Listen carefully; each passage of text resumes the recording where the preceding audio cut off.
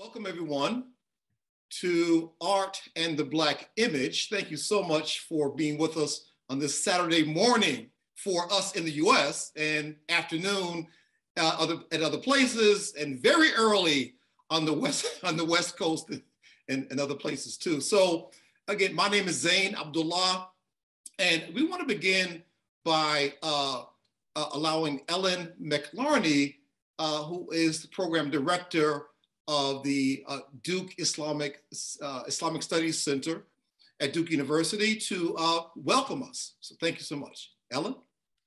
Thank you so much, Zain. Uh, I just wanted to extend a warm welcome from the Duke Islamic Studies Center uh, to everyone to the to, to, the symposium today, the art and the um, art, the art and the Black Muslim image.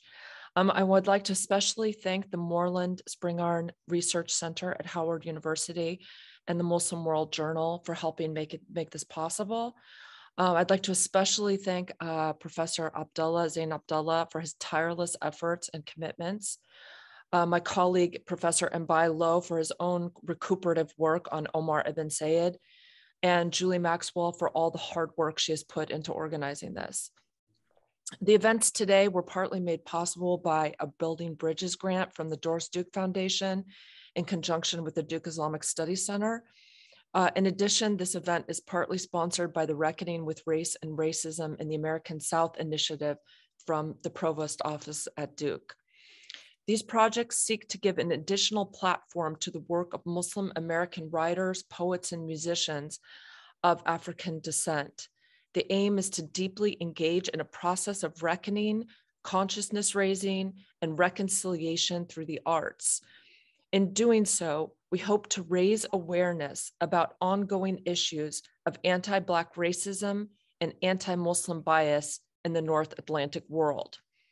And we also strive to engage in a process of historical contextualization of the rich tradition of Islamic art and writing, and specifically the vibrant tradition of Black Muslim art in the United States. I also would like to dedicate today's panel, um, today's uh, symposium to all the victims of violence, um, but especially those recently killed by gun violence in both Buffalo and Uvalde. Thank you, Zain. Okay, thank you, Ellen. Um, so, um, as you all have seen uh, in the advertisements and the like, that this is really a conversation. This is not just like an AAR uh, presentation meeting, very formal and that sort of thing. Uh, it's summertime for I guess most of us, and we we want to enjoy uh, just engaging one another and being together. Um, we wanted to revisit this journal, uh, this special issue of the Muslim World Journal that was published summer 2020. Um, and I just want to talk to you a little bit about how it came about uh, is interesting because I think, especially for graduate students and others, um, it gives us a sense of how long projects can take, but that's okay uh, because scholarship is a long journey. It's not a short, it's not a short sprint. It's a marathon, and oftentimes we get stressed out thinking that something has to be immediate. Um, but I think good work, like anything else, can marinate uh, and and can build. And so uh, Timur uh, Yushkevich, I'm sorry, Yushkevich, sorry, sorry, Timur, messed up your last name. Uh, uh, he actually approached me in 2013 about doing a, a special issue, being a guest editor for a special issue of the Muslim World Journal. And this was at an AAR meeting. Um, and I thought it was really intriguing because he suggested a, a special issue journal that focused on Islam in North America. Um, I told him I would think about it. I told him I was extremely excited about the idea and that I would get back to him.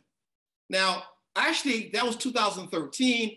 I emailed him back March 2019, six years later, um, with um, a suggestion, right? And the suggestion was again to, un, to uh, think more deeply about uh, Muslims of African descent uh, and, and what that meant at this juncture for us. Um, So with that, I proposed an idea uh, to do something around art, right? And these kind of images that would give us a different way of talking about uh, Black Muslims or Muslims of African, African descent. In other words, art for me would be a different in kind of engagement uh, because it would allow us to move beyond ideology. And I think that's really important. Oftentimes, I think we we get bombarded with with um, with with terminologies and, and and and ideological thinking, right? Or just a laundry list of what Islam is, what Islam is not, who are Muslims, who are outside of that pale, and that sort of thing. So I thought art would, would allow us uh, a different dimension, um, a, a, to be able to embark upon new conversations and new ideas.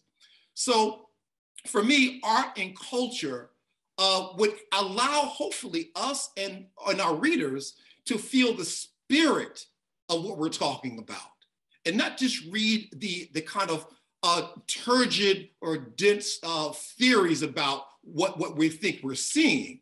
Um, I think the, the feeling is very important. The feeling is important for me uh, because when you think about it, um, a very small percentage of Muslims around the world, of the 1.5 or more billion Muslims around the world, very, very small percentage read Arabic, right? You think about that, right? Um, the largest Muslim country, of course, is Indonesia, right? A South Asian country. Um, most Muslims do not live in the desert. You live more in maybe tropical areas or, right? But not in the desert, right? Um, and so what does that mean for how, what holds Muslims to this idea of Islam, right? It can't be the Arabic language, but there's something there in, in the beauty of it, the art, the artistic nature of, of hearing the Quran, of sort of sort of uh, uh, inhaling the words in terms of the way which the rhythm pulls at us. It pulls at our souls, right? And so for me, um, it's that art that we want to capture, that beauty, right? That we all are familiar with in terms of the hadith, that, that Allah is, is, is beautiful and he loves beauty, right? And so that idea means that more people are attached to what they see as beautiful about Islam, right? And beautiful about being a Muslim in the world, right? And sort of uh, embarking upon that mode of being a Muslim in the world, right? And so for me, it was all about how we how do we talk about that beauty? Uh, what is it in, in the art of it all that would give us new conversations, new ways of thinking about this thing? So um, but this, we, we again wanted to, to present an idea about the process of producing this kind of thing, right? As, as writers, as, as, as editors, um, and those involved in other ways in the production of it, um, but also to kind of give us a way of, of discussing our thoughts. Again, so this is not really about us kind of giving you a synopsis of our articles. We have a beautifully produced uh, special issue that you can read, right? And, and, and, and ponder and all that. This is about maybe what did not end up in our articles, right? Um, what do we think about now? Wow, I mean, two years later, this is this is something else. The way time is moving, but but how do we how do how do we revisit these ideas? What have we thought about since then? Um, for me, and I'll sort of end here, but for me, um, one of the gifts of publishing is that you get the first joy of writing something and of sharing your ideas and your feelings with the world. The next gift that you get is when you get a chance to present it, right, at conferences or at universities or at churches or wherever, and anywhere in the public. But when you get a chance to talk about it again, you experience that gift all over again. And so I want to end here and bring on my colleague Timur to talk to you about the Muslim World Journal. But I want to thank you for being here. Thank you for uh, being a part of this conversation. And thank the panelists. I want to thank, of course, Duke University, Ellen, Julie, just everyone for, for making this possible. Thank you so much. Let's get started.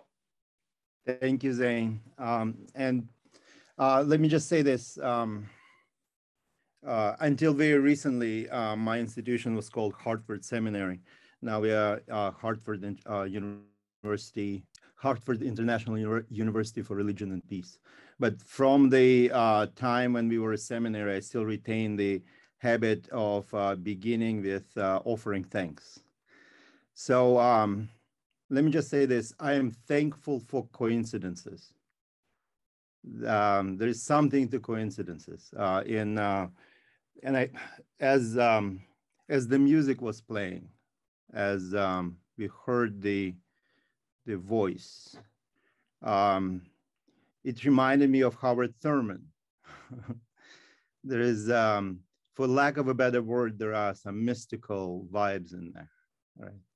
Um, and, and Howard Thurman says, he kind of sneaks it in because it's too delicate to say bluntly.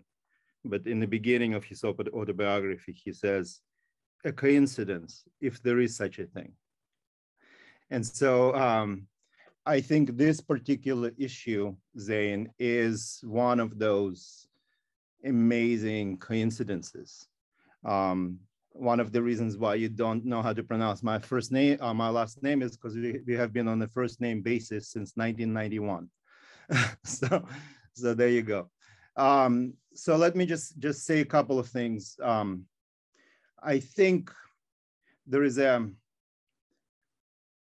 there is a, there is a big kind of question kind that for us at the Muslim world kind of hovers around it and it might be glanced at kind of you can get a feel of it by by, by looking at the cover of, of dr um, Cemil Aydin's book the idea of the muslim world. That cover is reminiscent of the cover of our journal. The very phrase the muslim world is um, is thorny. There are reality i mean that's just human realities right? You cannot separate it from the histories that are thorny.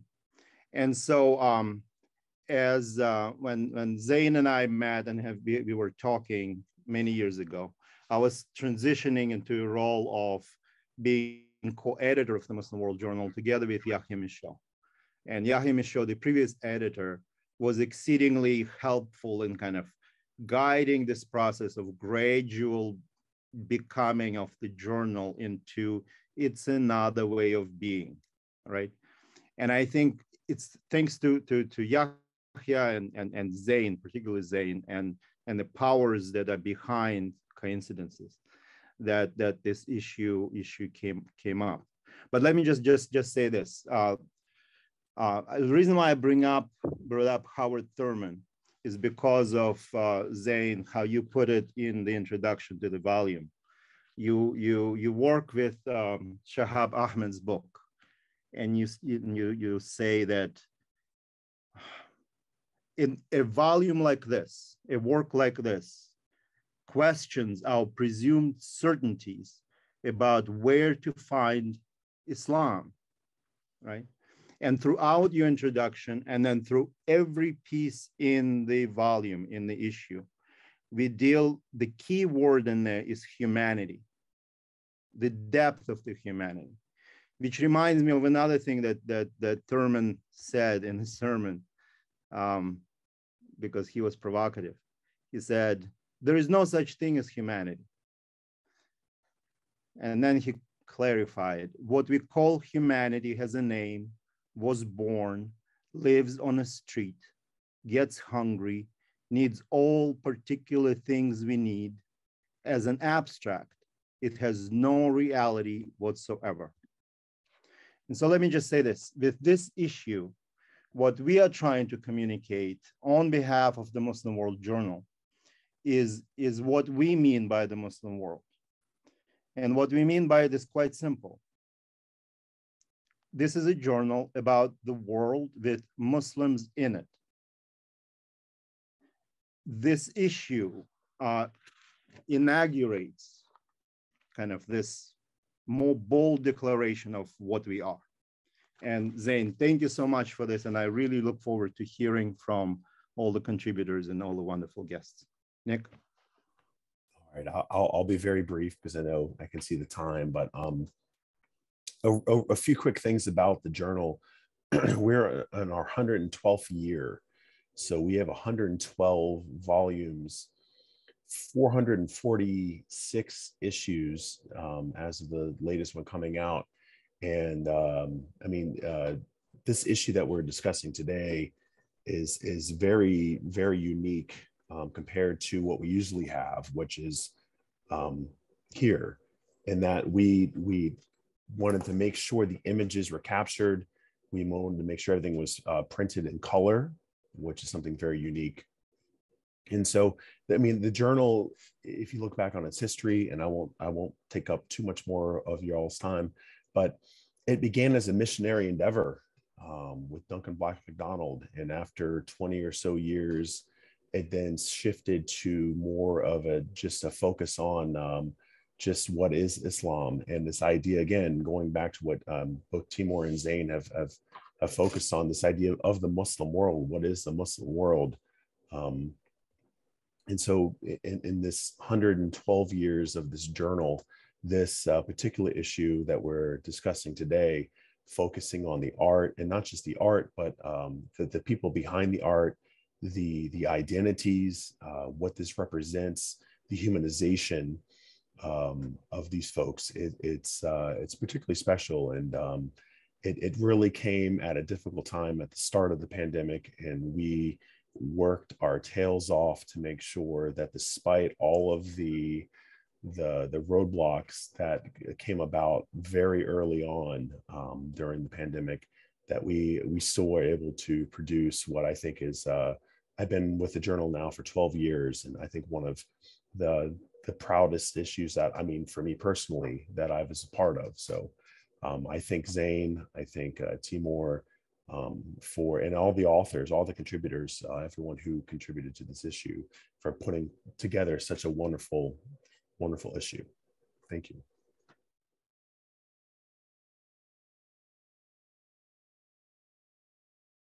So the first session we have this morning is with Georgia Haseldine and Richard Brent Turner. And I, I thank you both. Um, I think this is going to be a wonderful conversation uh, uh, about, um, yeah, you both wrote on something similar. And so um, I don't want to taint the waters, and I want you both to really have your time to to have a conversation and and lead us through this. So thank you both. Oh, well, thank thank you, Nick, and it's also brilliant to meet Richard um, here after we've exchanged emails. Um, what feels like many many years ago. Um, and also to see Zain and to be here with everyone else. So yeah, thank you for thank you for having me. I'm really looking forward to talking about Ayuba Suleiman Diallo. Um, and it's good to finally meet you, Georgia. Can can everyone hear me? Great. And thank you to everyone for, for hosting this wonderful event. Certainly. Well, please begin. I mean, uh, um, Georgia, would you like please go first? Yeah, of course. I mean, I guess um, I was sort of, I guess my sort of big question and, and sort of something that I'm I'm really interested in is I think both Richard and I actually have approached um, William Hoare's portrait of Diallo in quite a new in quite new ways um, because I think there's been a lot of problems, and maybe this is something that we'll, we're going to talk about um, today, with what do we do with all these represent, well, not all these, these, these kind of few very precious representations of Black Muslims from the Atlantic world in the 18th and 19th century, which were in fact made by white artists. And there's this very few select number of these portraits and they're really exciting and we can kind of talk about their agency and their um, their power of representation but i think also we're going to keep coming up against this issue of we're seeing it through the white gaze this is the this is a kind of um, uh, these portraits don't have they're not self-representation, perhaps. And I think Richard and I, in our articles, both have tried to kind of really wrestle with that idea and have brought in different theorists and different thinkers and different approaches to try and understand what we can still get from these portraits and where we have to be a bit skeptical. Um, and I, I, I, don't know, I wonder if this is something that um, Richard might be a good place for us to start to sort of talk about. Um, would that, does that feel comfortable to you? Yes, it does, because, um, you know, in reading your article again yesterday, I, I see how our, uh, our theoretical approaches um, kind of intersect with one another because you've um, used W.E.B. Du Bois's um, concept of double consciousness, mm-hmm. and I have used um, Charles H. Long's concept of signification, the issue of mm-hmm. naming and identity in the uh, modern world for you know for people who've been marginalized by colonialism and enslavement and um, you know um, where do the power sources um, emanate for um, you know for these issues of identity construction, particularly during mm-hmm. um, the era of enslavement. Hmm. Yeah, yeah, and I think um, I think both of us have found some really interesting places where we can we can sort of trace some of Diallo's self-forming as well, and where we get a taste of who he might have been with a kind of skepticism as well of like often this is being filtered through his biographers but there is some fantastic writings. And i mean maybe i'm i realized that perhaps maybe we should start with just giving a bit of introduction about who Ayuba Suleiman Diallo is. I'm conscious that richard and i know lots about him but perhaps maybe that would just give us a bit of a framework. Um, please do. I, mean just yeah, yeah and a, a brief introduction to his life and, and I mean how he came about. Like the story is quite fascinating. So please, that would be I think very helpful. Thank you. And Georgia, I'll let you do that. Begin at least begin. Begin it. So I'm going to make sure I've got all my dates right because I think this is actually quite important. Um, so I think, I mean, Diallo is, is a fascinating figure um, because he's, uh, and I think this makes him quite remarkable because he crosses the whole of the Black Atlantic. You know, he starts off um, in Senegambia um, and he's part of a wealthy, very learned family. Um, and he is also part of the slave trade in the sense that he is someone who owns slaves. And it's actually at the moment where he is going on behalf of his father to sell two slaves that he himself is captured. Um, and he is then forcibly enslaved, taken to Maryland, and is the and is at that point manages to continue his Muslim identity in a condition of enslavement. And we we learn from his later biographies how he is um, working on plantations, but he is taking him, himself off to pray five times a day. We know that he's sustaining his beliefs and trying to dress modestly and you know this is something that richard i think talks about really wonderfully in his article about his kind of like holding on to these signifiers um, despite the conditions of enslavement. After a couple of years he runs away. Sorry nick. No i, I mean um, we've had a few folks ask can can we put up an image do you mind sharing an image uh, some of the the images of who we're speaking of um, for those who yeah, haven't seen the issue. Yes. Um, shall I um, share my screen? Would that be Please easiest? Do. I've got a couple of images, Richard. Please do. Um, and we, we can continue the conversation with that up. So please do. Great. Um, great. I'll share this and then here we are. Um, you can, this means I'm, I'm not going to be able to see you as, as well um, Richard, but does that look clear to you? Have we got him on the screen? Yes. Great. Um, so I think just to kind of, yes, in this very potted history of his life, um, whilst he's in Maryland, he escapes um, and is then captured again in a nearby town. And this is the moment where he meets his future biographer, a man called Thomas Bluett. Um, and I think for me, I'm, I'm very interested in the way that this, this interaction happens um, because it's because of his, um, his great learning and his ability to recite sections of the Quran that Bluett takes him seriously, as in what Bluett terms as an African gentleman.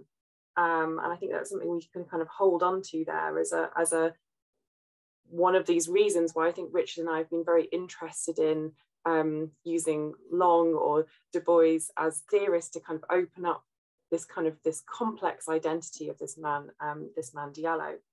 Um, there follows a few a few months where he is um, he's in fact returned to the the person who had who had enslaved him. Um, but when he's there, he sends an email he sends, sends an email sends a letter sorry that was a very 21st century moment. Um, um, he sends um, he sends a letter um, to his father in which is written in arabic and has a whole um, list of um, messages to the people that to people back home and referring to them and talking about them in very eloquent terms i think about um, his relationships to each of them and sending them wishes and, and telling them about the land of the Christians in which he's in. Um, and this letter is intercepted in Britain by um, a man called Oglethorpe, who was part of the Royal African Company.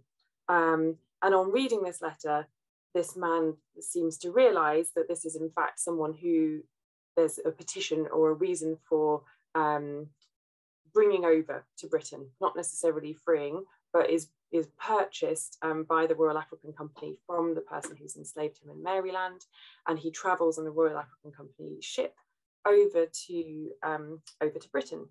And when he's there, he's in Britain for two years, and he, because of his learning, because of his amazing um, Islamic knowledge and his knowledge of Arabic, he makes a lot of very influential friends.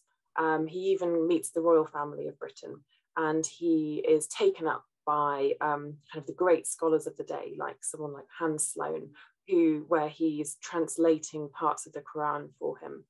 And in this process, and it's a bit unclear what the dates are in the 1730s around exactly when he is um, gains his manumission, but there is a fundraising campaign between all these friends who then buy his freedom for him. And it's at this moment that this portrait by um, a kind of young and up and coming portrait artist called William Hoare is painted.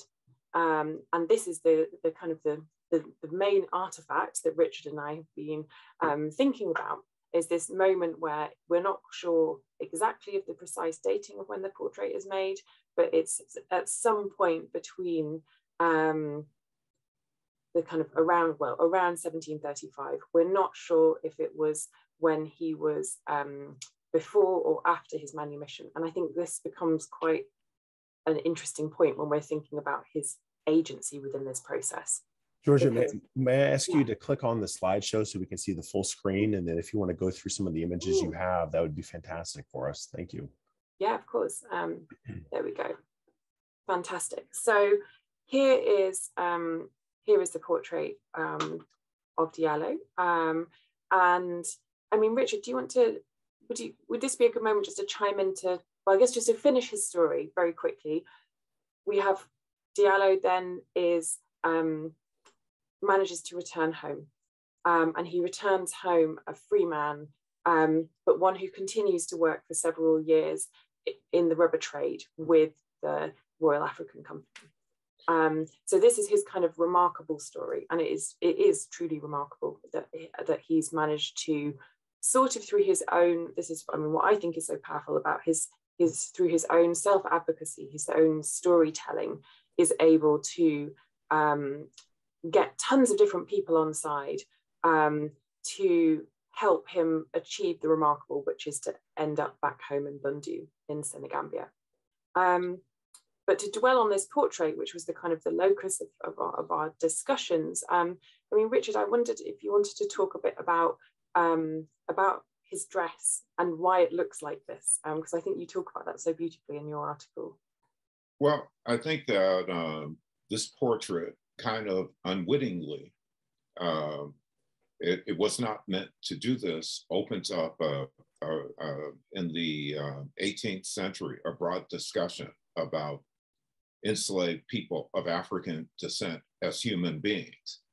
Because in this portrait, we, um, you know, we see all the signs of a, of a um, brilliant human being who, uh, you know, who is a, is a scholar. Uh, he is a, he is a uh, Muslim with um, values of um, complex values of, um, of, of, practicing a, uh, a very important religion in the world. He is dressed modestly, and um, and all of this cuts against the grain of what it um, would mean to be an enslaved person of African descent in the United States. Because in the United States, we do have to keep in mind that um, the most brutal form of slavery that's ever existed in the world is codified according to laws, particularly, you know, um, um, a bit after the death of, um, of Ayuba, of Ayuba Suleiman Diallo in 1776 with the Declaration of Independence, and then the Constitution of the United States, in which um, enslaved people in this country, really all Black people in this country, are defined as non-human beings. So this portrait, uh, you know, cuts against the grain of those um, anti-human rights values that are um, very deeply a part of um, how the United States of America um, is um, going to emerge as a, as a country, um, as a major democracy in the world, but also with this paradox that it's a, you know, it's a, a major democracy in the world and it has the, uh, you know, the most brutal form of enslavement going on in the world, which um, you know, kind of finances the economic infrastructure of capitalism.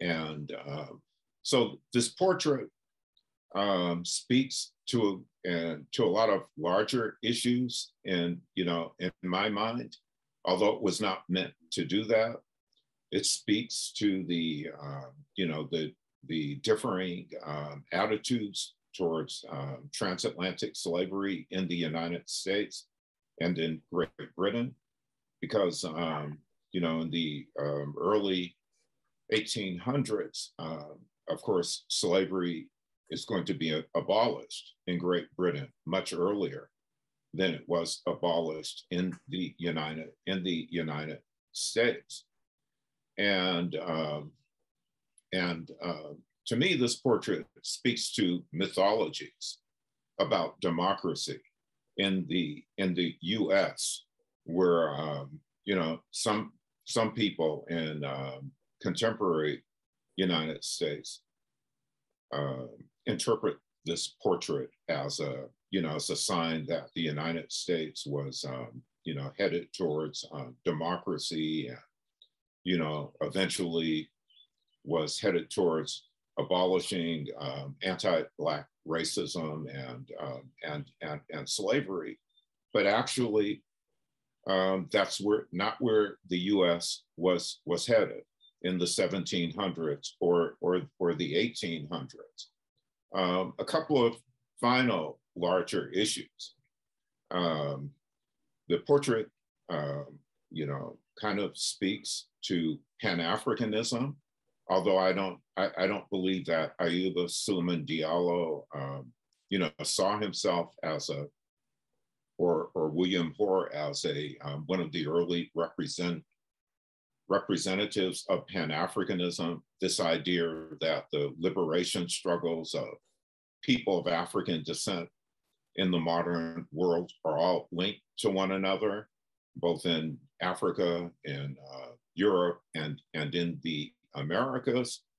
And the final thing is that I believe that uh, uh, this portrait, although it was not meant to do this, speaks to um, ongoing human rights struggles um, in the in the United in the United States, because um, we have to keep in mind that um, you know human rights of um, people of African descent in the United States is still is still an issue that has not that has not been re, has not been resolved um, in the 20 in the 21st century in spite of a in spite of a civil rights movement that um, you know that um, you know has provided um, so-called legal protections for um, you know for rights of of Americans, but um, to me the the larger issue of this portrait is one of human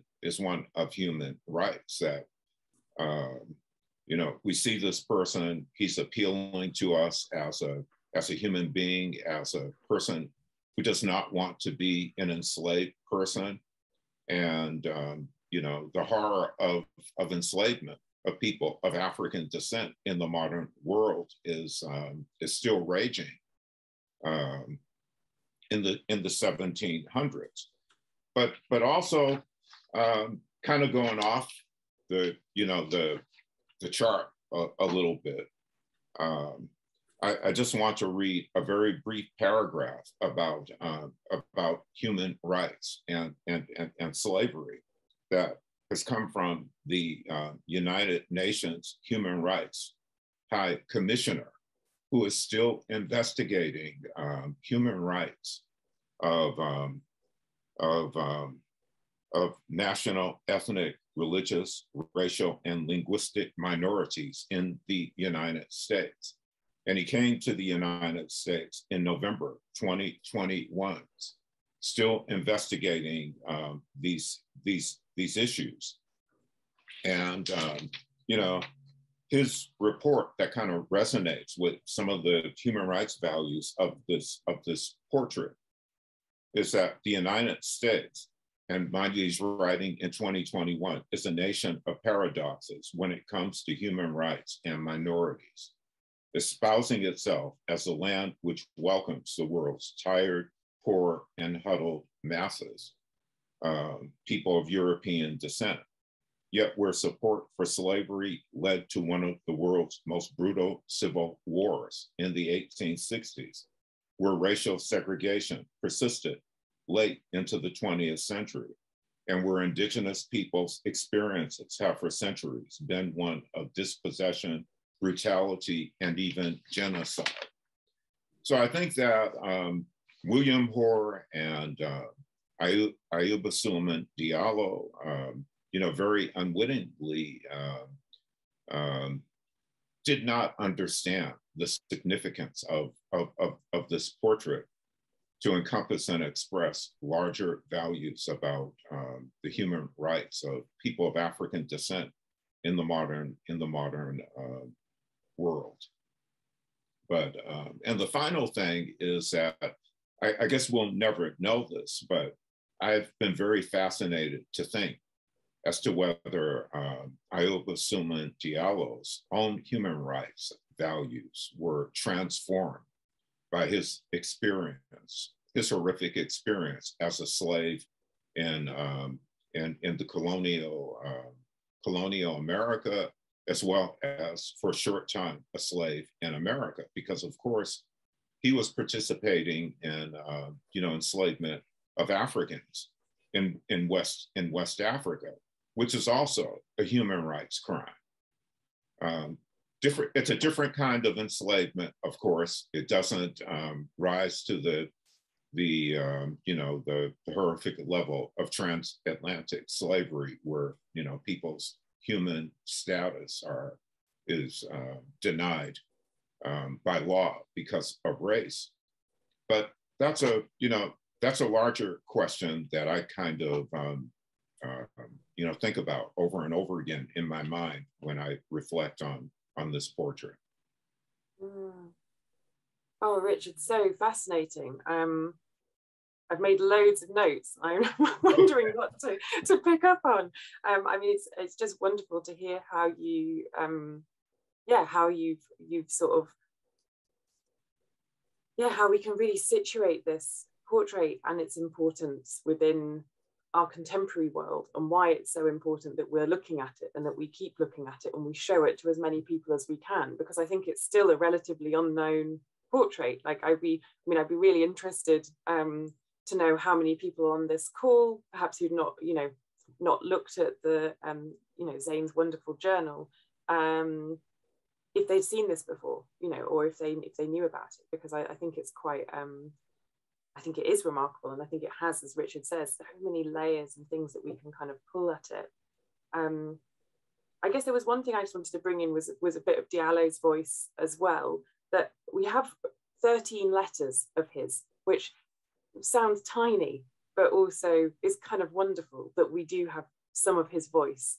Um, and and I think it's just um, I, I, want to read this quote out because I think it really resonates with what Richard was just quoting from this contemporary um, kind of study of human rights in in in, in um, the US today.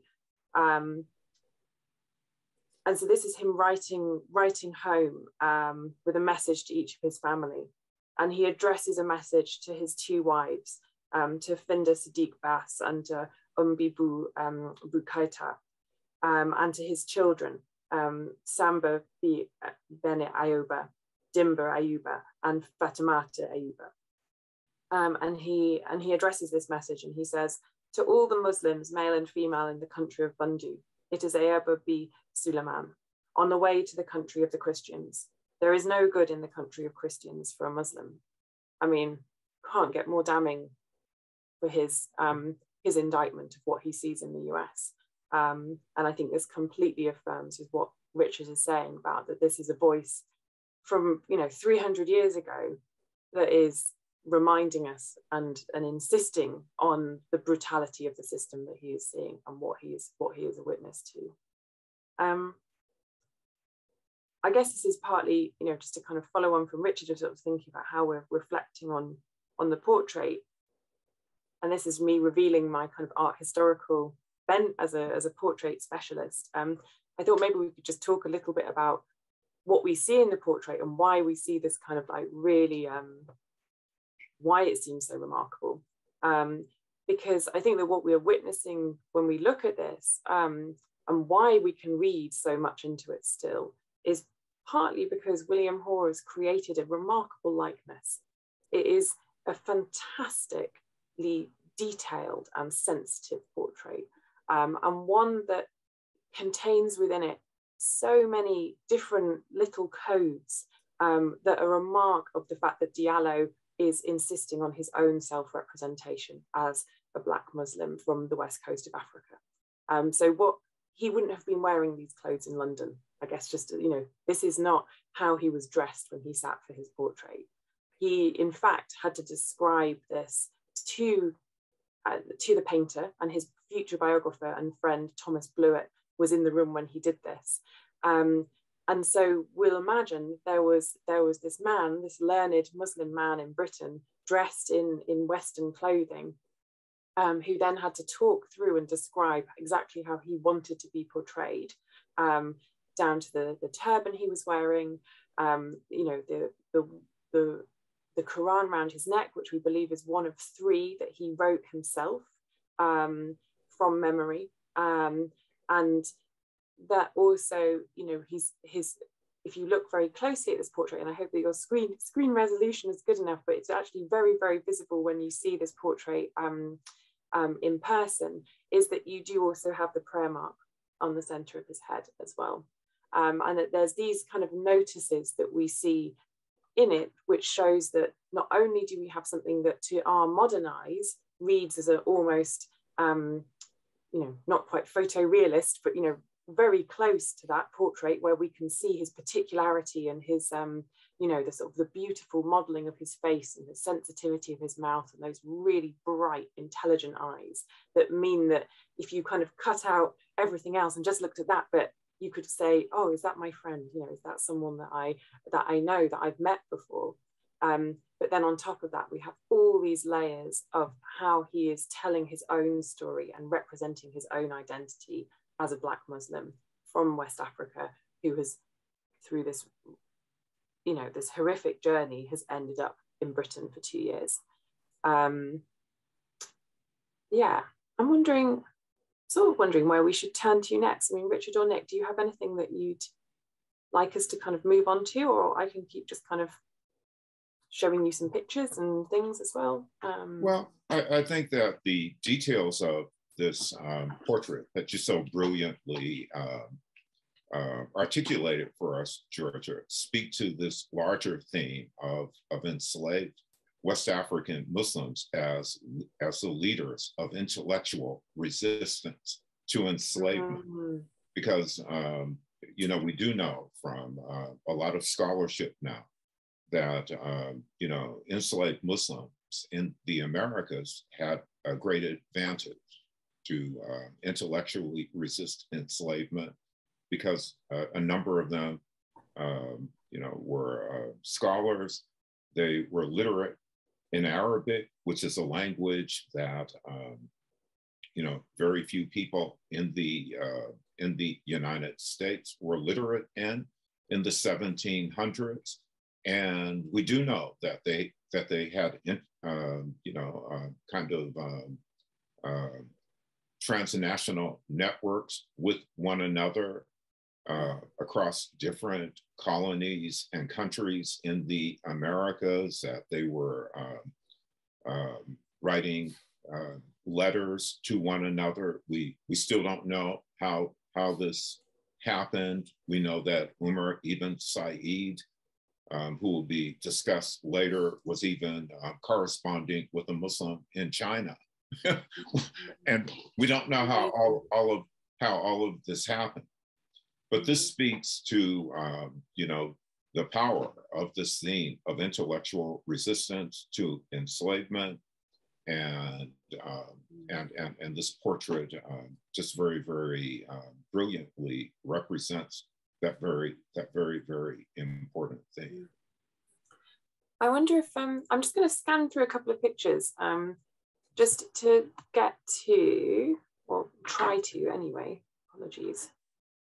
Um, um, this, which is has recently been acquired um, um, by the um, by a kind of an art center in, in Beirut, which is believed to be one of Diallo's handwritten Qurans. Um, of the three that you know, I said that it was three that he had written, and that this was seen by people in Britain as exactly as Richard says, this amazing kind of feat of intellectual kind of ability that he was able to write write this whole text out. Um, and I find it also fascinating that then someone has gone and bought a, this representation of him by the artist William Hoare, um, which has then been turned into an engraving. Um, and then has pasted that into this same book as well. So that you then get this kind of composite of these kind of forms of representation. You get Diallo demonstrates this moment of demonstration. This, you know, I mean, how long would it have taken him to write this? Um, um, I'm not sure, but you know, maybe we've got like a day of his labor in his handwriting here, um, which was this amazing kind of moment of of intellectual resistance and also kind of this was his calling card this was how he got his freedom was by being so clever and so interested um, and then it's then been spliced with his image in this way. Um, and I think it's absolutely incredible that this um, that this Quran has come to light and that and that it's now in the world and people can go and look at it if you if you can get to Lebanon. But um, that is, yeah, I think it's such an exciting artifact of of his of his time and you know and perhaps as richard says this is something that we can point to as as part of this much bigger story um, um, untold relatively untold story of the kind of intellectual resistance of, of enslaved Black Muslims. Um, Dr. Haseldine, um, yeah. real quick, um, based off of this, we've had a few questions, and, and for those of you who are putting questions into the chat, I, am doing my best to save them, but I think this is kind of related to what you were just saying. Um, there was a question um, from Elizabeth Brown on the decision to portray Diallo and the close of his native country. Did. Diallo address this decision in his letters? Uh, that is, what is the evidence that it was uh, his decision to insist that this was what he wanted to be represented in? So the only evidence we have um, in relation to what happened on that day when he was sitting for his portrait um, is because his friend Thomas Bluett, who was the man who you might remember I said had um, um had first found him in Maryland um, and identified him as, as this incredibly bright and bright figure who was because of this was seen to justify uh, he was seen to be then classed as wrongfully enslaved compared to many people that presumably Bluett and others who certainly weren't abolitionists thought had been somehow rightfully enslaved. I think that's just important to caveat there. Um, Bluett was his good friend, and he was the person who took him to and persuaded him to sit for his portrait. Um, and there's a kind of a page in the life of um, the life of Diallo that um, Bluett writes um, that describes the scene of the of not only his friends having persuaded him to sit, but then um, they call it there's apparently it was like very smart repartee between Hoare and Diallo. So they're going back and forth and they're and they're um, sort of testing each other. Um, and so as is as most sort of trained portraitists at the time would do, Hoare's begun by painting his face. So he will have sort of begun from the nose out. That's what um, Godfrey Kneller um, um, taught, and that's definitely who Hoare was following. So he's begun with the nose and the eyes, and he's sort of begun the, the face um, area. And then they start talking about how what he should be represented in, what his clothing should be. Um, and it's at that moment that we that Bluett's recorded, and obviously we can't we don't know how accurately he was doing the transcription. Perhaps it's not as good as Zoom's, um, but you know, we hope he's kind of caught some of his, um, sort caught some of that dialogue.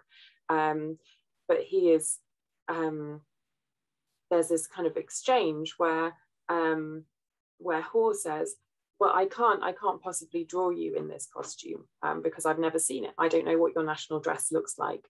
And, and to, the, to that, Diallo responds, well, you know, you Christians, you're you're often trying to represent Jesus Christ and and God, and you don't seem to bother. You know, it doesn't bother you that that's happening. Um, so therefore, you know, surely you're not a very good artist um, if you can't understand what my national dress is by the description. And so I guess that's where I feel that's the evidence that then this must have been pretty detailed what he went into um, because we've got this portrait that feels very credible. You know, it feels like credible credible dress. And I think Richard um, in his article um, brings in some wonderful sources to talk about what those kind of that historic costume looked like as well. So I, you know, I really encourage you to read that in detail if that's one of the bits that you're fascinated in, um, because it's, um, yeah, that's where we've got the evidence for is from Bluett. Thank you. And, and, and, Dr. Turner, I mean, there was a just a recent question, and I, I promise to try to get back to the, the previous ones but from uh, Carl Johnson. Um, can you see the question or would you like me to, to, to read it for you? Read it for me, please. Okay, sir. Do you think that Diallo's view was influenced any by the um, Suwarian tradition of Islam and or the Sufi tradition in Islam that tended to make so-called slavery in West Africa before the 1700s much less harsh than chattel slavery, um, even medieval sufferdom in Europe? um, serfdom, forgive me. Uh, I understand that semantics always play a part in these discussions.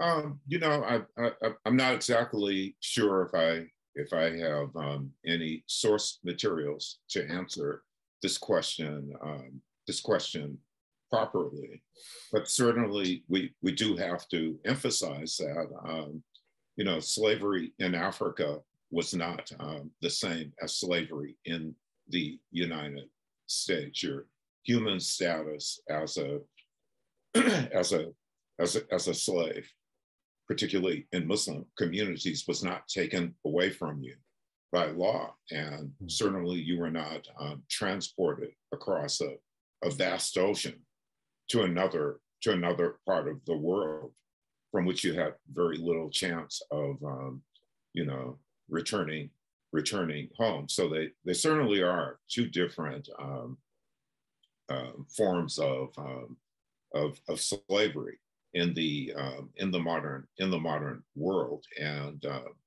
perhaps to answer um, this question, I, I recommend uh, reading Paul Lovejoy's book or some parts of it, Transformations of, of, of, of Slavery. It's just a brilliant book that I've I've been reading for 30, for you know, for about 20 years to uh, you know to see these um, important differences between uh, um, the different um, you know institutions of, of, of slavery in the um, in the modern world, but also to um, to make one uh, very brief comment to the last question. I think that uh, this conversation that went on between Diallo and Hoare points to the courage of Diallo to even um, begin to entertain such a conversation because he had to have known that his um, his freedom could have been revoked at any point in in time, even in Great Britain, and that he could have ended up in a you know very very horrible situation, uh, enslaved for the rest of his his life. Uh, so um, it um, I, I, think that that that does that does need to be pointed out, and also um, I um, um, and this is something that Georgia, you may be able to speak to more effectively as a as an art historian, the kinds of uh, artistic and humanistic values that Hoare uh, himself had to um, you know to create this this kind of, of portrait in um, in Britain at a at a time when um, slavery had not been abolished. Yeah, Dr. I mean, oh, sorry. Please, Georgia, please. No, I was just I was just going to leap in there because I think what Richard's saying is fascinating, and I think um, um, yeah, I mean, it's definitely when, Zain said at the the beginning, what have you been thinking about over the past two years? And I was like, oh gosh, what have I been what have I been thinking about in relation to this? Um, but I guess yeah, just as a kind of counterpoint to looking at Diallo, who's obviously in some ways we can have this incredibly positive kind of story about his his, his self portrayal. Um, I've actually spent a, a, lot of the past couple of years um, working with the artist Theaster Gates at the, the Victoria and Albert Museum, and one of the big things we've been researching are are, are kind of racist depictions of people from the African diaspora um, in ceramics and within decorative arts more generally. And I've you know had the pleasure of working with um, wonderful scholars like Adrienne Childs to kind of understand this more. Um, and I think it's it's only when you start to look at those images that you start to see how remarkable Hoare was and how courageous Diallo was that they managed to make this portrait together.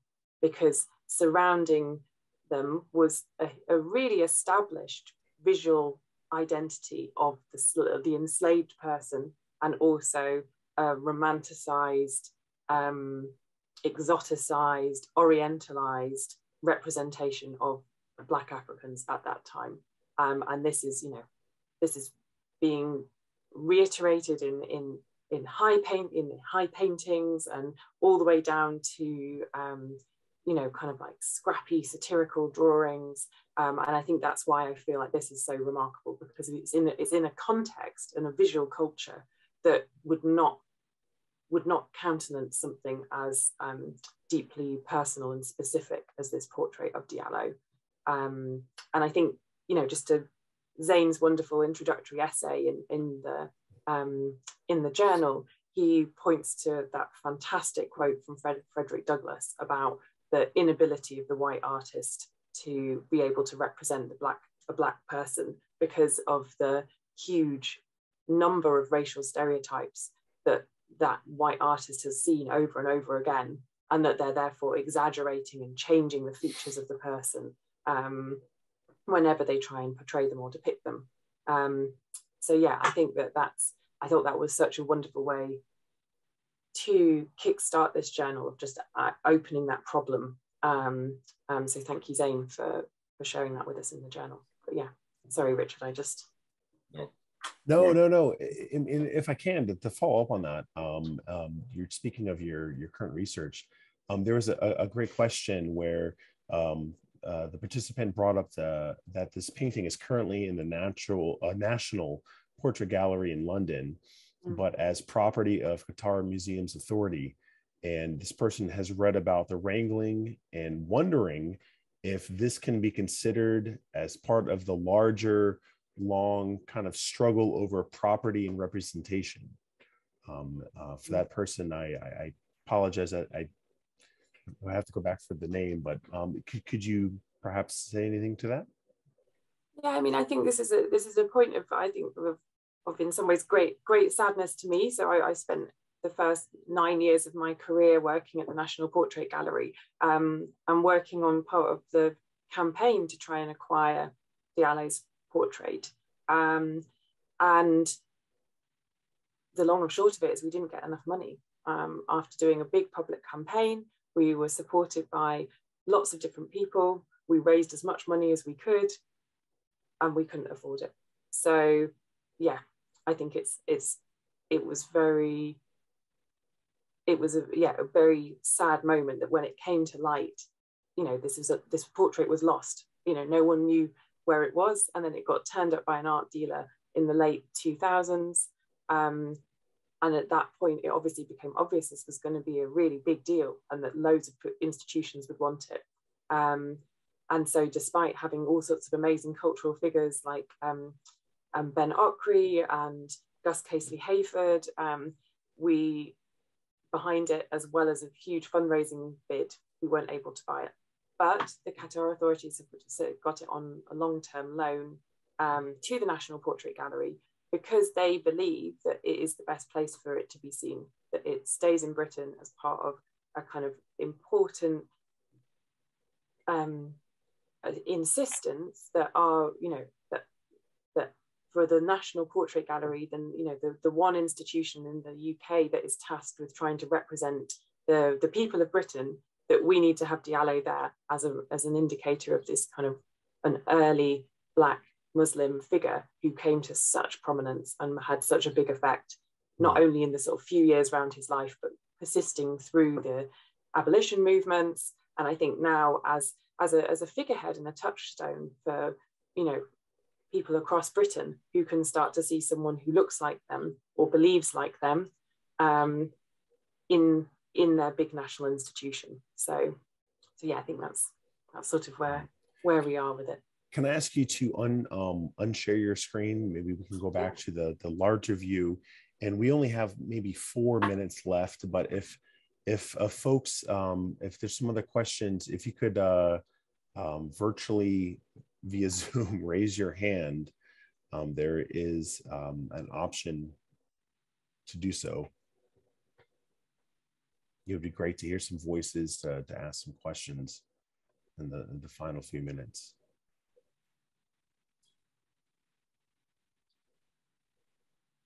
And if my colleagues can help me, if, if there's a hand raised that I'm not able to find.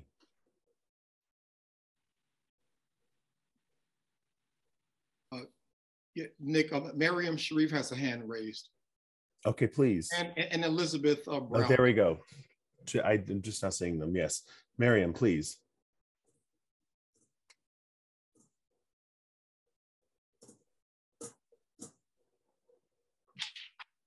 Miriam, you're on, you're on mute. Hi, can you hear me? Yes, we can hear now. Yes. Wonderful. Thanks so much for this wonderful program. I had a question earlier for Dr. Turner to please repeat the name of the resource and author of the, um, when he was discussing Black identity that he referenced in the very beginning, especially as it pertains to Muslims in African Islam and um, how uh, African Muslim identity is portrayed. Um, are are you um, thinking about the um, Paul Lovejoy book, Transformations in Slavery, A History of Slavery in Africa? Or perhaps the Charles Long book? Oh, Charles, Charles yes, Long. The Charles Long book is Significations. Thank you so much. Okay, my pleasure. Yeah. And, and, Dr. Turner, real quick, I mean, and how, how did that book play into the writing of your article at all? I mean, what was there any, not how did it play, but obviously it did. any particular points where that influenced uh, your article um, significantly?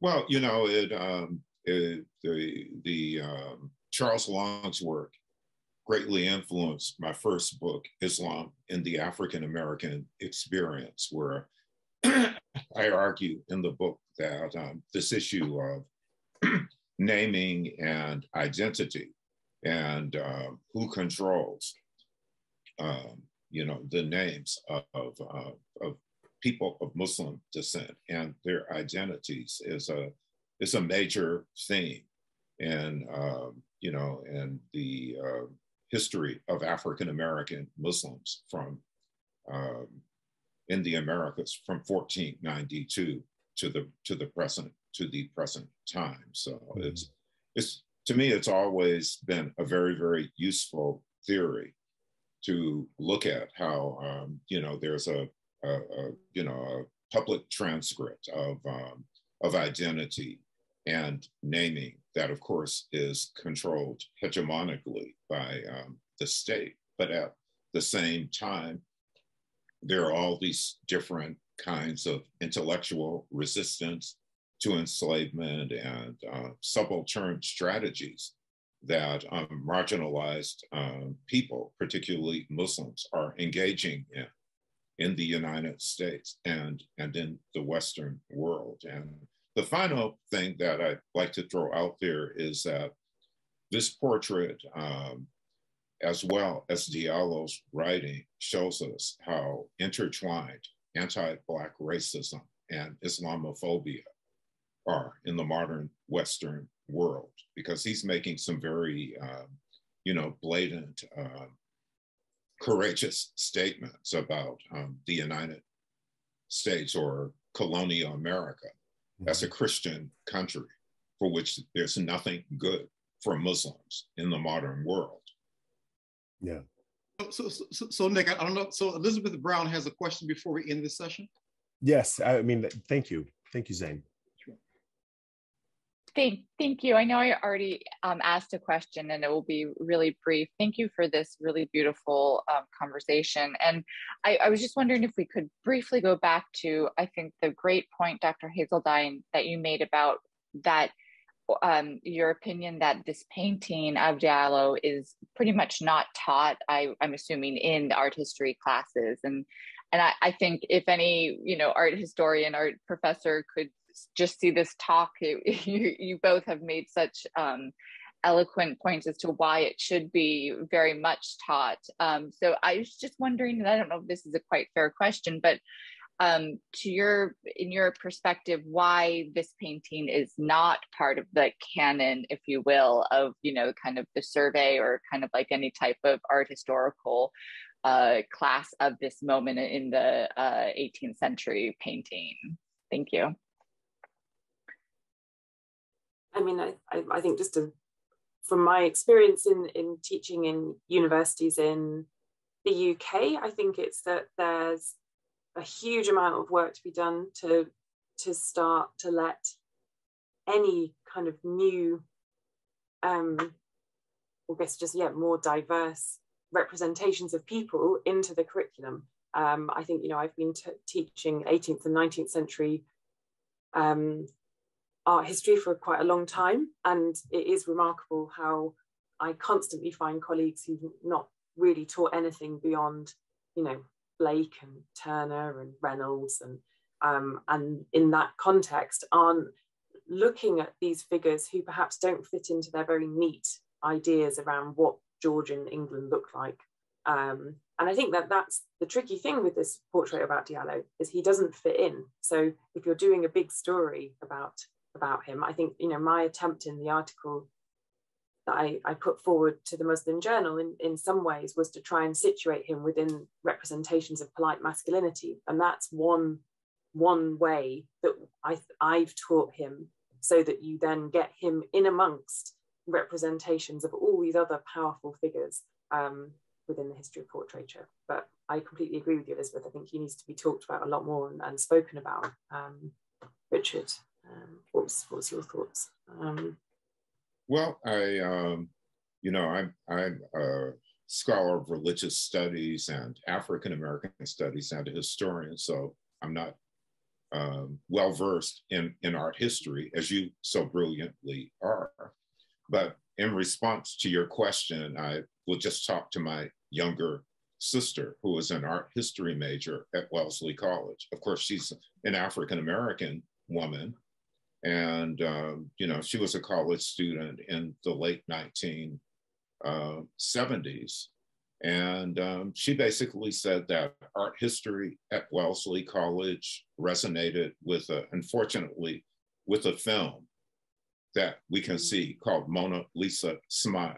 you know, that, mm. that, that was basically a representation of what, you know, Wellesley College, um, this very elite college for very um, intelligent and wealthy white women mm. uh, were doing with the art history major in the 1950s.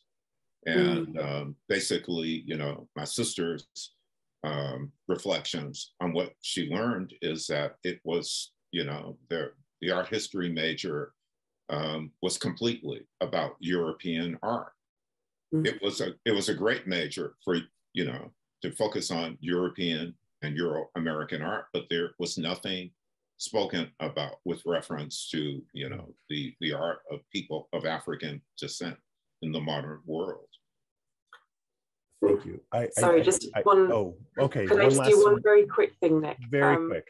Um, I just wanted to. I'm just going to quickly share my screen again because I think one point I just wanted to make, which I think follows on from what Richard was saying, was that I think one of the most important ways I think we should be teaching about portraits like Diallo's um, is through the kind of contemporary lens of, of, artists who are currently working on interrogating portraiture and thinking about it in different ways. And I thought I'd just share the work of two, of two artists, um, perhaps Rosa-Johan Uddoh, probably less familiar to anyone there. She's only in her early 20s. Um, she's a really up and coming artist in Britain at the moment, and she's done an amazing um, exhibition all about recovering the images of Balthasar um, and trying to think about who was this one black person who was allowed into all these white European paintings that Richard was Richard was describing.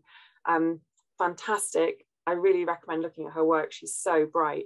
Um, but then also Ingrid Pollard is, um, you know, she's been working since the 70s in Britain, reimagining portraiture. And I think there's no better way to think about what the meanings of representation are in portraiture than like getting stuck into her work. So I think if you are anyone who's teaching the visual world, going through that contemporary lens can, can really you, help. Can, so I will. Can I'll you put her? Sharing. No, no, please. But can yeah. you put the names in the uh, the chat for those who um, or who may be wondering, and we do need to take a, take a break. Um, okay. I know some folks would love uh, uh, just a, a, quick chance. I, I, greatly appreciate both of you in your conversation. I, I hate to be the person who has to, to close this uh, time together, but um, we are very indebted to um, your articles and to this conversation.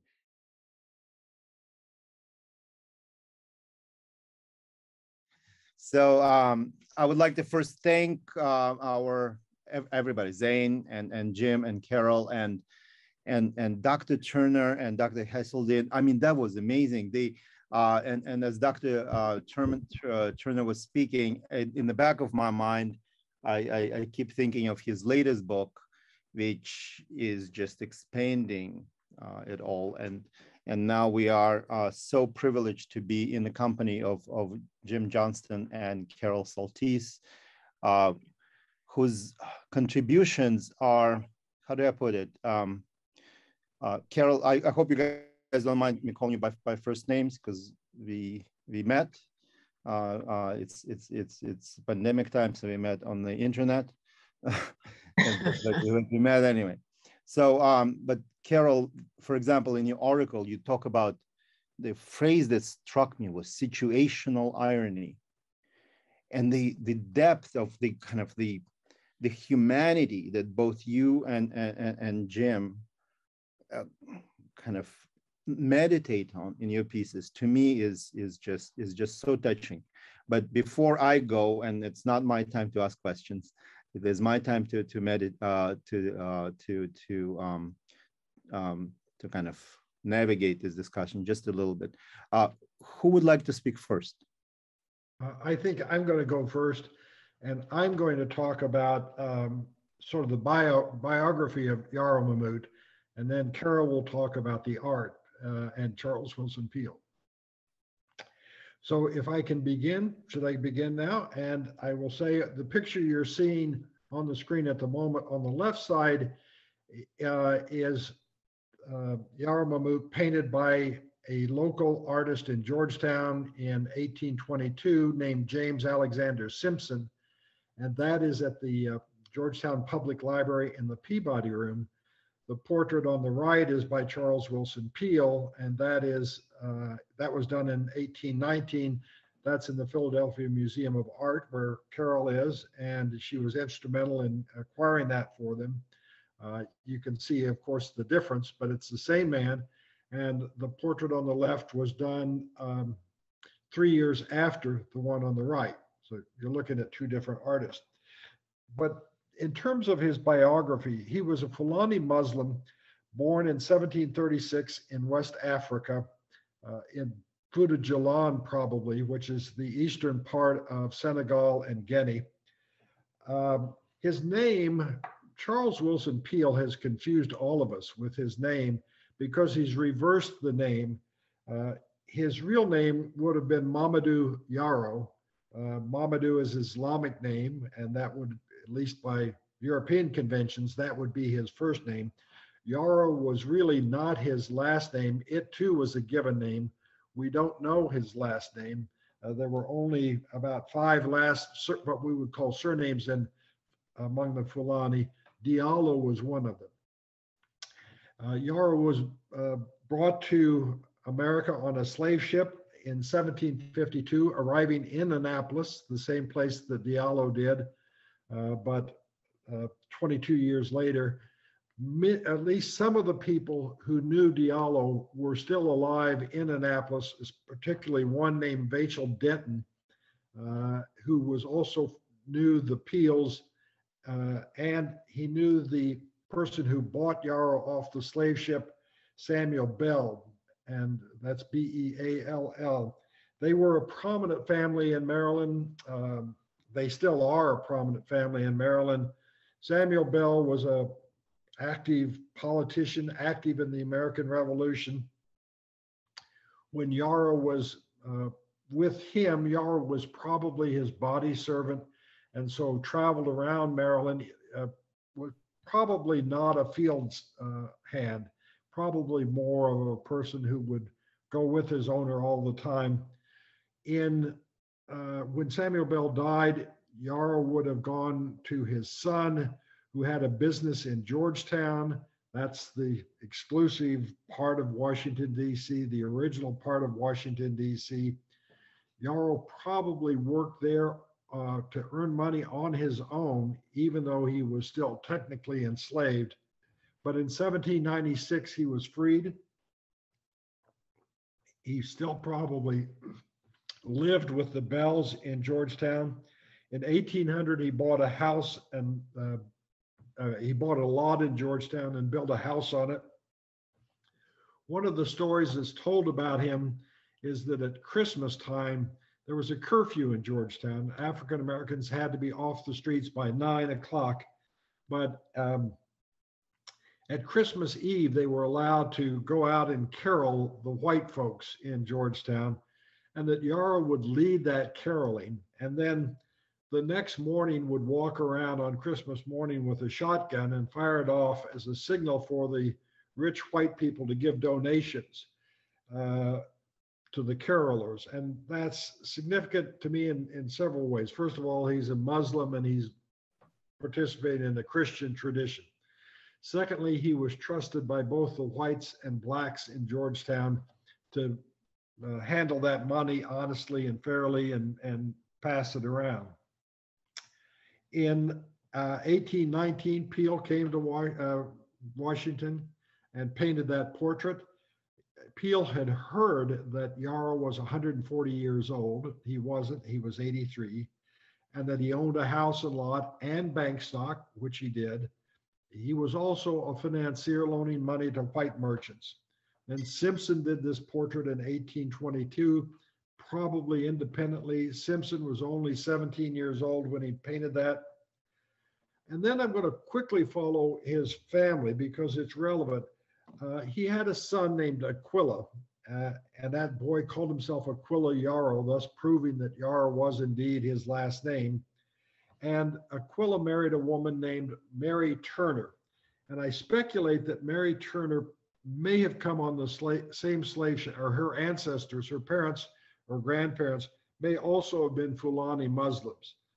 Um, and they moved up to uh, a farm near Harpers Ferry, West Virginia, but in Maryland. Uh, Aquila died in 1832, but his widow became a midwife there, and that community is therefore named after her. Her name, she kept the name Mrs. Yarrow, an African name. And so there is this little community in Maryland named Yarrowsburg carrying this African name. Her great grandnephew went to Harvard in uh, 1923 and graduated in 1927. And uh, his relatives are still alive in Baltimore today. Uh, they tell they knew, or, or their grandmother knew uh, Mary Turner, Mary Yarrow, the son's wife, and they tell me that uh, this grandmother always talked about education and the importance of education. And so there's this tradition, certainly in the Turner family today, of education. Most of these women have master's degrees uh, in education. Yarrow died on January 19th, 1823. Charles Wilson Peale wrote his obituary and put it in the Gettysburg compiler. But the obituary or death notices were put in uh, some 38 newspapers up and down the East Coast. And finally, uh, these were passed around so that in March of 1823, the Times of London uh, carried an obituary for him. And that, I think, is time for now Carol to pick up. Okay. Um, this Zain to you is uh, in the spirit of marinating. This is something that has been marinating, and uh, I talked to Timur about it, and he was very helpful. And I'll mention that again in a minute. Um, anyway, after I completed my article for the Muslim World, I just felt there was more to know about Yarrow and the possible relationship between his quote success unquote and his religion. Um, the fact he was uh, expressing his beliefs in public uh, was unsettling to me a little bit. Was he being a buffoon? Were people perceiving him as that, you know, praising God in the public square, so to speak? Uh, or was he then at that point, and had he been all along, living out aspects of his religious practice as an integral part of his life in North America? So I was trying to find out what what that was all about. And so that's sort of, I'm just sort of beginning to uh, explore this. So, did his religion help him survive in some way? Um, so, I would like to, to briefly consider three different lenses through which Charles Wilson Peale's compelling portrait of the African American Muslim former slave may be viewed. Uh, I believe, and I would like to be able to develop further, the premise that it is the third of these lenses that will allow us to understand this portrait more fully, and as a result, guide us into a deeper exploration of how the education of young Black Muslim boys in West Africa may have prepared them to cope, to deal with, to be. Um, the first of these possible lenses um, I will call the white Anglo-Saxon slaveholder lens. Um, and a little over a decade ago, an art historian not fully aware of Yarrow's identity saw him through this lens and described him as a quote, poorly dressed old black man and someone who might best be described as a character. And in relating what he saw, um, he then, in, in Peale's portrait, he then, you know, uh, called Peale out for being uh, creating a racist image. Um, I guess he felt that the clothes make the man. And in any case, it's important to remember that Yarrow's response to Peale's portrait of him was, quote, it's Yarrow himself. Um, and I think one of the compelling things about Peale's portrait is, in fact, its dignity. It's a very powerful portrait.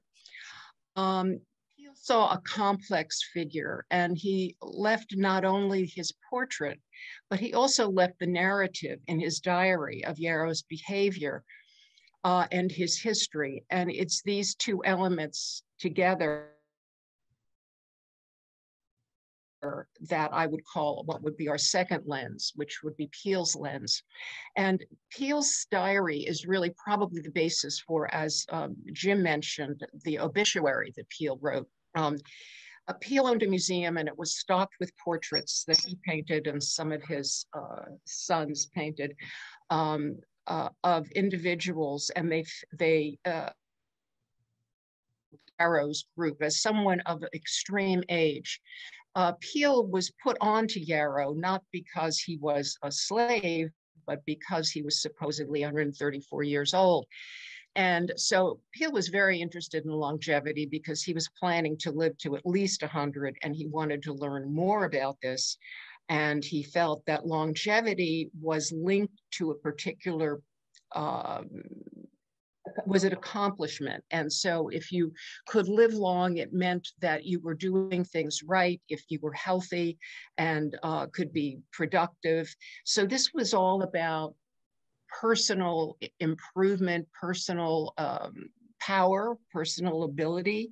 So he had a small group of these pictures already painted in his museum, and he wanted to add Yarrow's portrait to that.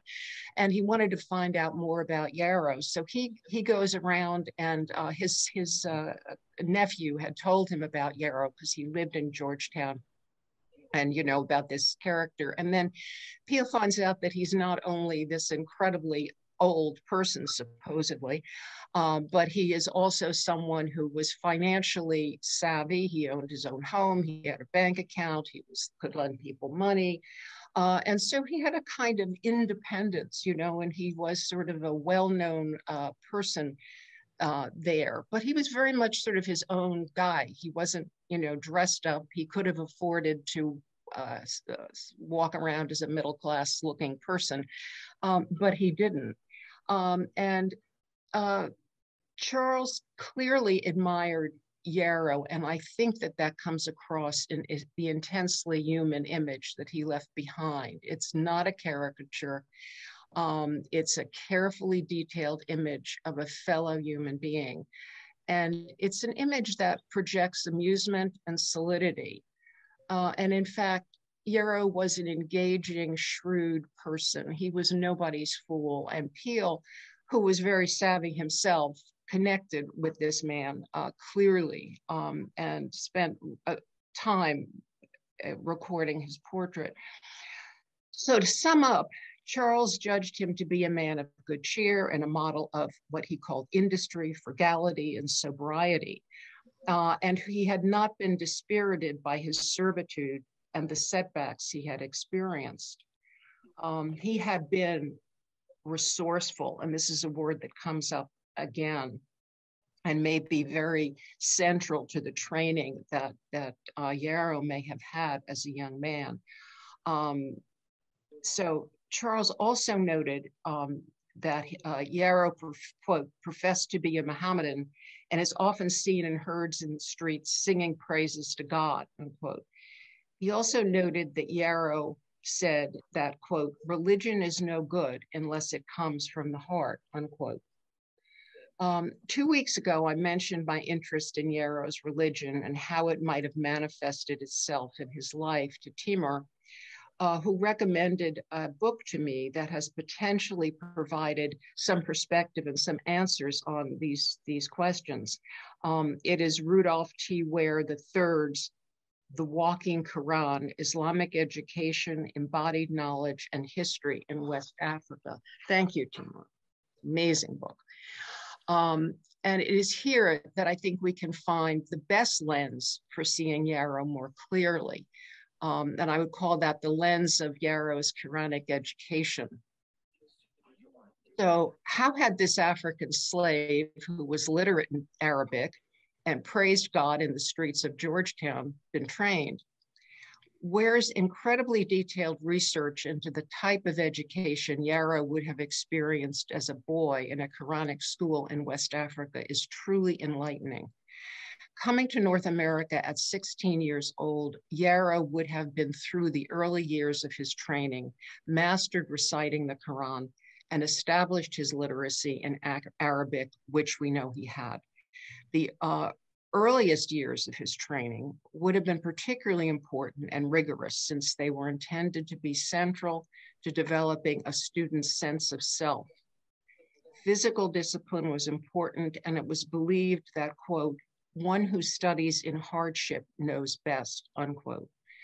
It was a process that, quote, formed men used to struggle and suffering, unquote. And this would make these boys clean vessels to prepare them to receive the word of God. The goal was the moral amelioration of the individual and the creation of resourceful individuals there was fierce punishment for those who were shiftless or absent minded. So, to return briefly to the idea of clothing, um, we may also see that in the fact that the uh, his attitude for clothing may have been somewhat shaped by the fact that as young students, these um, young men were compelled to beg. This is how many of these schools were supported through the alms that they received. But it was also considered that the act of asking for alms instilled humility and helped create good character. So they were compelled to do this by custom and religion. And it was, as I said, it was a source of income. But the, the idea that students would wear poor clothes clothing or rags. This was uh, just this world, so to speak, if you can think of it that way. Um, and so the fact that he's wearing secondhand clothes that he gets from uh, students at Georgetown School um, really may be a sort of throwback to that or a sense of um, I don't have to dress myself up to be a worthy person. I can i can be frugal and i can and he certainly probably was very frugal and very careful about his money and and so forth. But it, it when you think about it in terms of how he might have been trained so to speak um, what the meaning of clothing might have to him is is very different than it might have what we might think that as or other people um, might consider it as. Um, and that training might be very different from what Diallo had, where he was really uh, sort of, you know, part of a, a wealthy upper class thing, even though these boys were, they could be from anywhere. I mean, and, you know, that was that rank was not important, but this was a process. This was a part of their education uh, in becoming a good Muslim. So the, the, the other thing is to be sort of humbled by this alms, uh, seeking alms, also um, was, as I said, making them prepared to hear the word of, of God, and they learned the Quran by heart. That was the next sort of step in, in their uh, education, so that these boys would, in fact, become a walking Quran. You didn't have to carry your Quran with you. You you had it embodied, embedded in you in a way. Um, so, to sum up, um, I think that all this deserves further attention so that we may better understand how Yarrow and many others um, may have brought their East African Muslim culture and religion with them to America in productive ways, and how um, these disciplines and these ways of, of seeing reality help them navigate horrific situations or help them um, make um, be more resilient, be more resourceful, um, and help them uh, survive. And in fact, uh, be someone who could sit in front of someone like Charles Wilson Peale, and that Peale could see the dignity in this man because this is how he held himself and and how he navigated his life. You know, Peale would not have been aware of all of this, obviously. And he, uh, the man he confronted, I don't think he could truly take in the full spectrum of things and, and you know, within the conditions that they were all living. But there's no question that the two of them connected and that uh, Peale was able uh, to convey uh, the sort of essence of the man he saw in front of him. And I do know that people experiencing this painting, which I have seen many, many people do and talked to many, many people about it, nobody dismisses this um, picture. Once you're in front of it, it is extremely powerful. Um, and it's it's the sort of thing that um, picture a, a, work of art, a true, truly accomplished work, uh, can do. It can uh, communicate across time and it can make us think about things. And I know that looking at Yarrow's face made me think more deeply about the process that he went through, the life that he lived, and what shaped this man, what what allowed him to be um, so um, resilient and uh, so forth. And that was what Peale was asking himself too, certainly, and why he did want to memorialize him in portrait, in, in words. And, um, and his the life he lived, in fact, did create a great deal of attention to have him um, to generate all of these obituaries, um, some of which, of course, were uh, serious and um, probably most of which were uh, purely just for newsworthy sake uh, if they connected it with an advanced age. So anyway, that's where I am. And um, I think um, just one quote from um, the Ware book, he talks about a, a student who went through this process like like perhaps um, uh, Yarrow did, and he speaks about his teacher and the process he went through. And this was uh, in the 18th century, anyway. So it co- connects to the time frame of Yarrow. And he said of his of, of his process of his teacher, he said, "I honor my teacher. I thank him because he taught me to work. He taught me to persevere patiently and to confront life." Um, so that's the end of my comments and my marination uh, of Yarrow. Uh, uh, Carol and Jim, uh, first of all, I would like to invite everyone to uh, follow the practice uh, from the previous panel. please submit your questions via chat. Um, Nick will help me out by, by looking at the questions and then we'll invite you guys to, um, to ask them. So let me just kind of um, um, I think it, it, it is a question to both of you, uh, uh, Carol and, and, and, and, and Jim. So Carol, you just mentioned very, very briefly the obituaries, mm -hmm. right? And uh, Jim, you're, uh, you are the only author in here who wrote two art, well, other than Zain, I think. No, that's it. You are the only author who wrote two articles in the same volume. You co-wrote an article with um, with Asma Naeem, uh, two museums and the Simpson portrait of Yarrow Mamout. And then you wrote, you wrote uh, your own piece, Rethinking Yarrow Mamout. And um, from what I can hear, much of what you said comes from your piece on Rethinking Yarrow Mamout, but to connect that and connect it with obituaries. Let me just kind of, um, so one of the obituaries was uh, um, you and Asma Naeem, I think, consider that it's possible that the person who wrote that obituary was Simpson, uh, okay. the, the, the, right? And it's uh, it has this very peculiar phrase. Uh, well, it starts with Yarrow dead, right? And then it says, uh, we remember to have seen anybody, and then, then he says, what was taken of this harmless old man. When I read that, harmless old man that struck me, right? Why must harmless be inserted in there? What is going on there, right? Yeah. Can you maybe can you can you say something on that? well, uh, I I think uh, the reason the harmless is inserted is because it was written by James Alexander Simpson, who was a 17 year old uh, up and coming artist in Georgetown and was, he really didn't, unlike Peale, he didn't really understand Yarrow. By the time Simpson did the po- portrait, Yarrow was uh, six months from death. And so I think that's the way Simpson saw him. I think that Peale saw him quite differently.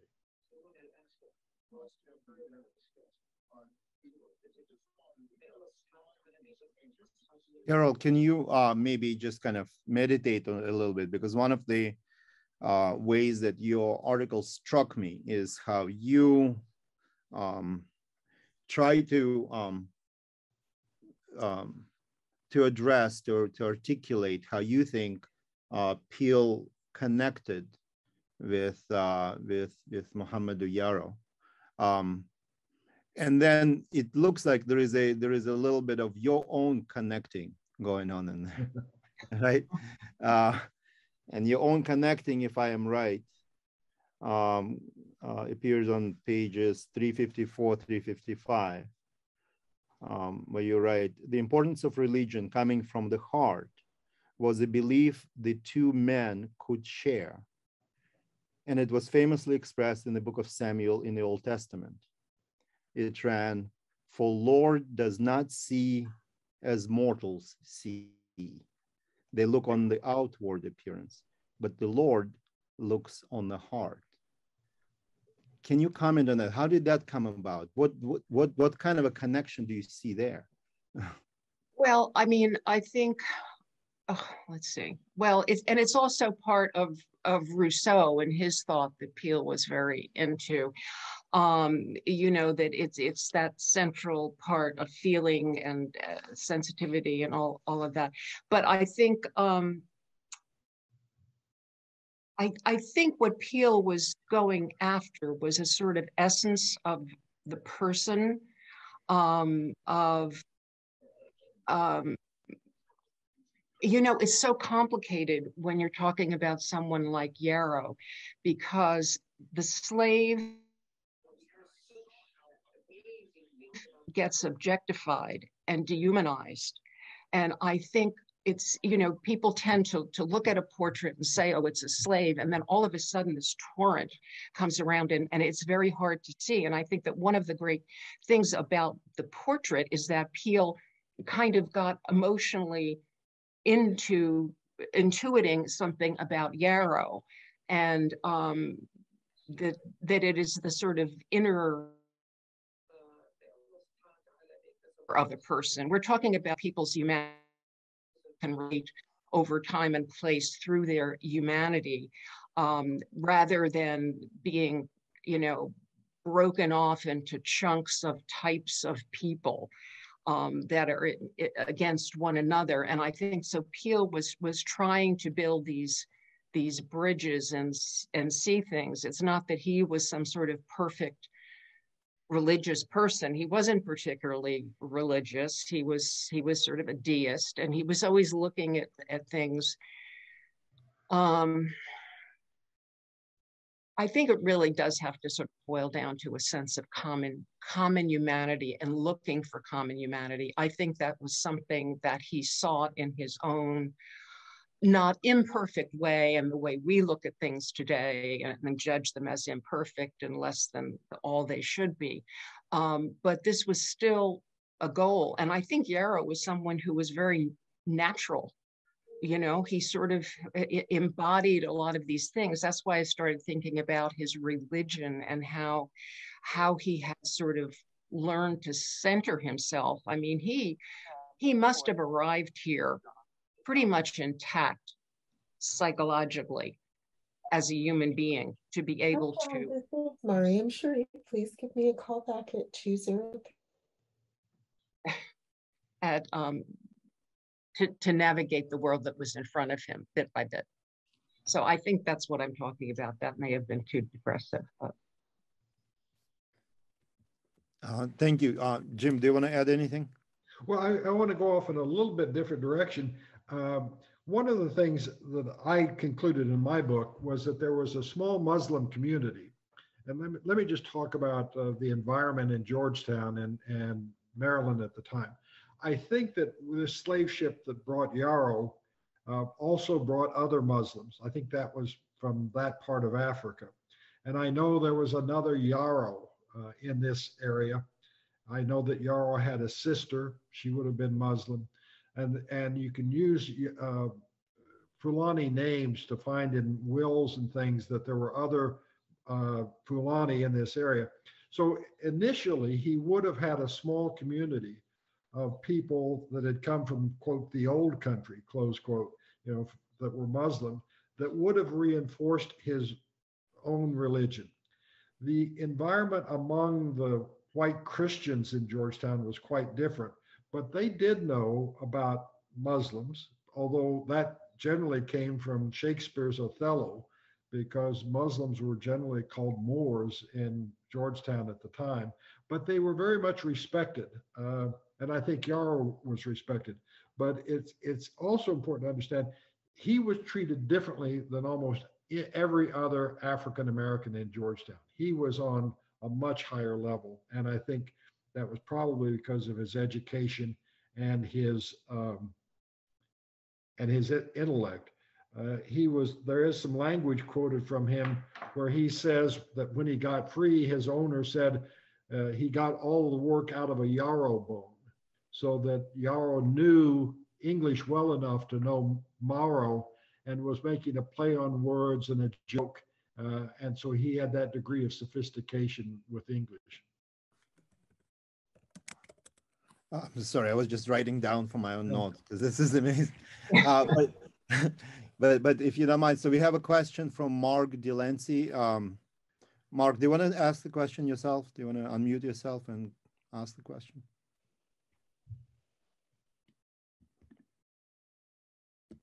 Sure. Uh, you can hear me?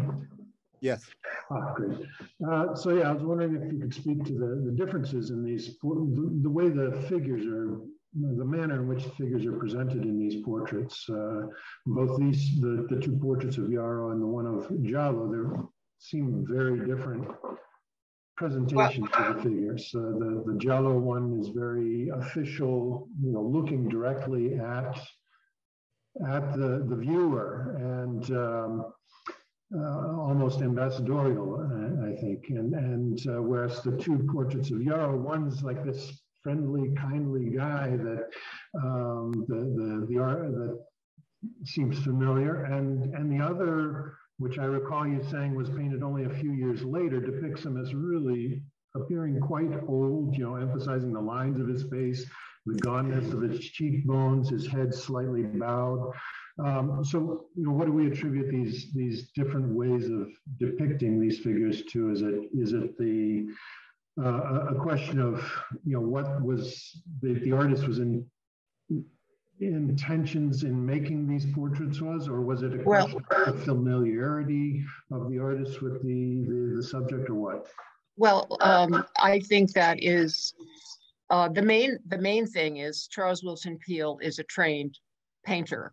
Um, he has uh, a whole bag of tricks of rendering the, the, physiognomy very carefully of light and shadow and all these nuances so that he brings the figure alive in a very sort of real way. And he studies his physiognomy and he's careful about turning the collar up in one way and down in another. So you've got visual interest in the picture that puzzles you into the picture sort of without you even knowing it. He engages you. He uses the sort of buff color uh, of the uh, sort of make, made up kufi that he's wear that he's wearing, and um, uh, um, all all of these details. Uh, the other portrait is painted by a young artist, as Jim mentioned. He's 17, 17 years old, Jim, and um, uh, this is it's different it's more to use a not the greatest word but it'll convey a more primitive style uh, he's doing the best he can. He's learning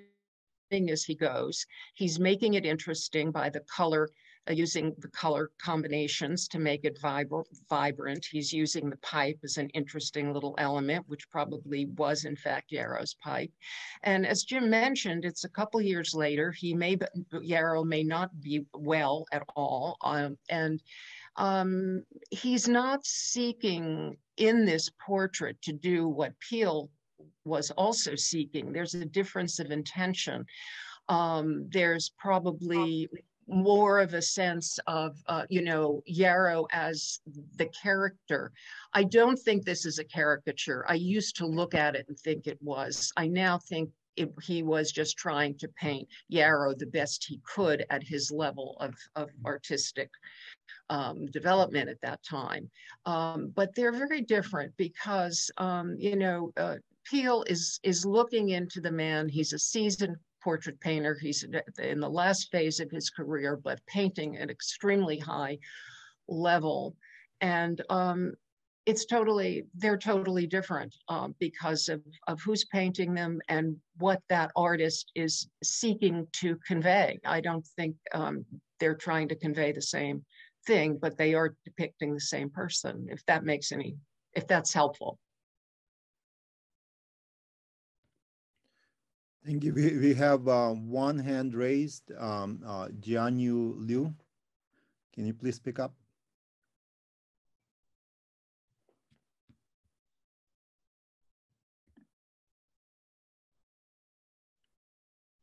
All right. So um, let me just ask a very broad question, if you do not mind, while we wait for, for more questions. Um,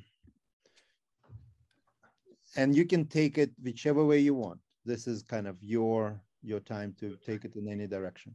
So it's a very broad question. Why Yarrow?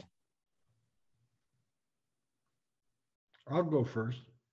Uh, I think, first of all, Carol makes the point that Peale was very interested in aging, and he heard that Yarrow was 140 years old, and so there was this scientific interest.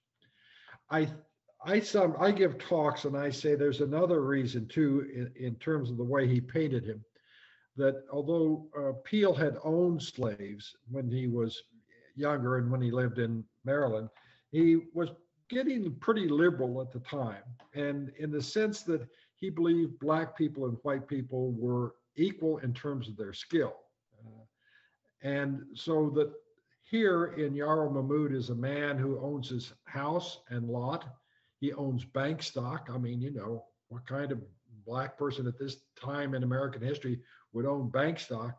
And he's loaning money to white merchants, you know, so he is sort of a, a, a pretty interesting guy. And I think that Peale painted him as a upper class Georgetowner who just happened to be black. Carol? Um, Yes, I mean, no matter what you say about Yarrow, he was an outlier. He was different. I mean, we would like to look, um, you know, we'd like to see the commonalities. One of the reasons I was interested in the sort of religious aspect and training he may have had was I'm trying to think what helped a, a Black person survive. And I mean, we know that people survived and had families and moved on. Your work on on Yarrow, of course, Jim, is a testament to that.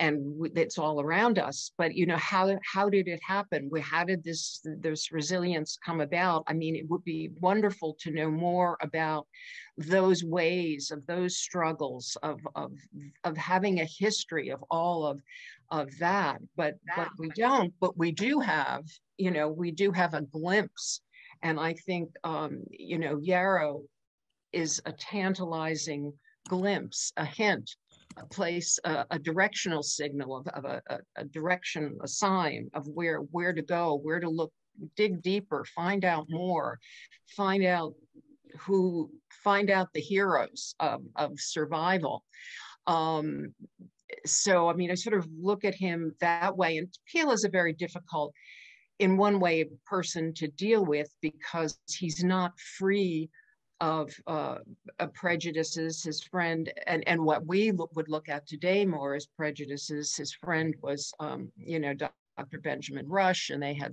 certain ideas about, you know, ethnic differences and so forth. You know, it wasn't evolved in the way that we like to think of things today. So you, um, it's it's different, but um, you know, I think uh, Peale was fascinated. I mean, he kept a museum. He was very interested in ethnography. He was interested in the difference between people, the difference between animals, the people, that all the differences. He was trying to create a world that people could walk into in his museum and understand, you know, all all of of God's world um, there. So um, Yarrow fits into to Peale's universe very well um, he doesn't have to look like everybody else uh, and that's that's of interest and that was of interest to to Peale the individuality of the person. And you know Peale was also someone who had his own problems and his own struggles and i think he saw that in in another uh, person. I mean his his life had not been all that simple. His father had come to this country as a you know, convicted felon and was an impecunious school teacher. And, you know, Peale struggled. Luckily, he had social connections um, through the gentry in Maryland that helped him succeed. But, it, you know, it was, uh, he had a, he had a, he had to make his own way and he did. And he looked, he looked at people, um, evaluated people sort of on their guts and their courage and their ability to navigate in the world. And I think that's there was a little bit of a mirror there when he looked at Yarrow and saw what what he had navigated and was able to do. So I think there was a common th thread there, even though you'd think they would be miles apart. I don't know. What do you think, Jim? Well, I, I, I think that's right. But um, I also want to interject something. You know, we mentioned Asma Naeem, who co-authored one of the articles on Simpson. Uh, you know, she was troubled by the fact she worked at the uh, National Portrait Gallery in Washington, D.C. She was troubled by the fact that there weren't any, or few, if any, portraits of uh, Black people in in the portrait gallery, and so she uh, got the Simpson painting bar, loaned to the National Portrait Gallery and uh, on display for three years there in the attempt to uh, diversify the National Portrait Gallery. And I think the same problem happens with the National Portrait Gallery in England, that uh, the Diallo painting is one of the few paintings of someone with a skin color that's uh, other than white. Yeah. So if you don't mind, there, there is a question I want to, and if nobody asks the question, I will, I will ask another question. But uh, Elizabeth Brown had a question. Uh, would you be, Elizabeth, can you please pick up?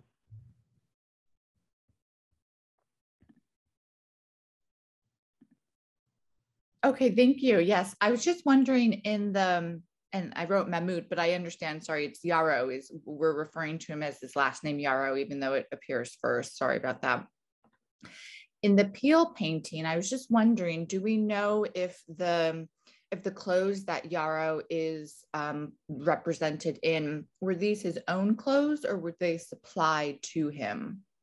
Yes, well, they were apparently his own clothes. Jim believes that the coat around his um, shoulders um, was perhaps Peale's coat because it was cold in Georgetown, and this was like a big leather coat, and it seemed like it was might might have been Peale's. I mean, the the blue jacket. We know that he got he bought clothes from the boys at Georgetown, and this was one of their little like uniform blue blazer jackets um, which is why I was sort of talking about clothing and his his ability to take on hand hand me down clothing and and the the kufi, the cap, the the you know, which seems to be a very sort of American generic knitted cap. Yet when you look at it on his head, it looks like uh, you know the Muslim headgear, and that Peale sort of makes it, it even more so with that big broad strap stripe around it. But it's um, yes, I think those were his clothes, and I think that was the point. And I think um, it, it's important to realize that Peale was a sort of ethnographic person. He was, for his museum, he was trying to show people as they were, uh, not to make them into something they weren't or wearing clothes that were fictive. Um, and he had just come off painting a lot of people, a lot of, uh, uh, politicians and the president in Washington for his portrait gallery. And of course, they were all dressed up in their beautiful dark suits and everything, and they would look great in the gallery when he took them home. Um, so this was totally different. And uh, but he's he's showing him as he is. Also, just to mention that his son, Raphael Peale, had painted two of the major Black clergymen in Philadelphia a number of years earlier. And they are both presented in their clerical garb. So they are presented in their socially public kind of way. Uh, Peale's politicians are also presented in their beautiful, you know, frock coats and so in their way. So that's their mode. That that describes them. That's part of their identity. And these clothes were part of what Peale saw in front of him. These were part of Yarrow's identity. And yes, they are his. They're not. Um, I don't think we can make them into something else. And yeah. and you know, if you think of this, they're actually wearing, he's actually wearing the same clothes in both portraits. Yeah. A red. Minus the coat. Yeah. And notice how Peale has turned the collar up uh, on, yeah. on that painting. And, yeah. If you don't mind, I have um, we have a few minutes, but I do want to uh, kind of note that um, uh, uh, Georgia has responded to Mark's question, which is just kind of note take a note of that. But uh, let me just, um, I kind of have been dancing around it with my questions. so I'm just going to go ahead and be blunt. So um, to rephrase it, uh, like for example, Carol, you are responsible for bringing the portrait to the Philadelphia Museum of Art. Uh, no, not no, not just. I was I'm I'm a curator in the Department of American Art, and I was there when we raised an enormous amount of money to get it, and um, I was part of a team doing this, and we got we sold two other Peale paintings to add to get this one painting. And i mean it was it was a wonderful successful moment. And uh, boy we love it. So so so let me just kind of uh, to you and, and Jim, to you, uh, the same question. Why, why Mamadou Yarrow to you? What, not to Peale, right? but to you.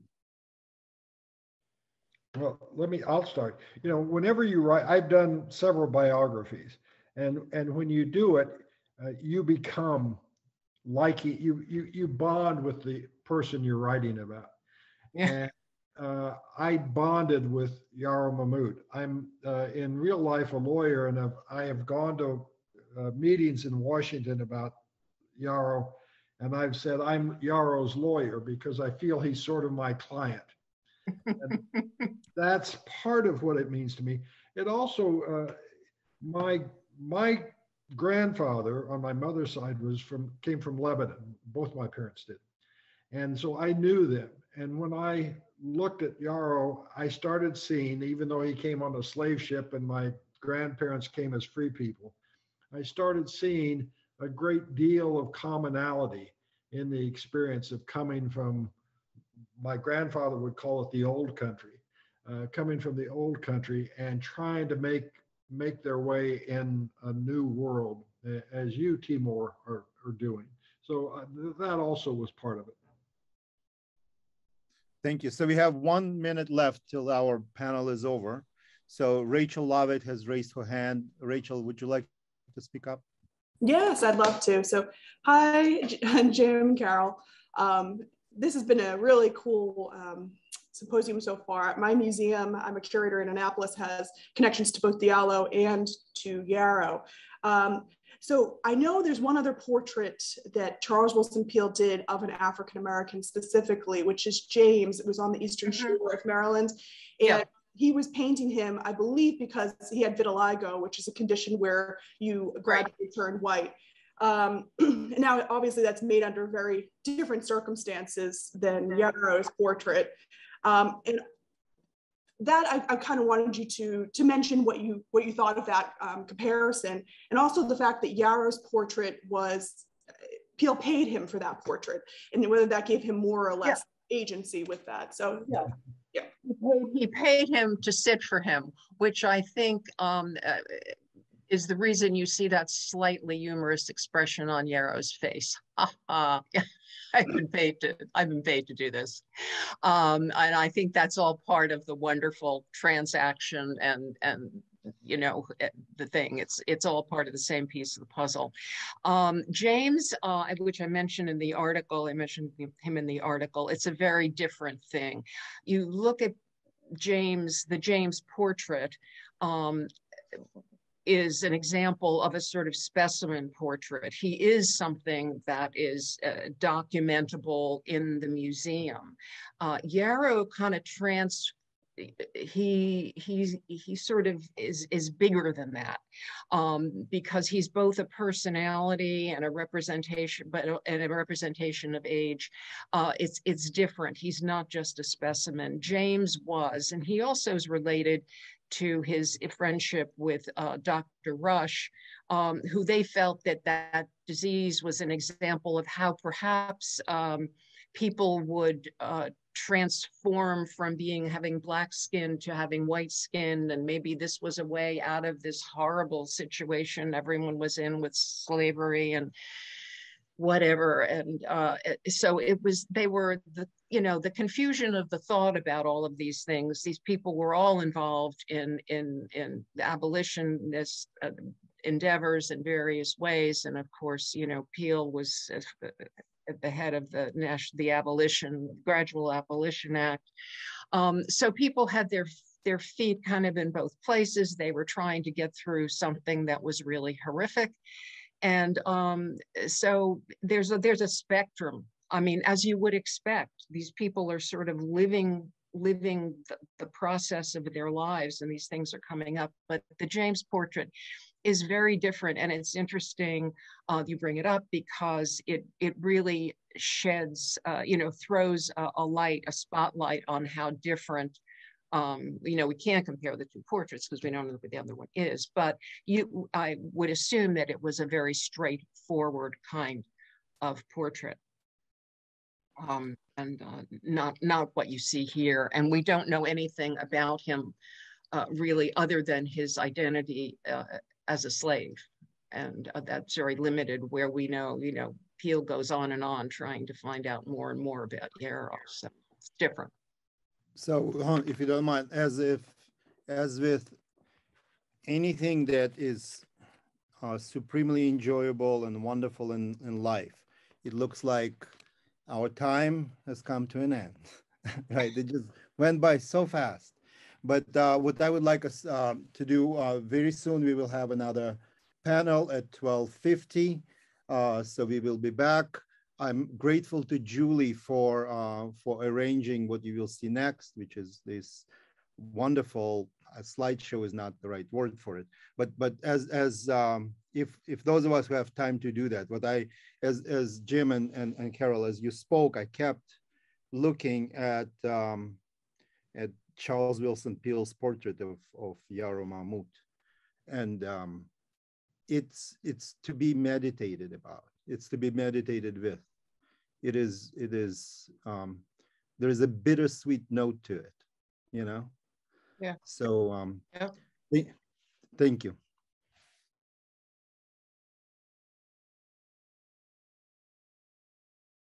This session is going to have a conversation in um, some some wonderful, I think, presentations between Rebecca uh, Hankins. Did I get that correctly? I know I was so worried. Okay, thank you. And then Laura Macaluso and um, over their contributions to this issue. And so we will have uh, them present and then discuss with each other and then we'll have some q&a as we've done in the previous sessions towards the end um, so please uh, who, who, would like to go first uh, i think laura and i both said that i'll go first because i'm going to do it just a short thank you there's some Wonderful. people uh, that i want to thank and um, of course want to thank you and dr abdullah and the publishers of course of the special edition. Um, there's a few other people I wanted to thank too, and then I'll let Laura go ahead and and and do her introduction. So uh, one of the individuals I do want to thank was my co-author, Dr. Bal Balthazar Beckett, who was so important to shaping this essay. I also want to thank my colleagues at the Amistad Research Center at Tulane University, who are always so supportive and generous with their assistance with this research. And I also want to thank my co-panelists, uh, Dr.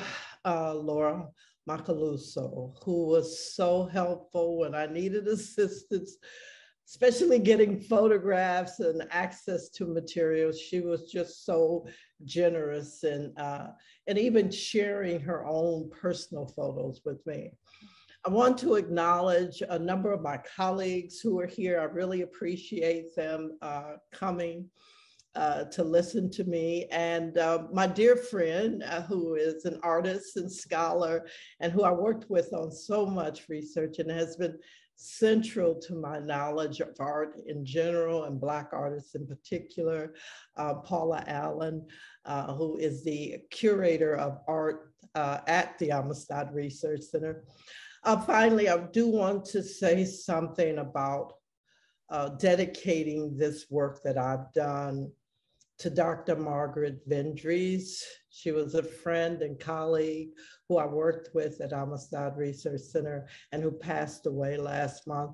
It was so shocking to me, and whose thesis, Art in the Archives, The Origins of Art Representing the Core of the Aaron Douglas collection from the Amistad Research Collection was so important to my work on this essay.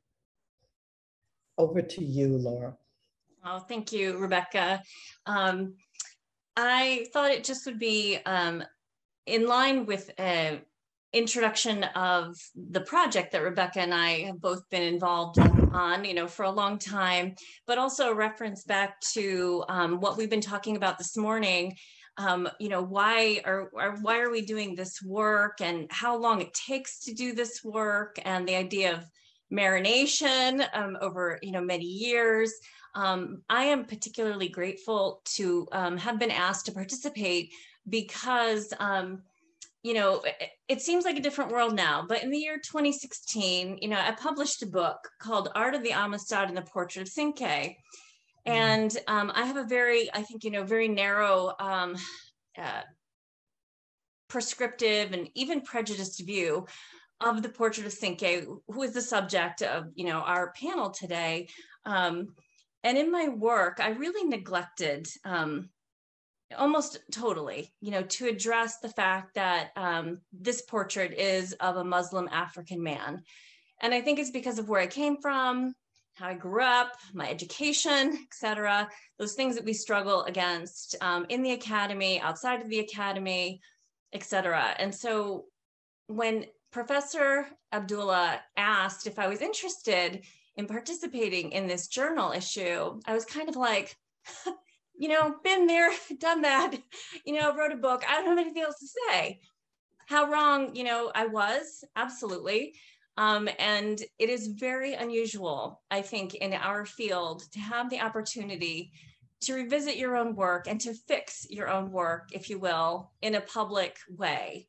And I think it's amazing to listen to you all today and to place the portrait of Cinque in a much bigger context, a context that I think he belongs in, and I wish um, the portrait had it was given more time. And so this is another way that we can kind of get the portrait out there. But um, I also have some pictures to show you if we have some time, um, he is hanging right now. This, you know, kind of smallish portrait um, of this man is hanging right now in Washington, D.C., which means he's being seen by a lot more people.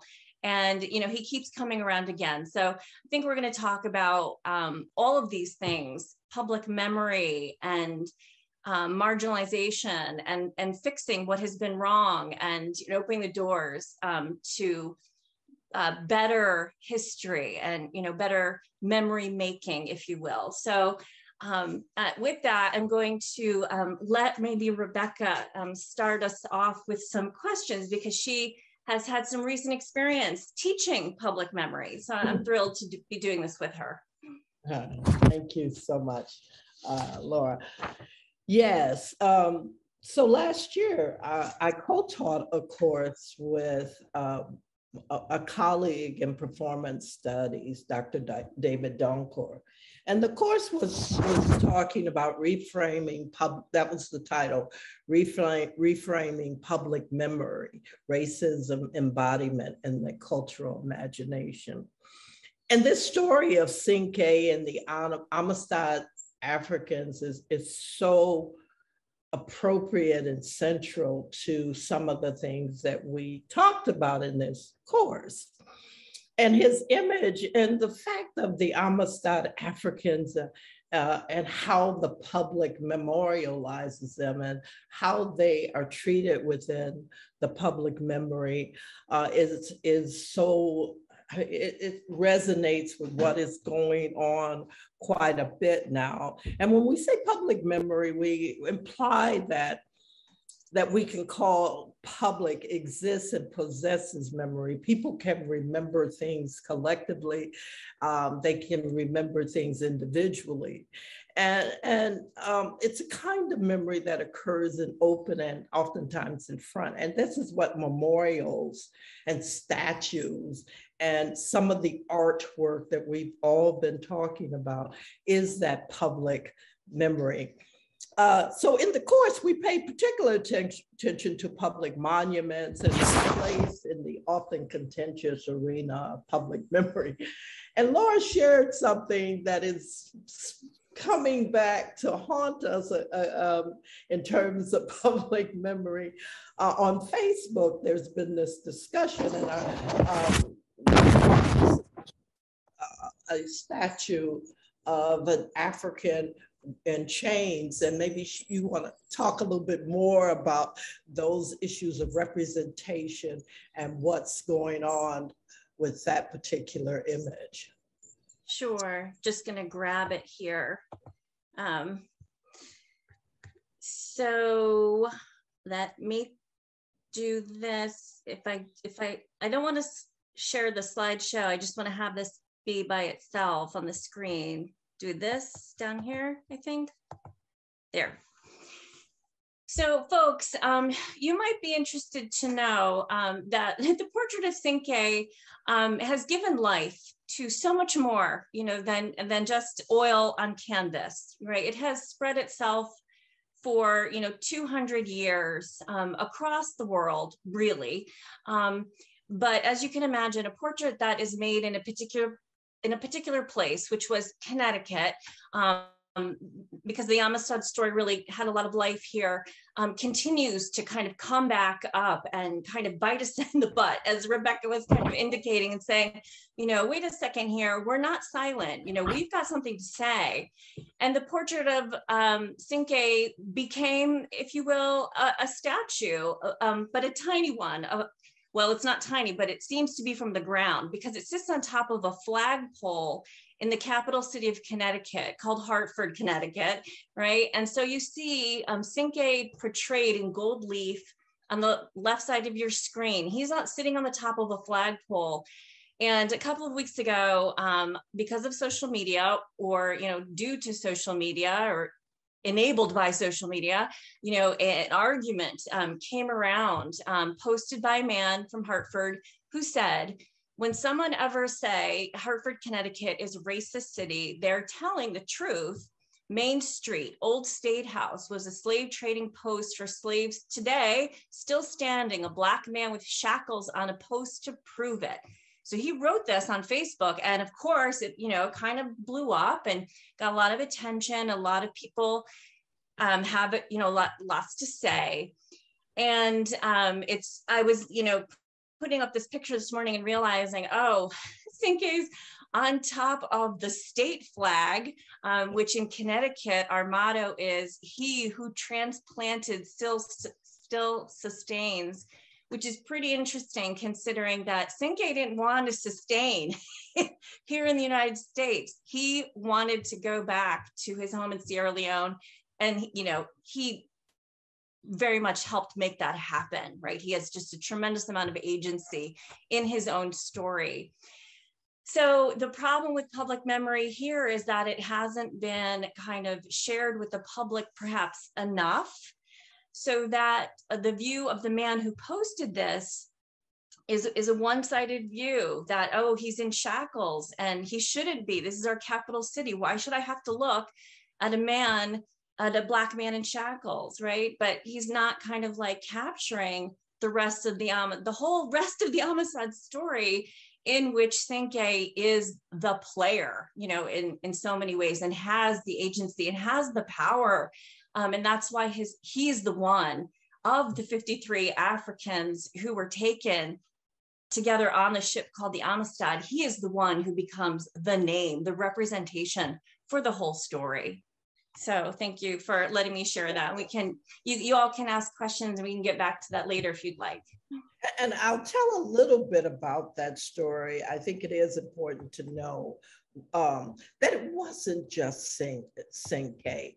It was all of the Amistad Africans, these 50 through 53 Africans who were uh, captured in violation of the international slave trade.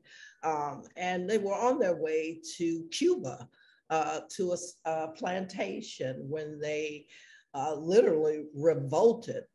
And they also, they killed all of the crew except two members and those members they asked those those two individuals to um, send them back to, you know, take them back to, uh, to the shores of Africa. They wanted to go towards the rising sun, but each day those Cubans reversed direction.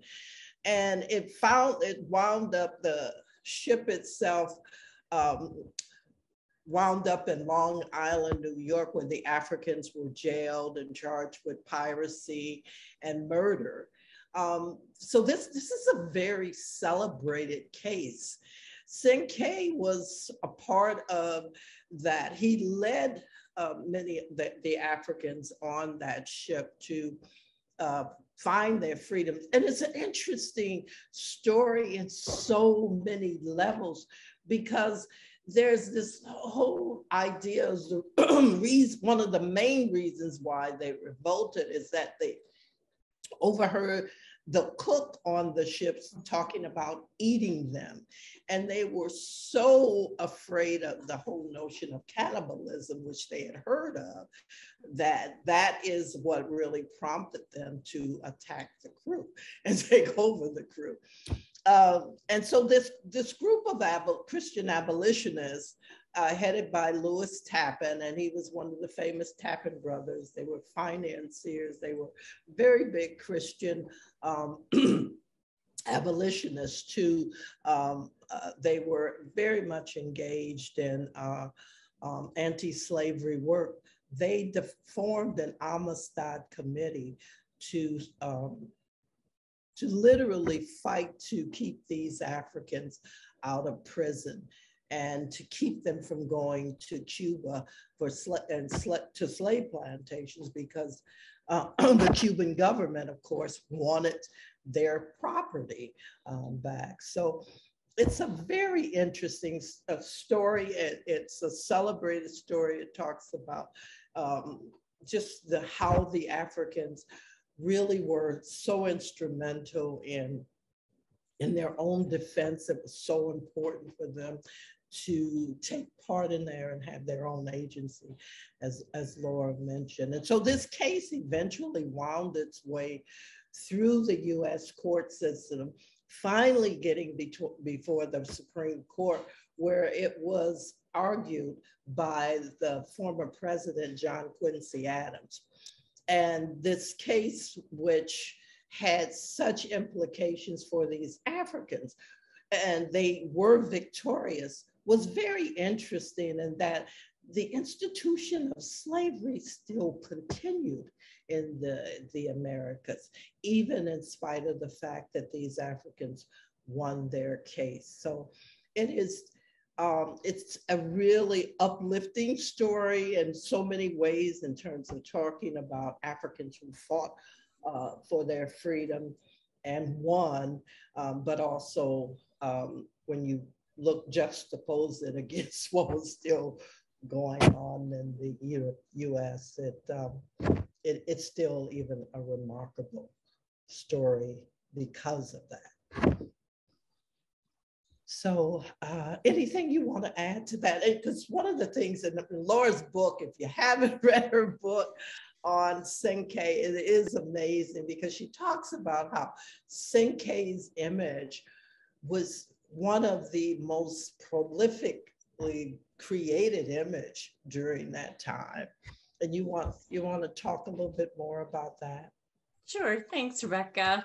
So she's right. Um, you know, right from the get go, um, I don't know whether you all, the audience members, our fellow panelists, um, have seen the movie Amistad.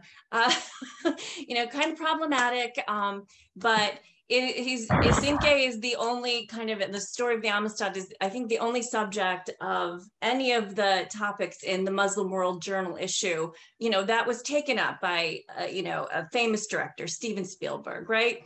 So um, and if you remember that movie at all, I mean, yes, there's a lot of challenges, a lot of issues and problems. Um, but the New Haven image, the portrait image of Cinque is there. I mean, it's just always there. You cannot get away from it. So I think my question, you know, in looking back at this is what were the choices made about representing this man in an oil painting? How did the, how did Nathaniel Jocelyn, the painter, get there? Because it's, you know, it's not like he just appeared on the scene and I'm going to paint this. I mean, there's even though it's a small amount of time, it's just, you know, a year from where when this ship, the Amistad ship, appears off Montauk Point, Long Island, to the grabbing basically of the Amistad Africans. They're brought to New London, Connecticut, and then they're brought to New Haven, Connecticut, where they kind of are located for a while as the case begins to move through local, state, and eventually to the national you know system trial system um, but immediately things uh, artwork is made you know, immediately. I mean, the ship is off of, uh, Long Island Sound, and the ship is being painted in this in this famous work of art. It's amazing, really, to have this. Um, and I kind of argue in my book that you know you're getting the first representation of the Africans right here, um, and not a lot of attention has been you know paid to them and what they're doing and how that interaction um, with the whites on shore is, is beginning. And then you do get print work, kind of print culture takes over. It's the medium of the night, of the certainly of the early 19th century, right?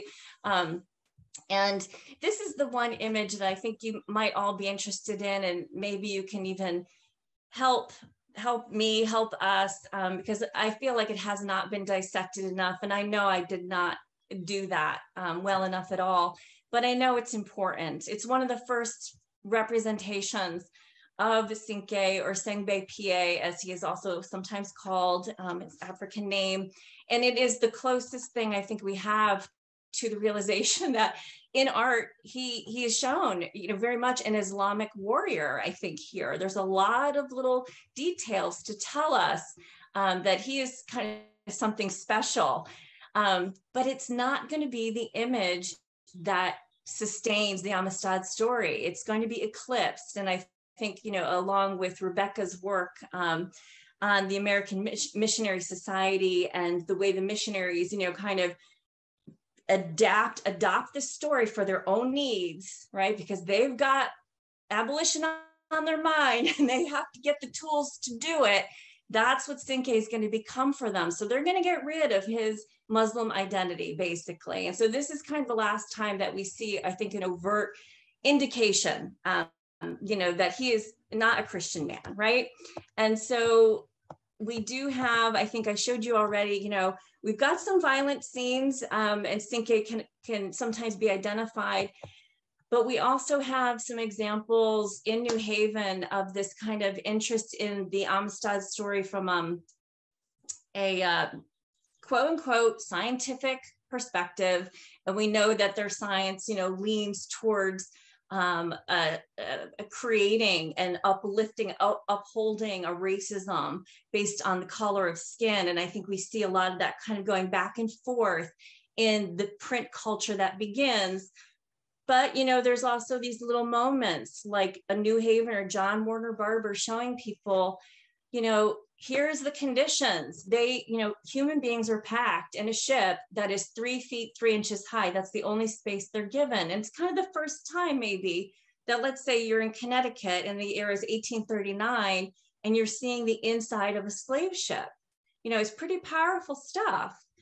Um, there's so much to say, you know, but I'm just kind of running you through um, the creation making around the use of the Amistad and, and Cinque and he come, becomes very quickly, as I said earlier, um, the representation, the person, the person, and the personality whose whose face and whose presence becomes the Amistad story. And so finally, um, in real life, he is painted in real life over the winter of 1840, 1841. It is right before the trial goes to the US Supreme Court. The painting is almost meaningless for people um, it's the print, which is shown here, that disseminates throughout the Atlantic world that then helps shift people's attitudes towards uh, the violence that was the Amistad and you know gets the public kind of on the side of these Africans for freedom. So that's that's my bit. Thank you. Yeah, that that is amazing, and I think um, the way I've looked at it, uh, I, I, was looking at the artwork of much more contemporary artists, uh, Hale Woodruff, Romare Bearden, Jacob Lawrence, and their depiction of uh, the Amistad, because these artists, these Black artists, were very central to looking at um, and, and, really pushing Black art too, uh, from uh, uh, an African African American um, perspective. And so you see on the right side, Romare Bearden's collage of uh, the Amistad revolt on the ship and Cinque. And then on the right side is Jacob Lawrence's. This was um, a sesquicentennial portrait uh, painting that he did of a, a, poster that he did of the Amistad revolt. And you really have to look very closely at this to even see the uh, the violence that is that is taking place the hands the white hands the black hands the black faces it's it's a very abstract um, image but it definitely depicts and that's what's very interesting to me um, it, it, it, does depict the violence. It does depict uh, what these Africans have, have, had to go through. And I thought that was so fascinating looking at how they, uh, these, um, and, and, and Hale Woodruff's um, series on the Amistad, it's probably one of the most well-known uh, series on the Amistad Africans. And then you see this image that he also has of um, the court scene where you have the Africans in these westernized clothing and, and being very central uh, to the defense of them. So I think it's very important to also look at how uh, African African Americans really imagined um, the the Amistad uh, revolt and the and Cinque and all of them. And it's very, very interesting. And that's one of the things that I talk about in my essay is the difference in how some of these, uh, how, how these African Americans depicted um, the Amistad Africans. So maybe I'm thinking, Rebecca, if I can get my screen to allow me to go back. I feel like it goes to sleep and then it doesn't move. It's not moving. I want to go back to the portrait of Cinque so we everyone can have another look. I think um, it's not letting you move in that. It's right. not. Shoot. I'm not sure. Oh, there it goes. It just, it really takes, my laptop takes a lot of time to wake itself up. Um, Um, if, if people just want to kind of um, in, enjoy this for a moment, um, review it. Um, I don't know how much time you've ever spent uh, with the portrait of Cinque. Um, it appears um, to be a lifelike, you know, question mark uh, representation. The portrait artist, Nathaniel Jocelyn, does not have any real extant diaries or receipts or anything like that, no extensive archival collections. So we don't know much from his perspective. And the only thing that we know about Cinque, who sat for the portrait in the New Haven studio, is that um, according to an abolitionist in Farmington, Connecticut named Charlotte Cowles, the story is that Cinque saw the portrait and expressed the uh, sentiment saying it was good, good, like that word good was from his mouth um, according to Charlotte Cowles. At, Farmington, Connecticut was a huge abolitionist community who had taken in the Amistad Africans after um, they won their freedom at the Supreme Court. The problem was that they won their freedom, but they had no money to go back to Africa. And so the abolitionists, uh, Lewis Tappan and uh, et cetera, had to help the Amistad Africans, those who had not perished, because in fact, um, several people died in the New Haven jail and are buried in New Haven at Grove Street Cemetery. So the, the, you know, the original group was not the same people, but those who did live and those who did go back, um, it took them almost two years to raise the funds um, to, to go back to Sierra Leone.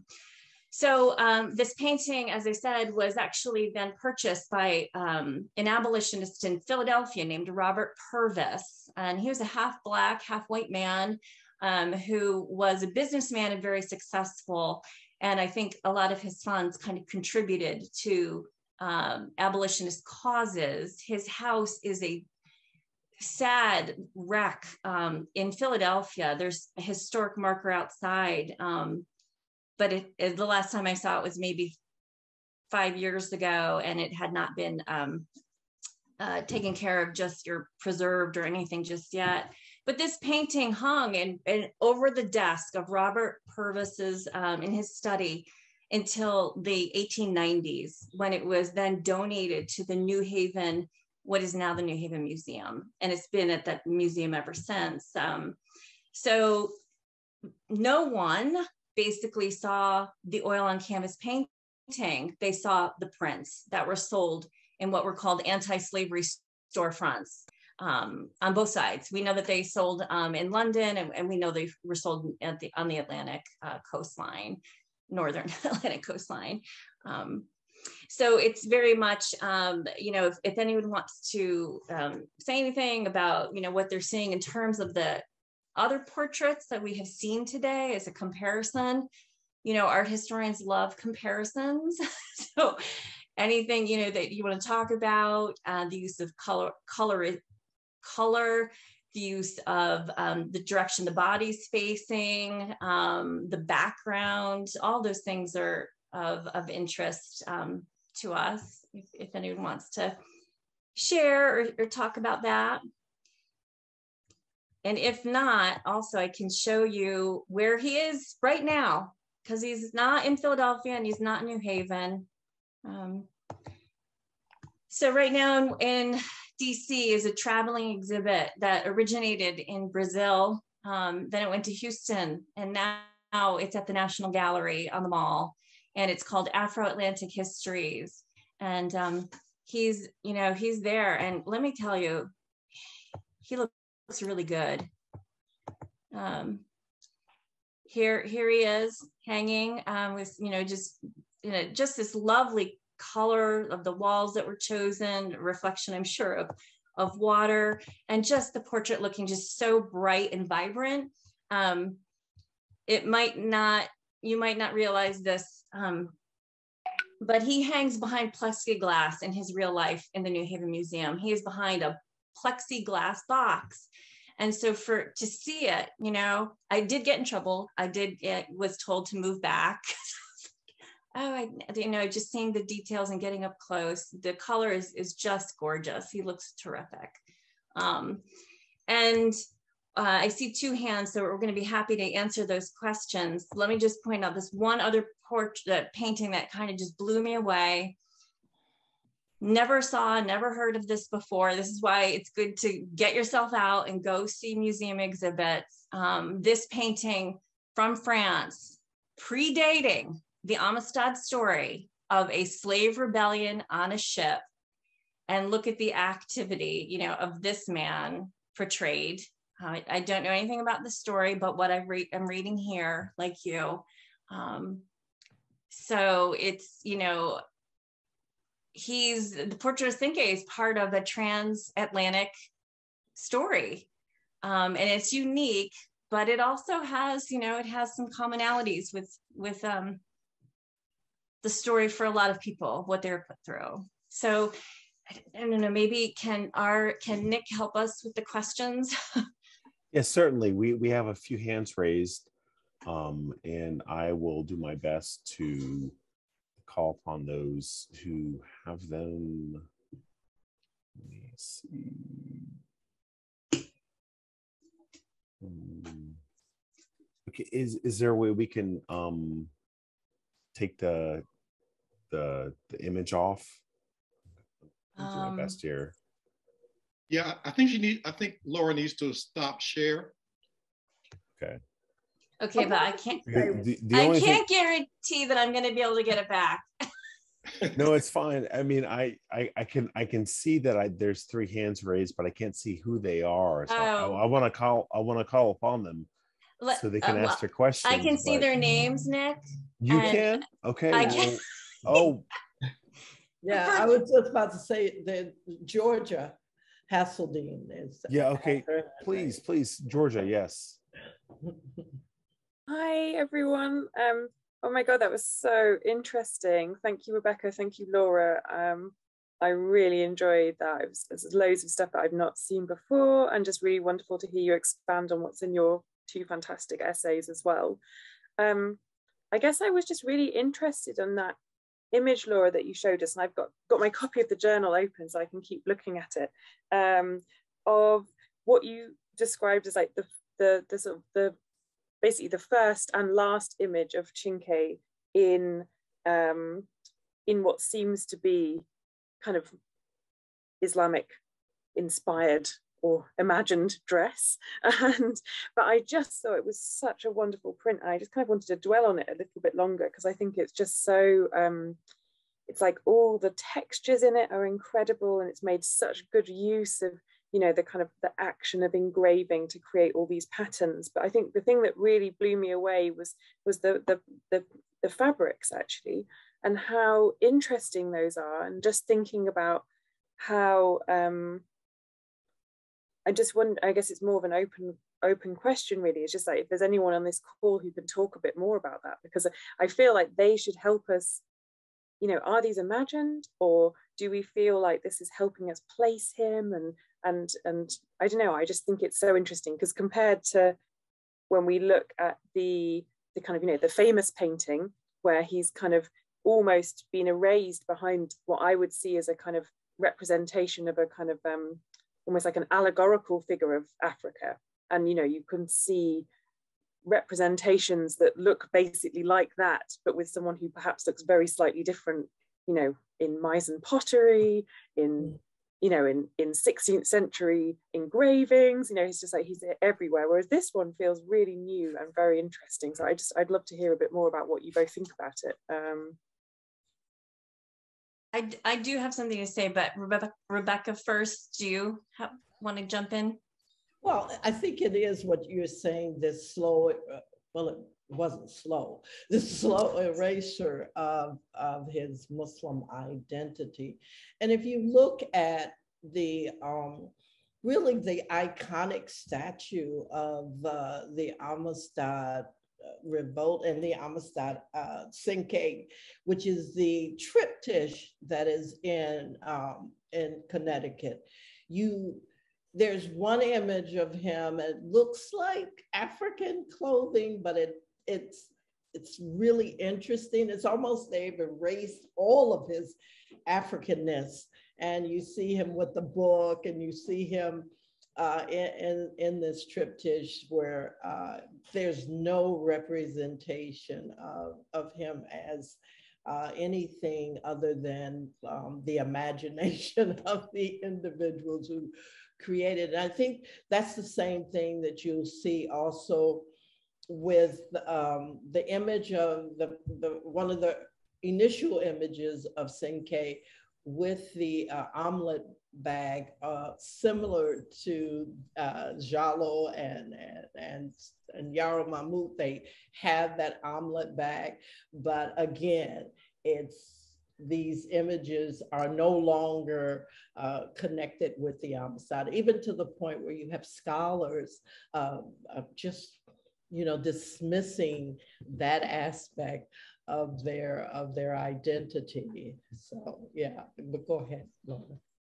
I'm going to, uh, Rebecca, I'm going to try to raise Marcus Rediker's name in your eyes a little bit by, by actually uh, using um, one of the things I think, he, I'm, I'm pretty sure this, he, he's the one that turned me on to this. Um, Georgia, to your question, do I have it? Yes, I do. Okay. Um, can you all see these images? I know it's, it's, small, but you can still see them, right? Um, so the portrait of Cinque, you know, became three-dimensional, as Rebecca just mentioned, in lots of different monuments in the 20th century, not only, you know, in Connecticut, but also all over Sierra Leone. And he's on their money. I mean, you know, Nathaniel Jocelyn, this, you know, un, this totally forgotten New Haven artist is, you know, it kind of has this famous now portrait on Sierra Leonean money. But here in Georgia, what you're seeing is that um, West Africans will absolutely, you know, put the color back into uh, Cinque's toga every single time, every single time. It's just an amazing, I think, example, you know, of how you can readapt, reshape for your needs to reflect you, who you are. Um, and so the portrait that we all know, this, you know, bright white toga that we know did not exist ever in real life. Certainly, Cinque did not walk around New Haven, Connecticut wearing a bright white toga, neither did anybody else. Um, you know, Americans have a hard time with togas, um, and we don't really do them that well. Um, and I was thinking about one of the earliest um, monuments to George Washington. he's, he's basically nude and then wearing this toga and everyone hated it from the beginning and they put the statue in the basement because it was just so problematic. But you know in, in the context of Cinque, they kind of i think they're reviving the toga because of the idea of this whiteness this purity that they're assigning to you know his goodness his good internal moral character. He's also very christ-like i think presented this way Christ's body's wrapped in a, in a white shroud after he's sacrificed, you know, so there's a lot of, I think, of this kind of back and forth over the course of history. But that doesn't make any sense, you know, if you are Sierra Leonean. and, and so um, there is something, Georgia, called country cloth, which is made um, in, in West African communities. And it's, it's patterned it's colorful, it's striped, and so you see it very often. So I, I hope that's at least a start there, Georgia. All right. Um, there was a question by Ali Dinar. Ali? Hi, thank, uh, thank you, thank you very much. And um, my question also is just about the toga uh, in the portrait of Cinque. Uh, when I look at it here, um, it just reminds me more of the dress of Eastern Africans and not those of West African. And, um, and that brings this issue about uh, clothing, like just in general, because like when we compare such pictures with people who are scantily clothed, and compare that to images of uh, in other situations, like say, for example, uh, the image of Mansa Musa at the time when he is like uh, fully draped uh, in all this kind of lavish clothes. Um, I think it has something to do also with people who will be uh, stripped of their identity and then uh, and again like being uh, reclothed in the image of the of the of the oppressor and um, and when I look at this image here it just like um, it just reminds me of that kind of a situation and when we especially like when we compare this image to the other image of Cinque in this uh, what we could just call it like a um, Muslim uh, head headpiece and so on.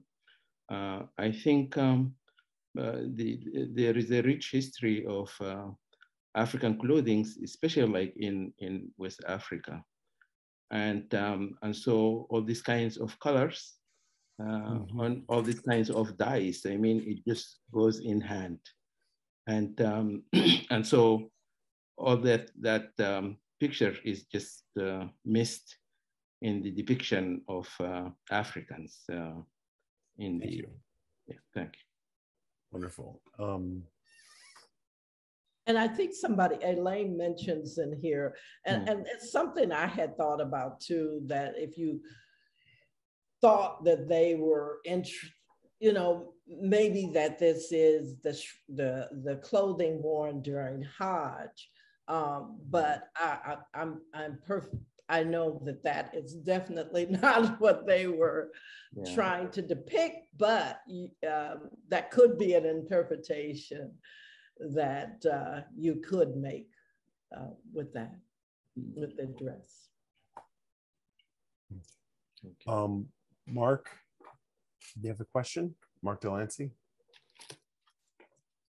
Uh, yes, thank you. I, I actually had a question slash comment about this same image because um, we can think about the the you know the pointing to Muslim identity as a thing of identity. I was thinking it could also be sort of a ringing of bells of sort of malevolence in the public mind. Uh, I'm, I'm thinking this is the time, and correct me if I'm wrong, but I think the U.S. is engaged in combat in the Mediterranean with the Barbary pirates and so on. So I'm wondering if this is a way to, to point out a pirate, bad dude, uh, you know, a sort of set stock of motifs that signifies that. Hmm. Yeah, I think actually, Mark, you're really onto something. And I think I mentioned, uh, the, you know, the words Barbary pirate in, in some of my writing, but I, as I said, I feel like this is an image that I just have not given enough attention to and probably should have for, for today's talk, considering it is the kind of uh, indicator um, and it, it deserves more time um, in terms of the 1830s. And I think, you know, Jefferson's fights and uh, yes, and the beginnings of the American Navy and, and things like that. So thank you. Um, F- Fajila, um, I believe you had your hand up, or no, no longer. Yes, hi, good afternoon. Salam alaikum, Dr. Hankins. Um, I am a PhD student uh, studying in University of Glasgow, and I write a lot about um, African identity and resistance in the former Danish West Indies, where I'm from, the Virgin Islands. And I'm also a Muslim. And um, I look at this depiction of Cinque, and around his neck, the kind of pattern is what we call madras. Mm-hmm. You know, and in the Virgin Islands, we call it madras.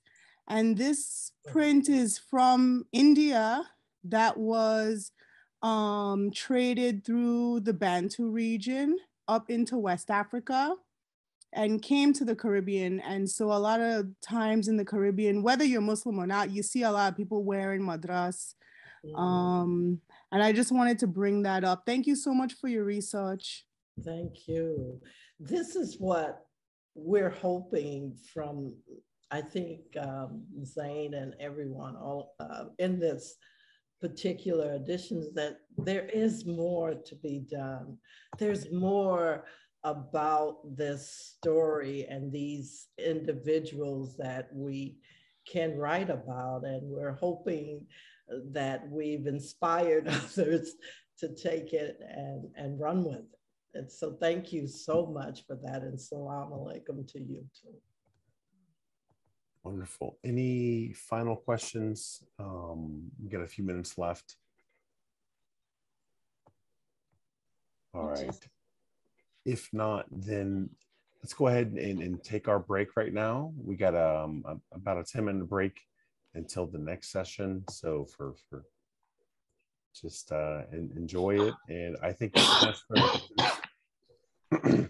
I think to the participants and um, and and for what you've brought. And thank you very much.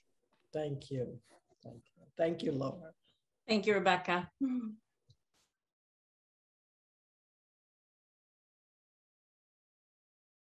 Thank you for your generosity. Uh, so I guess in the article, uh, we wanted to uh, showcase the politics of subjugation and enslavement were the same uh, across time and places from the 16th century up to the end of the Civil War in 1865.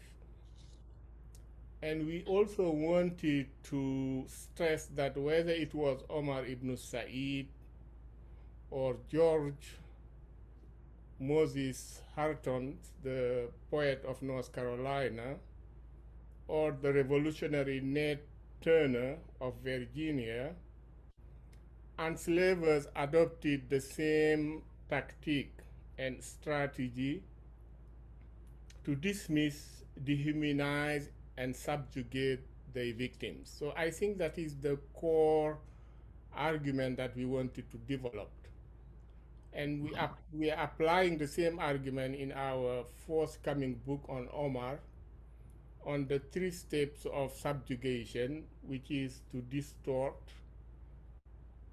dismiss the victims. So in the process of dismissing and dehumanizing, we argue that the politics of representation was involved in the antebellum America. And we talk generally, not necessarily in this paper, the importance of the antebellum years and the years prior to the Civil War. And Omar lived during this time.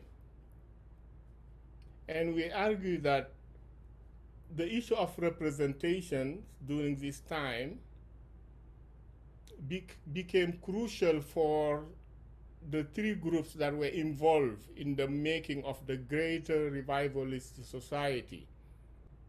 And they were the abolitionists, whether far right abolitionists or far left abolitionists. I mean those who were for, aboli ab ab ab for abolition regardless, and those who believe you need to take free black back to Africa as well as through free blacks who were also involved in the politics of representation. There were about 30,000 out of 200,000 free black in North Carolina in the antebellum era. And the third group that were involved in the politics of representation were the enslavers. So these three groups, they use the same technique that a French artist, Louis Daguerre, discovered in 1839, which makes taking photography easier and less costly. We argue that for free black, it was known why they wanted these agencies of representation. And we also know to some extent why abolitionists also were interested in representation. We know through written words of the earlier novel Uncle Tom's Cabin. And we also know earlier portrait of enslaved black we have, the Whipped Peter of uh, 1863. Why these images, whether written or portrait, were important for the abolitionists who were trying to mobilize the pre-Civil War society to, to end slavery. But for enslavers and pro-slavery scholars, this was very important and very relevant. This is where we come up with Omar as our case study. Because they were, they were interested in the portrait of the enslaved for many reasons. One of them is the, domin the, the, the domination of the Southern evangelical society over the black slave. It was extremely important to them. At the same time, also the argument that slavery was not a totally an evil, it was a la civilisation civilisatrice, if it was a civilizing mission for the slaves. And it is a long list. So here I think we, we, we where Omar was very relevant to us. And in the piece, we argue that Omar was unique in his resilience. So we have to be careful when not to single out Muslims as a unique caste during slavery. That was the objectives of the enslavers, to make Muslim, African Muslim a different caste. That is not what we are arguing for. I think uh, Professor John Hope Franklin made it clear that resiliency was a part and future of, of enslaved black, regardless of time and place. But by uniqueness, we wanted to look, we look at Omar's writing and the hidden messages in Omar writings that made Omar unique. And we cited Professor Parramore, who's the first African, uh, first American scholars to show interest in Omar, citing a document in 1904 published in the Observer in Wilmington that Omar was the most written about Negro except Booker Washington, which is very true. And some of our colleagues are still working on Omar and discovering more papers about him. So this is the case of Omar and his hidden message in his writings. The argument, the core argument we try to develop here is there is wonders and misunderstanding of Omar because Omar's message have never been deciphered and understood during his lifetime and after his lifetime. Well, that has to do with Omar's background.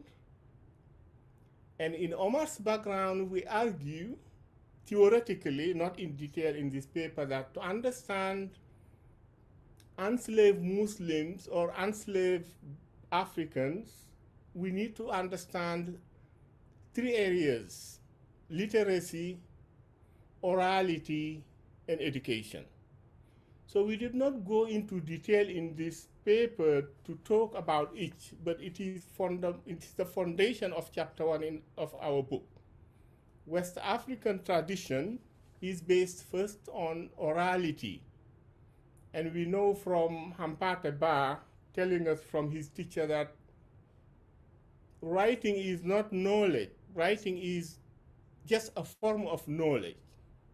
So there is, in oral tradition of West Africa, there is always a difference between wisdom and writing. These are two separate categories.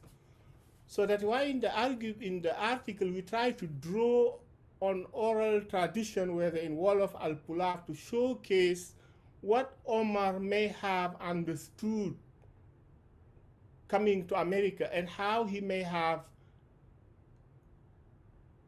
understood the technique of dealing with subjugation. And the point number two in the necessary background to understand West African writings is literacy.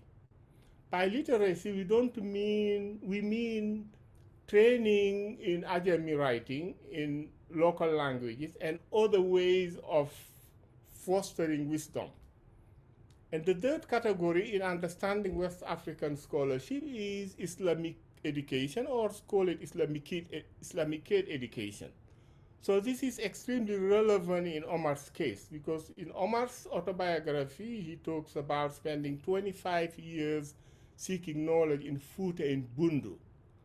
And when we decipher his writing, we find Omar citing scholars going back to 11th century, going back to 12th century, and going back to 13th century scholarship.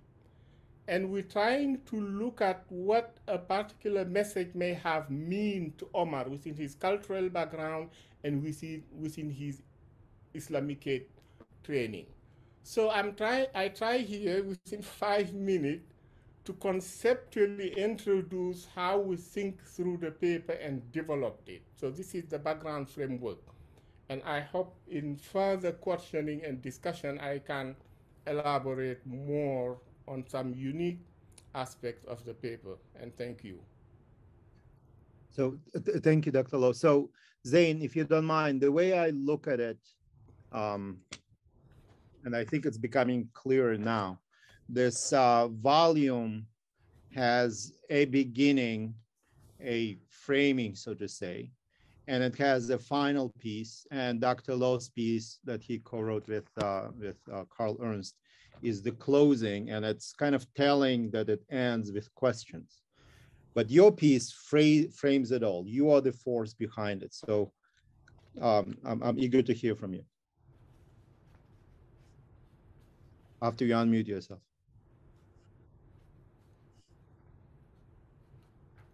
Yeah, thank you. Um, yeah, sure. I'll, I'll, I'll share my screen and uh, let's see. Okay, actually, uh, let me see. I'm not pinned. Let me actually um, sure I'm pinned.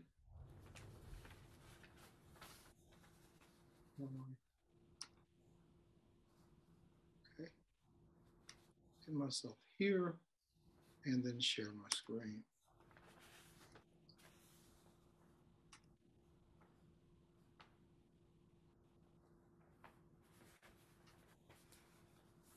Okay, so um, so yeah, so thank you, thank you, uh, Timur, and thank everyone for your wonderful presentations and engagement and exchange of ideas. Um, that was so illuminating for me and uh, just so enjoyable.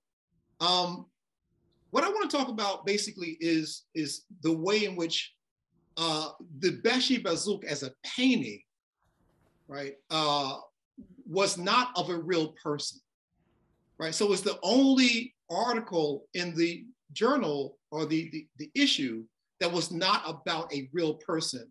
It was this figurative fig person who actually was a Muslim military uh, soldier of what's called the irregular army of the Ottoman Empire, right? And uh, let me actually just also, if I can, it looks like my, okay, here you go.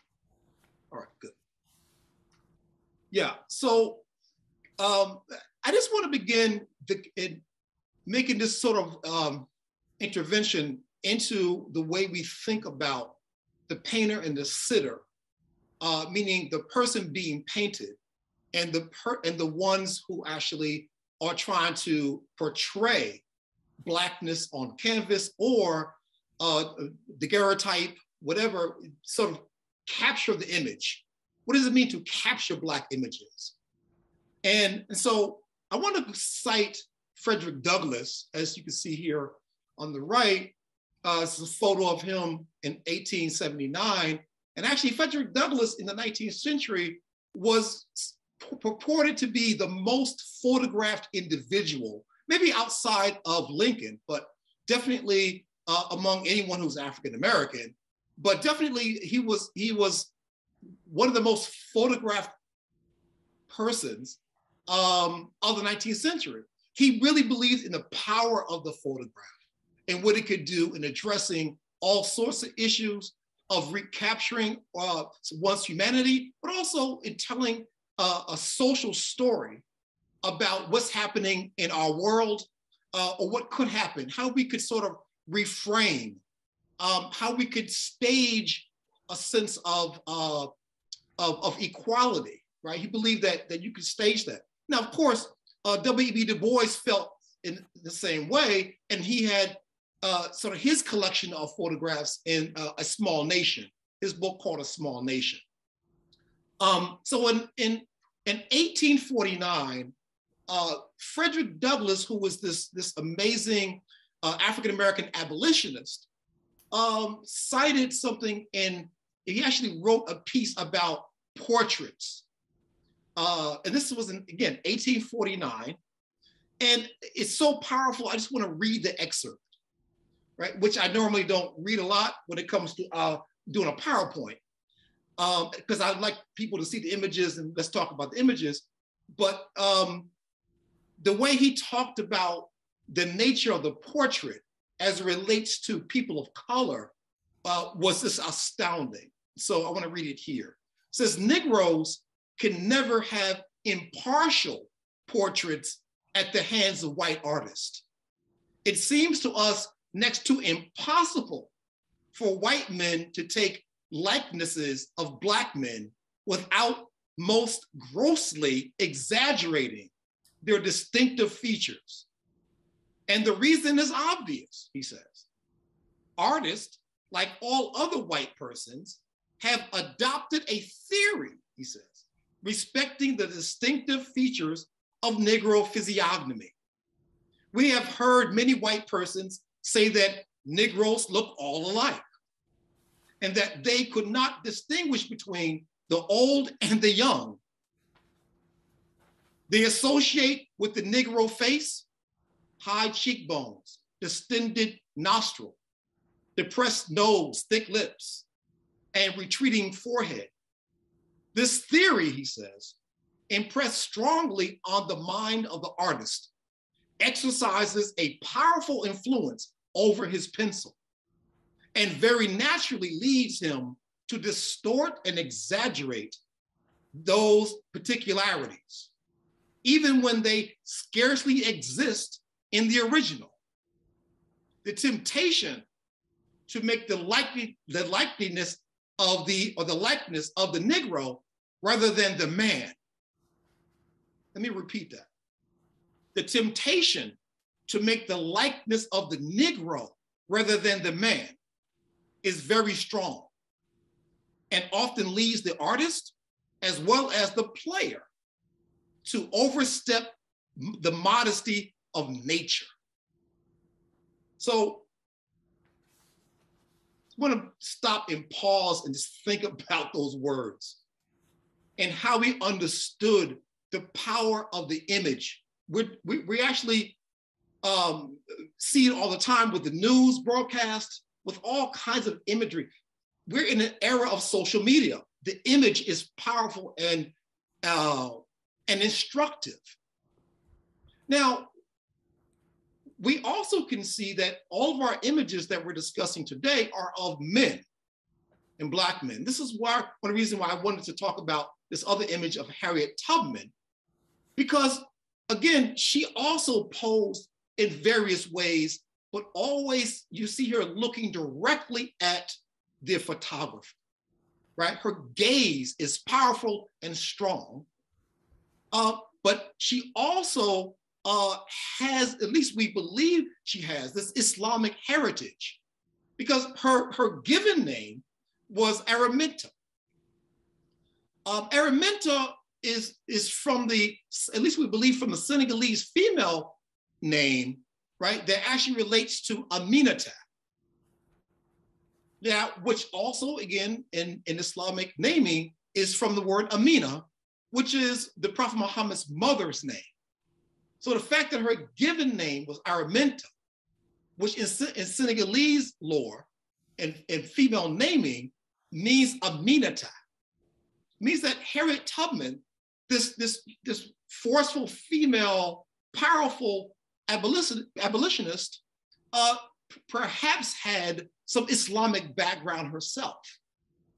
We could say the same other scholars have talked about Frederick uh, Douglass whose original last name was Bailey.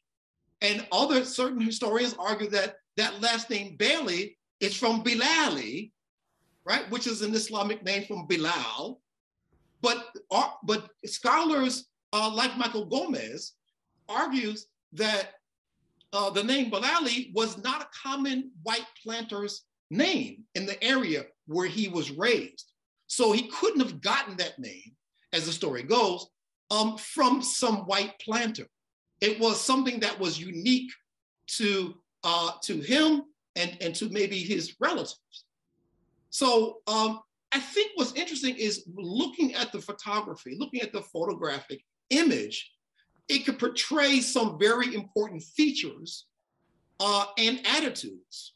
At the same time, the question is, what is it hiding? Right? Hiding in plain sight. Do we know the story of these, of these photos?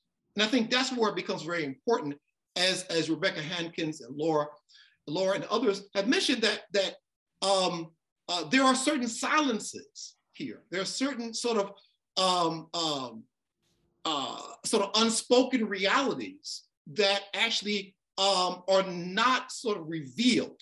And so we have to also look at photos not for what it says or what it tells us or the kind of visual culture that it has, but also for where it might lead us that we don't, in, in, terms of directions that we are unfamiliar with, right?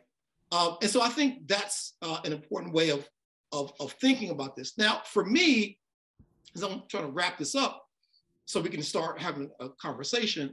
But uh, for me, um, the whole journal is really about uh, the visual culture of storytelling, right? So in a large way, how do how do sort of these paintings um, uh, tell certain kinds of stories? How do the photographs uh, give us a certain powerful gaze? Um, and it could be for for empowerment, or it could be uh, for kind of conversations of, of, of sort of disempowerment, right? So it can have this kind of duality to it, right? And so, uh, so I want to move on from this slide to the to the next. Uh, let me see if I can. Okay, good. Now, uh, the painter of the of the image that I'm discussing today, which is the Beshi Bazouk, is uh, uh Jean-Léon Gérôme, uh, who uh, was this French painter. This is a self-portrait of him in 1886. Uh, but you can see on, the side of him, this framed picture in the Met Museum, which is the Metropolitan Museum of Art in New York City, um, that was painted, we think, be, between 1869 and 1868 and 1869.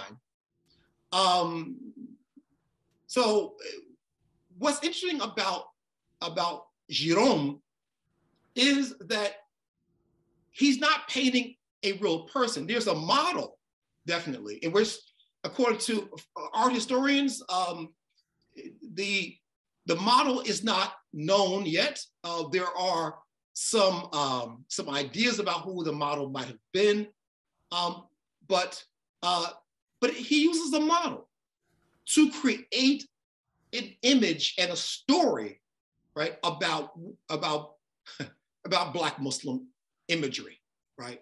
The visual culture of it all. Um, now, Gérôme was this figure um, who was interested in what's called ethnographic painting, right? So he was this ethnographic painter. In other words, he's, he's coming up in an age of scientific exploration. And he's trying to sort of capture what he calls like an ethnic type as it were, right? So some would argue that he was a realist painter. And in fact, I mean, he never considered himself that. In fact, he he, he appalled the, the, the association of, of trying to paint something that was sort of like a photograph would take, a kind of realism. Um, he saw himself as, a, a, as an ethnographer, as it were, as an, as an anthropologist would, would, would sort of uh, see himself or herself as, as an ethnographer. In other words, one who is a witness, uh, uh, or let's say an impartial, it's an important word, impartial witness of the Middle Eastern and African realities. Right? Um, now, that means something very particular, right, if you think about that. Um, but uh, but what's interesting though is that he was not looking for historical accuracy. He was looking to actually capture what is called this, this literary conceit, right? So a literary conceit is uh, basically is for trying to create a series of contrast, right? And so the photo here presents an irregular soldier in the Ottoman Empire called a Bazouk, um, but he was also trying to create uh, uh, uh, within this photograph elegance, but also fierce militarism as well, right? The kind of duality that's there. And we could talk about that now. I don't want to give a full presentation on this, um, but but but the dualities were important in the way in which he was trying to play with difference and and and similarity, right? In the in the photography itself. And again, we can come back to that. Um, uh, but but I wanted to I wanted to make sure that we understand that that that this article, even though it, it appeared first in the journal, um, as as Timur argued that perhaps it, it, it also reflects what's last in the journal. And for me, the reason why it might be something that's considered last in the journal uh, is that is the fact that uh, it's not of a real person. It is the epitome of sort of artistic license, but artistic license that actually speaks to the scientific age of how you create an ethnic type, right? So anyway, what I'll do is move to the next slide here, which is the one we're discussing, which is the Beshi Bazouk here. Um, and uh, the Beshi, the Beshi Bazouk actually is a Turkish name uh, meaning headless, right? We could talk about that. Why was he called headless? Especially in view of this huge sort of elongated sort of wrap around his his his fez, right? Uh, but there's a reason for that. We can discuss that. And of course, uh, this is juxtaposed with uh, Omar ibn Said. So I'll, I'll stop my share so we can have a talk. All right. So I would like to invite again questions. Um, meanwhile, uh, Zain, one of the questions was already answered. And there's another question for you to just clarify, which you can probably do uh, later by typing. But um, or maybe you can do it now. So Elizabeth Brown is asking um, who's the author and the title of the piece you're quoting. Uh, I, and she says she thinks it's Frederick Douglass. Was it correct? That, that was a while ago. About painting.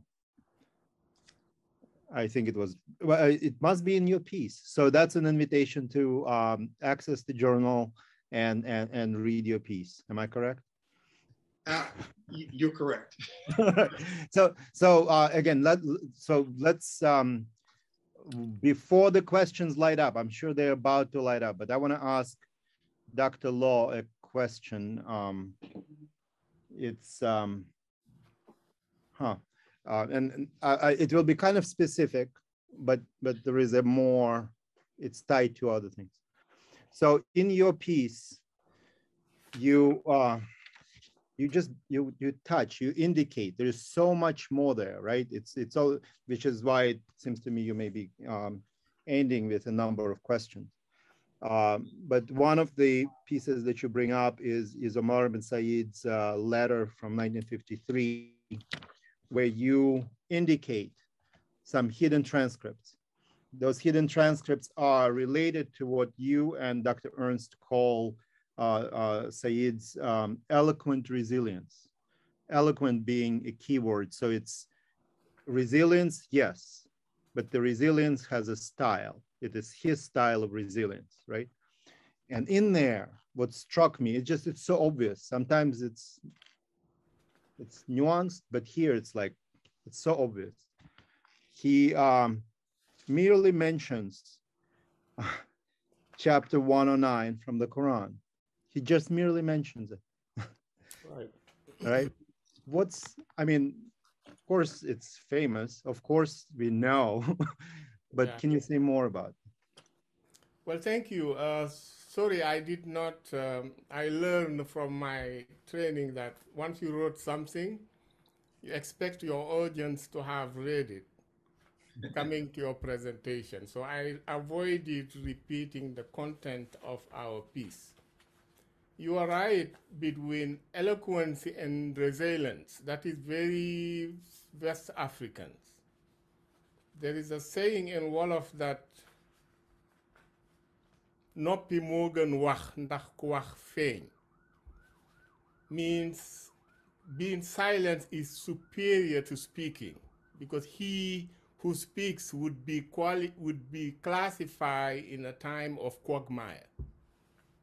So Omar, in that that is the origin of this title. The the the eloquency is itself based in silence, because from where Omar came from, in time of quagmire or fitna, is better to be silent. Omar could not be silent because he was forced to write. If you look at the 1831 autobiography, there is a saying that to a gentleman called Hunter who told him to write about his life. Omar told him, Sheikh Hunter, I cannot write about my life because I have forgotten my own language, let alone the Arabic language itself. Over the years, there were four translations of Omar's autobiography from Alexander Cotheal in 1848 to Isaac Bird in 1860 to Professor Jameson in 1925 to most recently Professor Alryyes in 2011. In all cases, people misunderstood Omar's inability to express himself. I cannot write about my life. That itself is eloquency, is required from scholars in the Islamic tradition of West Africa to not to accept invitation to demonstrate their scholarship. You have to apologize that you cannot do it. I Omar Said Abu Madian, one of the songs, poetry going back to 13th century that West African used to memorize. There is a line there asking them when invited to show knowledge, they should apologize. They should say they cannot do it. So what Omar has been doing over the years is to demonstrate culturalness, his, his training, his background, Islamic background, and West African orality, in which modesty itself is eloquency. So that is where this title came from when we said eloquency that is rooted in being silence. And to just relate my presentation to Zain's presentation, in ours we have three portraits of Omar, eh, the three extant portraits of Omar. One is from Yale University, rare book, and two from UNC. What is relevant is all Omar portraits were found with promoter, promoters of white supremacists. Two of men Omar's portraits were found with Waddell and Ford. Waddell is the one who led the coup d'etat in Wilmington in 1889 to remove a black elected governments, multicultural, multicultural, multi-political, multiracial government. And he went on up till 1920 to lead, to lead this public monument that try to retell the, the stories, the tales of the lost cause, the Civil War. The second portrait is found with Ford, who wrote a book in 1877 about the merit of resending free black to West Africa. A second edition, 10 years later, in the third edition of 1904, he added a section on Omar ibn Said. It is, I always ask myself, why, what called for him to add a new section into this third edition of the book about Omar ibn Said? it is relevant because this is the time of the rise of black supremacists in the West, in the, in the South, and the rebirth of the KK movement as well, and so on, and the coming of President Woodrow Wilson a few years later. So Omar was relevant because Omar was a black intellectual who wrote about his life. And one of the key arguments of slavery, racism, and subjugation of black was black were illiterate. So it makes sense someone among black who wrote about his life while alive, while enslaved, that person should be reintroduced in different ways. So that is where the argument about Omar being the Prince of Arabia came from. And there are more to the discussion, but I don't think we have enough time to uh, elaborate on it. But your question is in the right place. Thank you. Thank you, Zain. What do, uh, do you want? Do you want to add anything?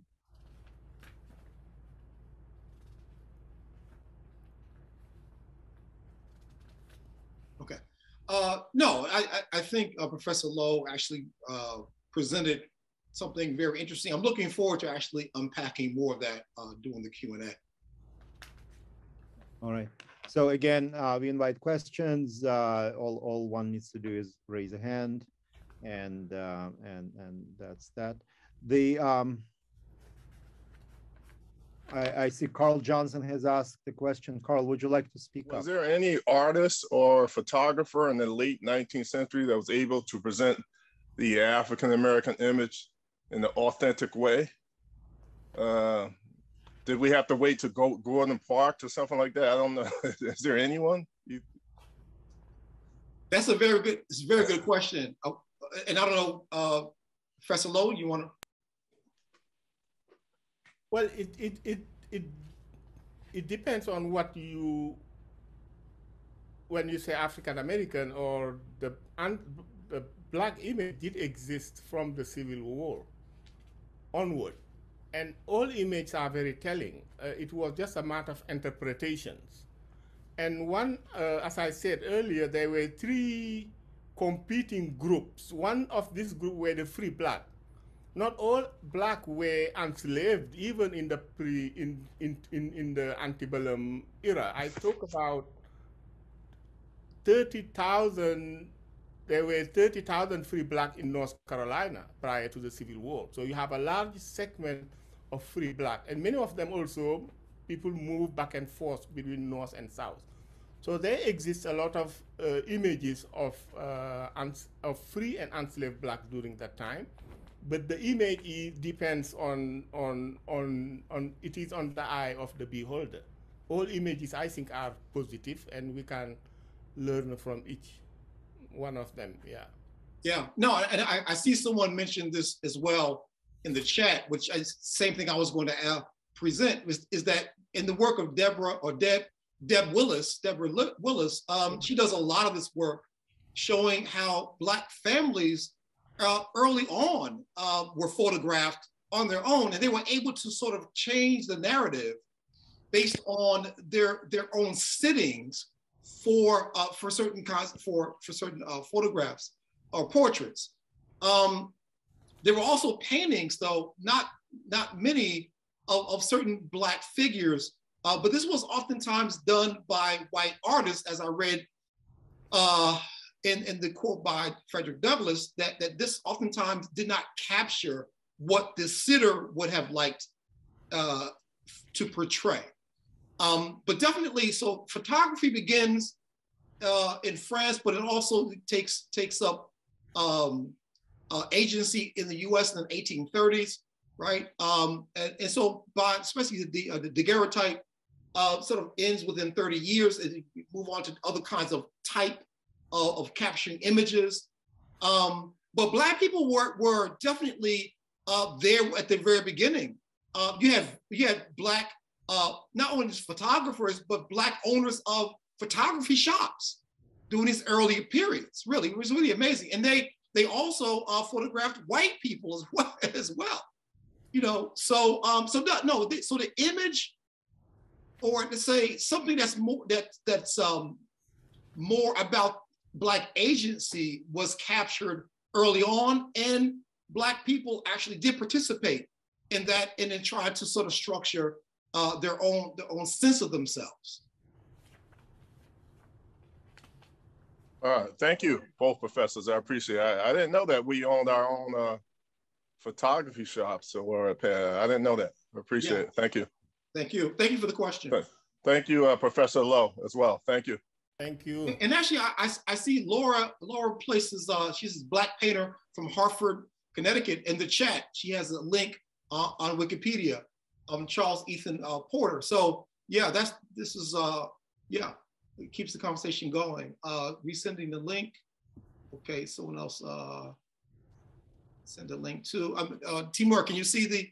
the, the uh, yes, I can see. I would like to invite Dr. Gruber to um, ask her question about Bashi Bazouk type. Yeah, sure. Can you hear me?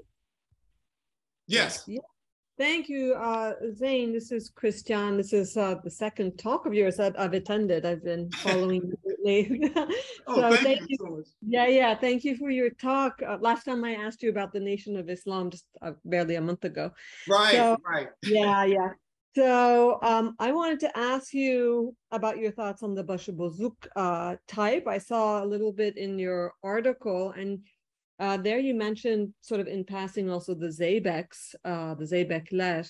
So I wanted to hear more from you because I, I don't think you had sort of the space to elaborate in your in your article and, and here uh, perhaps that um, you know we're, we're kind of quick to interpret these paintings with weaponry as uh, violent or prone to military operations. And of course, indeed, the Bashi Bazouks uh, were irregular soldiers, but they're also related to the Zeybekler and the Efeler, these kinds of chivalric orders where the weapons are actually marks of status. And yes. uh, for someone like Gérôme, that would be a romantic form of masculinity right. that could potentially be divorced from violence uh, despite the inclusion of armament. So I'm wondering what you make of that sort of the the chivalrous male type rather than um, our sort of urge to interpret the, this weaponry as, as violence? No, absolutely. No, thank you for that question. Absolutely. I, I think for, for Gérôme, I think he was trying to, in his painting, he was trying to create drama. And, and he wanted to, he of course was a fan of, of the theater uh, and he understood uh, drama and how it plays out theatrically. And so he was trying to create that. And so weapons allowed for, for that sort of duality of, of violence and sensuality coming together, right? Because you, you see in the Bashi Bazouk painting, you see, of course, his, his I mean, his, his bulgy muscles that, that are underneath the, the pink garb, satin garb, but, but, but also there's a sense of grace there, but the weapons indicate some sense of, of, of, of astuteness in terms of uh, of, of, of military prowess, right? That's what, so you get these dualities there to create drama. Um, but I think you're right, historically, definitely, um, many of these, the, the, the, the Bashi Bazouk were mercenaries. And they were called headless because they were believed to be without real leadership, right? They, they, they, uh, they were known as fierce fighters.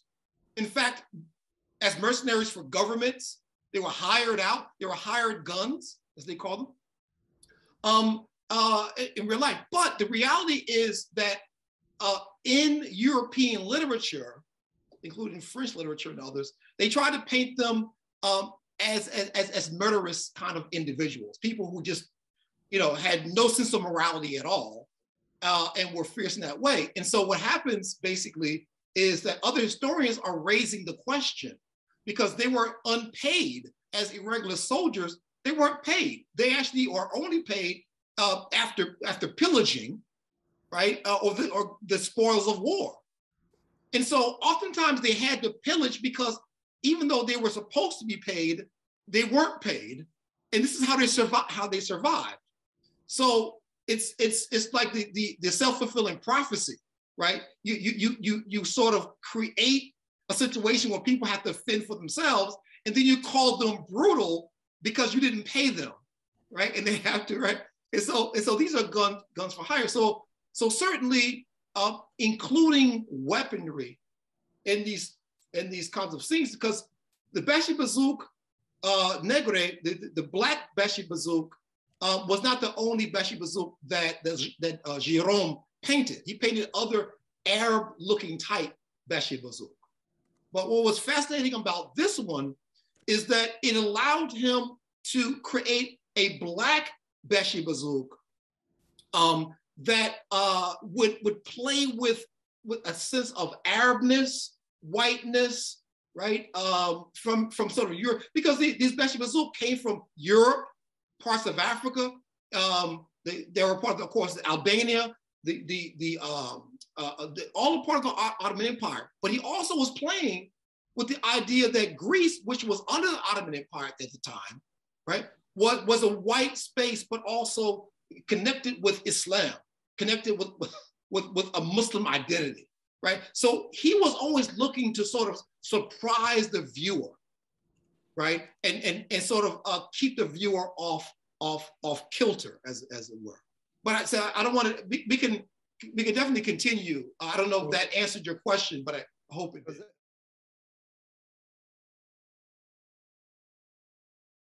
Perhaps we can kind of uh, roll this discussion into our next uh, uh, session and call it an open forum because right. I think I think there's something here because uh, uh, just structurally looking at the volume, your piece opens everything. Uh, Dr. Lo's piece closes it and then asks questions.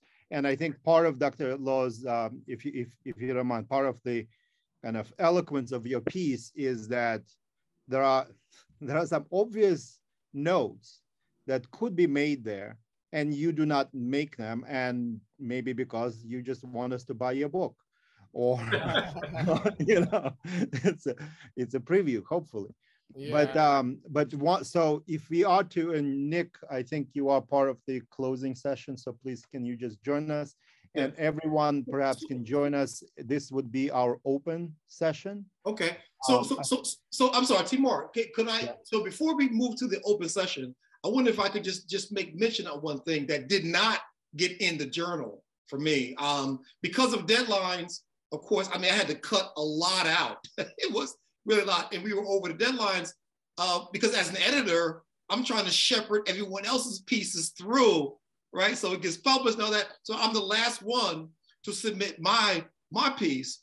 Um, but I think what I, something I found extremely fascinating to no end was the kind of a yataghan, the, the, the, the sort of um, uh, swords that many of the Bashi Bazouk and others uh, held and wielded, right? Uh, these, the, the, these instruments of perfection, right? As it, as it were, the kind of metals that came together that produced them. But what's fascinating, and I was exploring this with, with a Russian scholar. We were actually back and forth uh, in emails, right, about these swords uh, and they were sort of experts in this thing, especially the, the, the Russian uh, uh, ethnography museum uh, uh, out in St. Petersburg. Um, but what was interesting is the Arabic writing of the Quran and, and prayers on the swords. That was so, it was just so elegant and so beautiful, but it also uh, sort of hard, it also revealed that there was something larger than just winning land or something like that right? Uh, that that to have the Arabic and and you could read, you know, um, sort of the Arabic that's there on these swords, and it's just mind blowing, right? The kinds of ways in which it's combining, as as as Professor Lo said, different kinds of um, ways of of mixing language with Arabic type too. So so so there's there's original Arabic there, but it's also this kind of um, uh, uh, uh, what's the the language we call the um, the uh, first law? What was the, the the, the language of you know when you when, when you're saying something in English but it's in Arabic type? Ah, I'm drawing a blank. Transliteration. Well, not not. No, no, no. This is the same. So so like this is the same that that um, you all were talking about in, in the article uh, with, with Omar Ibn Sayyid, trying to translate Omar Ibn Sayyid you can't just think this is a fully Arabic text. Even though the writing might be in Arabic script. Right, right. Right. right. Um, let me see. Is anyone? Oh, uh, Ajami. Thank you. Thank you. Oh, okay, okay. Yeah, I was drawing a blank. Thank you so much. I appreciate that. This, yeah, yeah. this is the power of, of, of a larger exchange of people. Everyone, you know, sort of like we help the conversation to go on.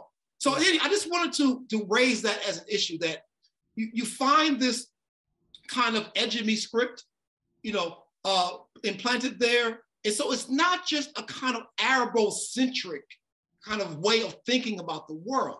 People are actually sort of um, hybridizing and bringing in and re and, and representing questions in ways that, that actually cr create multiple universes and the ways we think about multiple cosmologies getting brought into the mix and all that. So I, I just wanted, before we went to, to the open forum, I just wanted to uh, bring in uh, uh, that, that, that yataghan, right? That actually was the sword that actually that was fantastic. Unfortunately, I didn't get a chance to put it in this volume, but hopefully in the future, I can produce something. It will be the commemorative 10th anniversary edition if I, special if, issue. If you may allow me to just add few points, I think, uh, since you already mentioned the book, so I have to take this um, opportunity to to promote and advocate for it. So uh, in the process of writing this piece, we really discover so many things about not only about Omar, but about enslaved Muslims in America. And they're very telling. I think we do not know much about the life that they lived, not because it does not exist, because maybe we don't have the training tools that are necessary to break through this area of knowledge. So you discover not Omar, only Omar was writing in Arabic, uh, Abdurrahman Ibrahim wrote in Arabic, uh, Sanasi, who was in, I went to Panama a few months ago to look, he also was in the working in the Panama Canal and writing in Arabic. So you have many of them, and we discover Omar exchanging letters with a Muslim in China. You know, if you go to the Library of Congress, the collections of Omar, you will find some of it.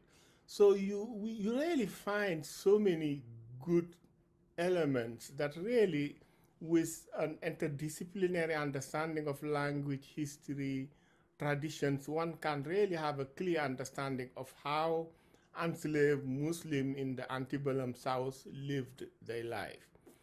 Americans also were very knowledgeable about Islam. It is not true that what we have been learning in the last few decades that they know little about Islam. They do. The U.S. was in contact. American soldiers fought for Muhammad Ali to conquer northern Sudan. American soldiers and prisoners were in the in, in North Africa and wrote novels that were bestsellers in the antebellum South. The U.S. engaged uh, Turkey and uh, Morocco for international access to them. So, so many things. The US was very aware of Islam and Muslim societies. And enslavers were aware of the fact that many of the enslaved Muslim, enslaved population were Muslims. But what they did were to argue that Muslims, enslaved Muslim black were not African, but they were Arab. So you, you, you discover just so much writing from uh, the, the Georgian enslaver uh, William Hodgson's writing that, you know, trying to convince the, the, the academic uh, community that the, the Fulbe are not no black, the Fulbe were Arab. So that is why by late following World War One, Omar was seen as Prince of Arabia and the first enslaved person to introduce Christianity to his native country of Arabia as written by Timur. So you have so much rich materials about Muslims in the antebellum South, but we really need new types of training and language background in order to understand it. So in our upcoming book, we basically argue that we propose instead to, to, to, to restore the Islamic and West African meanings of Omar's text in a way that illuminate contemporary American debates on racism and also consider Arabic as one of America's literary languages. So that is basically the book. Hopefully, will come out sometimes uh, next year. It is still under review. Thank you. Great, thank you so much. So Zain, would you like us to start the open session? Absolutely, yes. So the open session, what it is, it's an invitation for everyone in our group, in our amazing group of uh, friends, colleagues, those we know and do not know yet, uh, to you know, raise their hands. Uh, you can turn on your cameras and we can have an exchange and we can have uh, questions. There was a question that was asked earlier. I will, I will, I will resurrect it.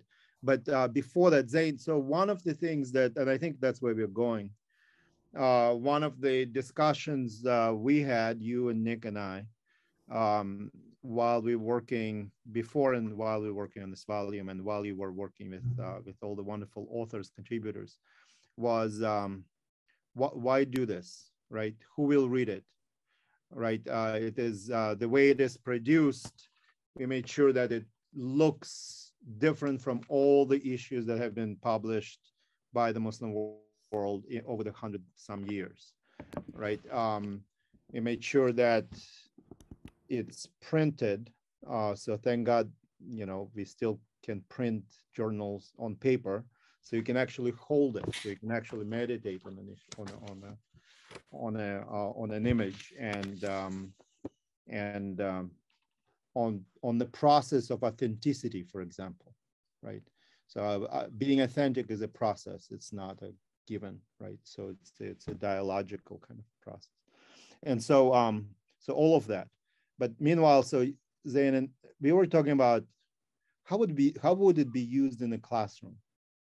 And it's almost like a, a a strange idea to for for a whole issue of a journal to be used in a classroom. it was our kind of the wildest ambition, and uh, and of course whatever is possible is possible. But perhaps we can have a at least some of the reflections on how how could this be used in a classroom or the the meditations, the engagements that that are similar to this. Right? Yeah, I think I think perhaps we should unpin ourselves so we can open it up a little bit too. Um, you, you want to do that, Timur? I do not know how to do it. Okay, you just uh, go to the.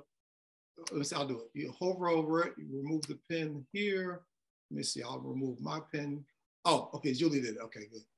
Uh, for some reason, I'm still, I'm still pinned. Though. Let me move my uh, I used, okay, I can remove your pin too. All right, so let me go back to gallery. Okay, good. Yeah, so again, as, as you said, you know, this is, this should be an open forum, right? It should be just those of us who want to just, you know, kind of raise, raise questions. We had, I think, a wonderful um, program today. I, I loved your everyone's participation uh, the audience questions uh, is, is I, I feel fortunate. You mentioned, Timur that you feel privileged and fortunate. I, I'm looking at you all so brilliantly kind of giving all kinds of commentary, and I just feel so fortunate myself and privileged uh, to be in this space. Uh, so what's interesting is, is um, at the end of my article for the journal, I mentioned uh, Jim and Jim Johnson's uh, presence in, in London, right? And how he's there with, with young people, the youth, right, around some of these paintings, right? And so I was looking at, I think Jim was was, was that the the the uh, Ayuba? Yes. Yeah, the Ayuba painting. Um, and and so something else that I mentioned when I talked about Jim was that um, when you think about these figures, yeah, there it is, good. uh, when you think about these figures, I mean, you can't help but really just admire the kind of dignity that they maintained in the face of such horrific and institutionalized racism and, and white supremacy. I mean, it's a whole, an entire country that is trying to maintain your subject, your, your, your subjugation, right? Um, I, that that is just no small feat. Um, and it wasn't that necessarily this, you know, the way we read, see, I want to be careful that we don't read back on that period of notions of blackness the way we think about them today. Right. So I, I don't think I, I wouldn't I, I wouldn't think that you know, Yarrow or others, right, are thinking about blackness in that same kind of way. But I think they were thinking more about what you would say, Timur, their humanity, right? And, and what that means to be dignified and what that means to be even, right? This is these are areas when progress is the big is the big thing, right? How, how do we sort of uh, become progressive human beings in our lives and, and make our families proud, and maybe the, our children yet unborn, how do we pass on legacy and lineage, right? You know, and so I think those basic human things that people want. Um, I just want to say that that one thing that that I have three more, I think three more slides my presentation. That I want to I want to do something that that uh, that Laura did, right? And basically is is how does this relate to today, right? How do we show how portraiture right, works today for, for truth telling, right? And so if I if I can still share my screen, I'll just do this quickly and see how. Okay, let me see. So this is actually, oh, okay.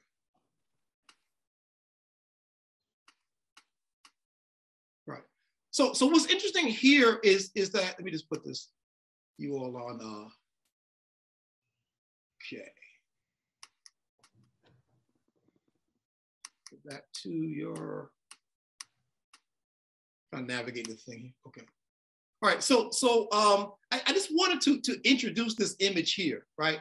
Because these are portraits, right? And, and, they're, and they're in the public realm and they're part of this whole George Floyd portrait of a portraiture as a way to sort of remind the public of all sorts of things of course, uh, about humanity, but also about struggle, about um, dignity. And I, I, don't, I don't think it's so, so unfamiliar with the kind of portraits we're talking about right now, right? So it has the same sort of import that, that's really powerful and important. And people are still using that form of visual culture as a way to talk about and redress these kinds of issues. And so children should know that there's a connection right? We should teach this in the classroom. What is the connection, right, between portraiture in this in the 17th, 18th, 19th centuries and what it looks like today and how it's being used. Now, the other part of this is here, this portraiture and Black Lives Matter. This is in Baltimore, where young people are doing similar things, right? So you, you find them painting on walls, you know, the, the human face. What does it mean to sort of plaster the human face on a wall, on a, on, on a building, um, all the sorts of other places, right? You can see I've, I've tried to sort of create this collage, as it were. Um, here you have Muslims who are also part of that, that project in Baltimore, right? The Black Muslim Portraiture Today. So, so they had also Black Muslims who actually lended their, their, their image, right, to, to the same kind of thing of, of the gaze. How do you look back? at the society that's actually uh, has has subjugated you to certain kinds of uh, uh, uh, uh oppressions. So I think this is the last one. The portraiture, uh, the portraiture as the corporate, and th this is an Airbnb, right? I was surprised when I came across this. This is something I wanted. To, I wanted to actually add this part in my article too. I didn't get a chance, but but you can see how again, um, you can see in this image uh, to, well, both, right? To, to the right, the top right there, um, where the walls going around. This is at Airbnb headquarters, where you see, you know, the images going around, but they're all like portraits, you know, half-size portraits uh, going around, and they're holding, of course, a message, right? On the left side, um, you see it all around on every floor, right? And you see them small pictures, larger pictures, and then in the bottom left, uh, you see uh, the, the, these young employees who are who are creating this, and it's all about you know using uh, the, the, the portraiture to do it. So um, I I don't so I, I don't think what I want to say is I, I, I think that um let me just go back to full screen. Okay. Um so uh is in the classroom, but we also teach in the public too, right? And and and I think we need to do both. We can't just um, think that is this all just didactic didactic um, for like classroom like learning. I, I, I think that that um, uh, this needs to happen in different different kinds of spaces, and people are using the face as a way to sort of confront racism and that sort of thing. There's a I'll say this last one thing.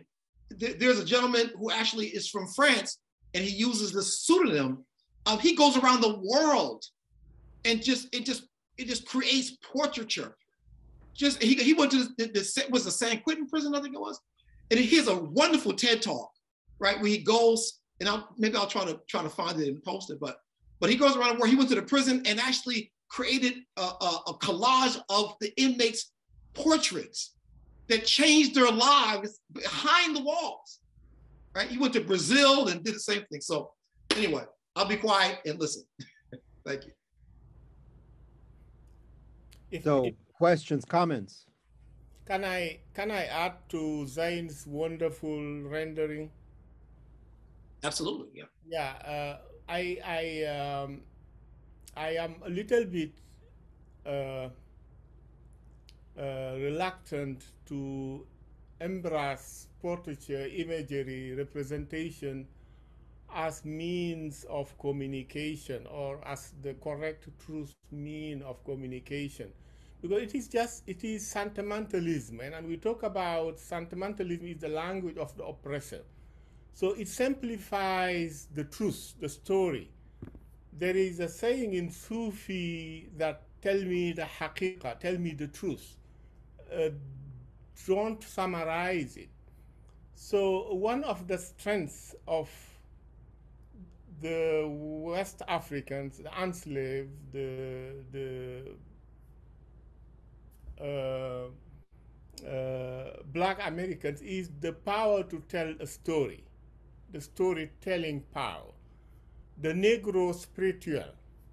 And that may be lost if we focus on image and imagery, because in a way, sentimentalism historically means about feeling.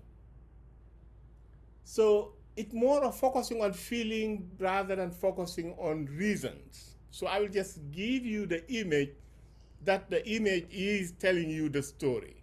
We need to ask the story. We need to find the story behind the image. Otherwise, this imagery is the tool for the oppressor, for those who have power to manipulate us. So this is true historically. That is why in our piece, we don't just stop at the imagery of Omar, we went and looked at what Omar wrote in 1853 at the same time when his image was taken. We tell that writing tells us the story rather than depending on the representation of Omar to tell us the story. So that is truth then and now. We still need to find stories behind each image, behind each portrait, behind each event that whether it is in the state or overseas. So I just wanted to add this to uh, Professor, you know, Zain Abdullah's point, which is very convincing, but we need the full image here. Thank you. Uh, uh, uh, uh Dr. Haseldine, can you speak? You have your hand up. There I am sorry, muted myself. Um, well, Zain, Professor Lo, I'm I was absolutely love what you've just been talking about, and I think in some ways I don't know if, I, I'm going to be able to add a huge amount. Um, I love the prov provocation you set out for us, Zain, about how does portraiture relate to truth telling, because I think in some ways that to me summarizes all the discussions of today of what we do with these artifacts, these these these portrait artifacts, um, and I think, as Professor Lo says, we really need to, we have to build all this context, context around them. And I think that, that, that, you know, this whole project, this whole journal project, and then this conference is demonstrating the depth of, um, of historical research, both pictorial and contextual, that needs to go in to actually tell to tell more truthful stories about these portraits and that they can't that they can trick you as well. You know like the the image that's on the front of the journal you might believe that's of a specific person that is representative of a figure yet instead what we then realize is there's a much more complex and fascinating picture about ethnographic approaches to portraiture that has kind of um, that is all kind of tied up in that.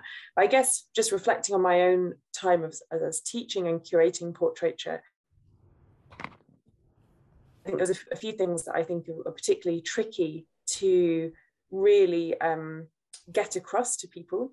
I think that idea that portraiture was a real exceptionalism until the advent of the, the photograph. You know, so the painted portrait is something that was an, you know, a once in a lifetime experience for a very small group of people that they would have been represented. Um, and I think that that idea that then a portrait is made at a very specific time, as Professor Lo says, means that we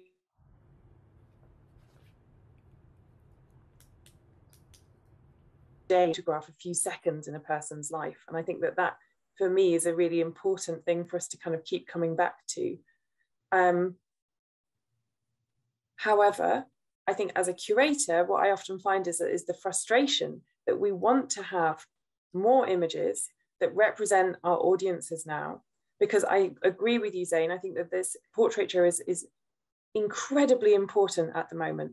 And it's one of the most direct ways we can talk to people and to say that your history is being told in public spaces.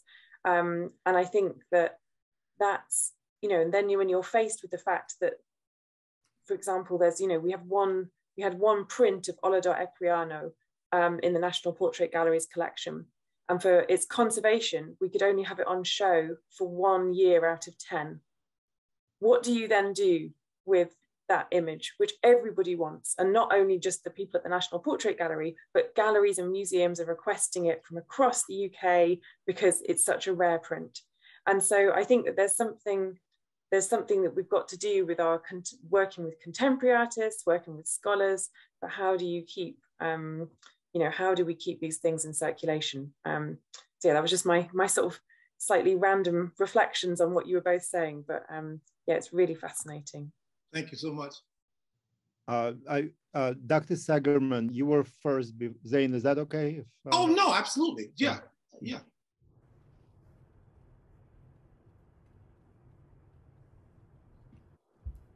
Um, hello, uh, my name is Alex Seggerman. I'm from Rutgers, uh, and thank you so much for the volume and these great talks today. I've been um, taking lots of notes and learning so much.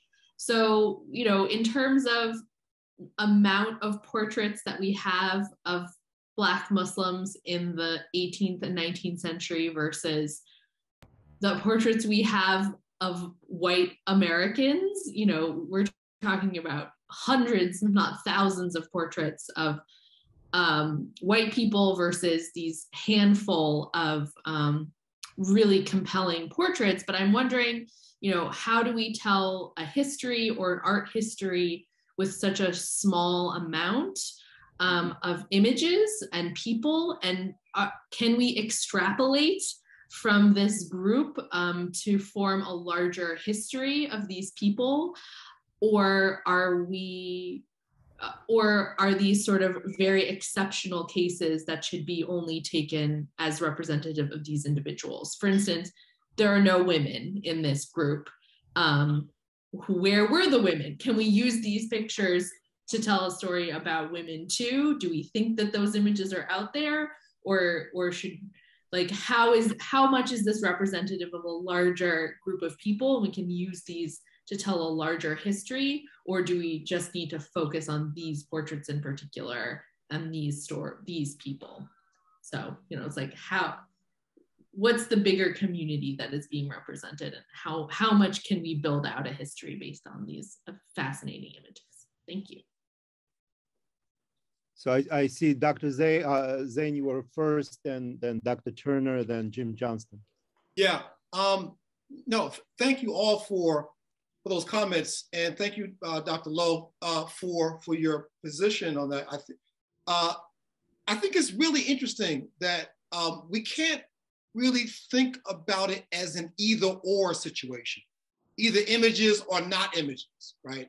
Um, visual culture is a language, right? And so and we can't afford to silence or background any language, right? Because it tells a, a story that oftentimes language cannot capture, right? And so I think that's the whole point about imagery uh, is, is, is that it's, it's kind of, it's, um, it allows the symbolism itself. Sometimes a symbol can be more important than a whole book, right? Uh, as, as the story goes, right? Uh, a picture is worth more than a thousand word, words. But, but, but, but the point here is, is that um, uh, our society oftentimes, especially in, the, in this mediated age, is all about the image, is about and what that image says. But I think though that it gives us an opportunity to engage on a different level. For instance, some would say, oh, mythology is just fictitious nonsense, right? But the reality of, of, of the way Plato talked about mythology, right? It, it, it creating the royal we and, and, and all that, I mean, it creates something in the society that's very powerful. And so mythology, like imagery, is, is, is, is connotative, meaning that it's multi-layered and multi-dimensional, as opposed to, um, let's say, maybe some words, maybe not all, um, are denotative. They, they, they, it's, it's a one level kind of engagement. So, so mythology is, because mythology and imagery is about the imagination, right? And so this harkens back to people like uh, uh, Einstein, who said imagination is more important than knowledge. And I think that's important because with, with, with information, with knowledge, you have data. But imagination, you have, uh, you have vision. And it's, so, so it's a very different way of thinking about communication. So basically, I'll just end here by saying that um, it's not either or. It's, it's actually a context about what kind of conversations you want to have. Visual culture gives us certain kinds of conversations. Um, discourse around, around ideas, be it his uh, sort of intellectual history or, or, or, what have you, that's that's a that's a different other that's another kind of conversation, and we need all kinds of discourses. So, thank you, uh, Dr. Turner.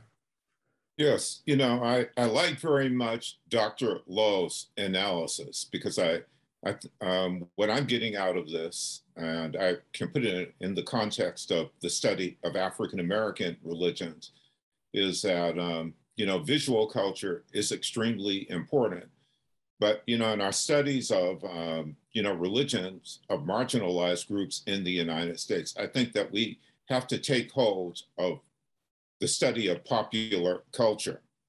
Because when we um, look at the, the visual images in the context of popular culture, um, we're also taking into account um, orality, um, you know, written, um, you know, um, let, uh, written culture, cultural reactions, to the images by those people who have, um, you know, who have been commodified by images.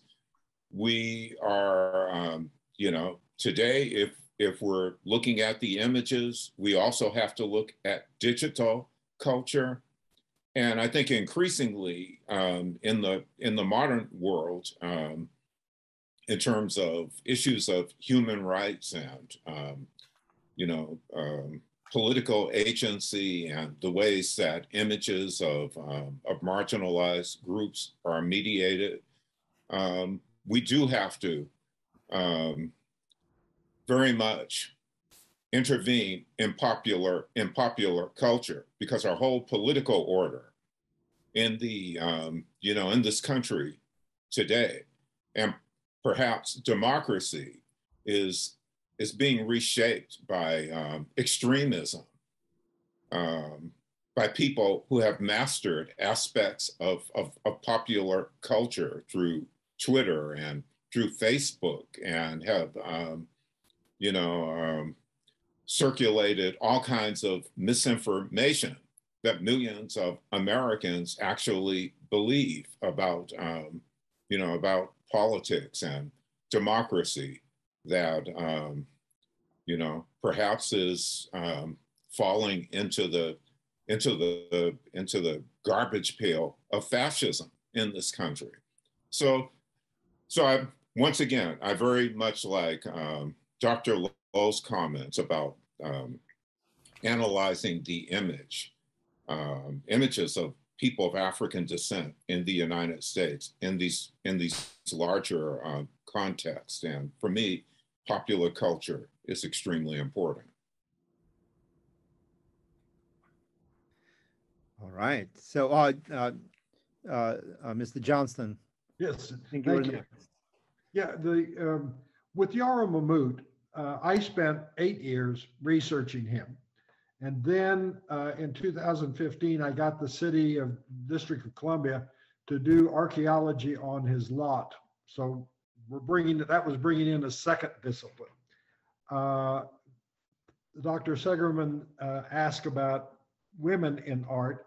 Turns out that uh, James Alexander Simpson did paint uh, a woman, Geni Sarah, who came obviously apparently from Africa. It was a companion painting to his portrait of uh, Yarrow Mamout, but that painting got lost, and I assume because someone thought it was unimportant.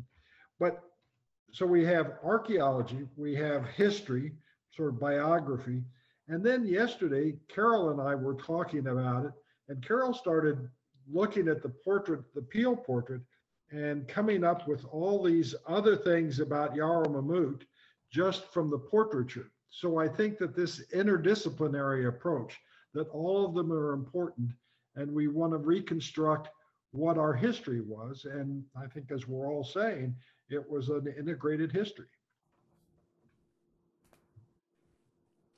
Right. Any any other comments?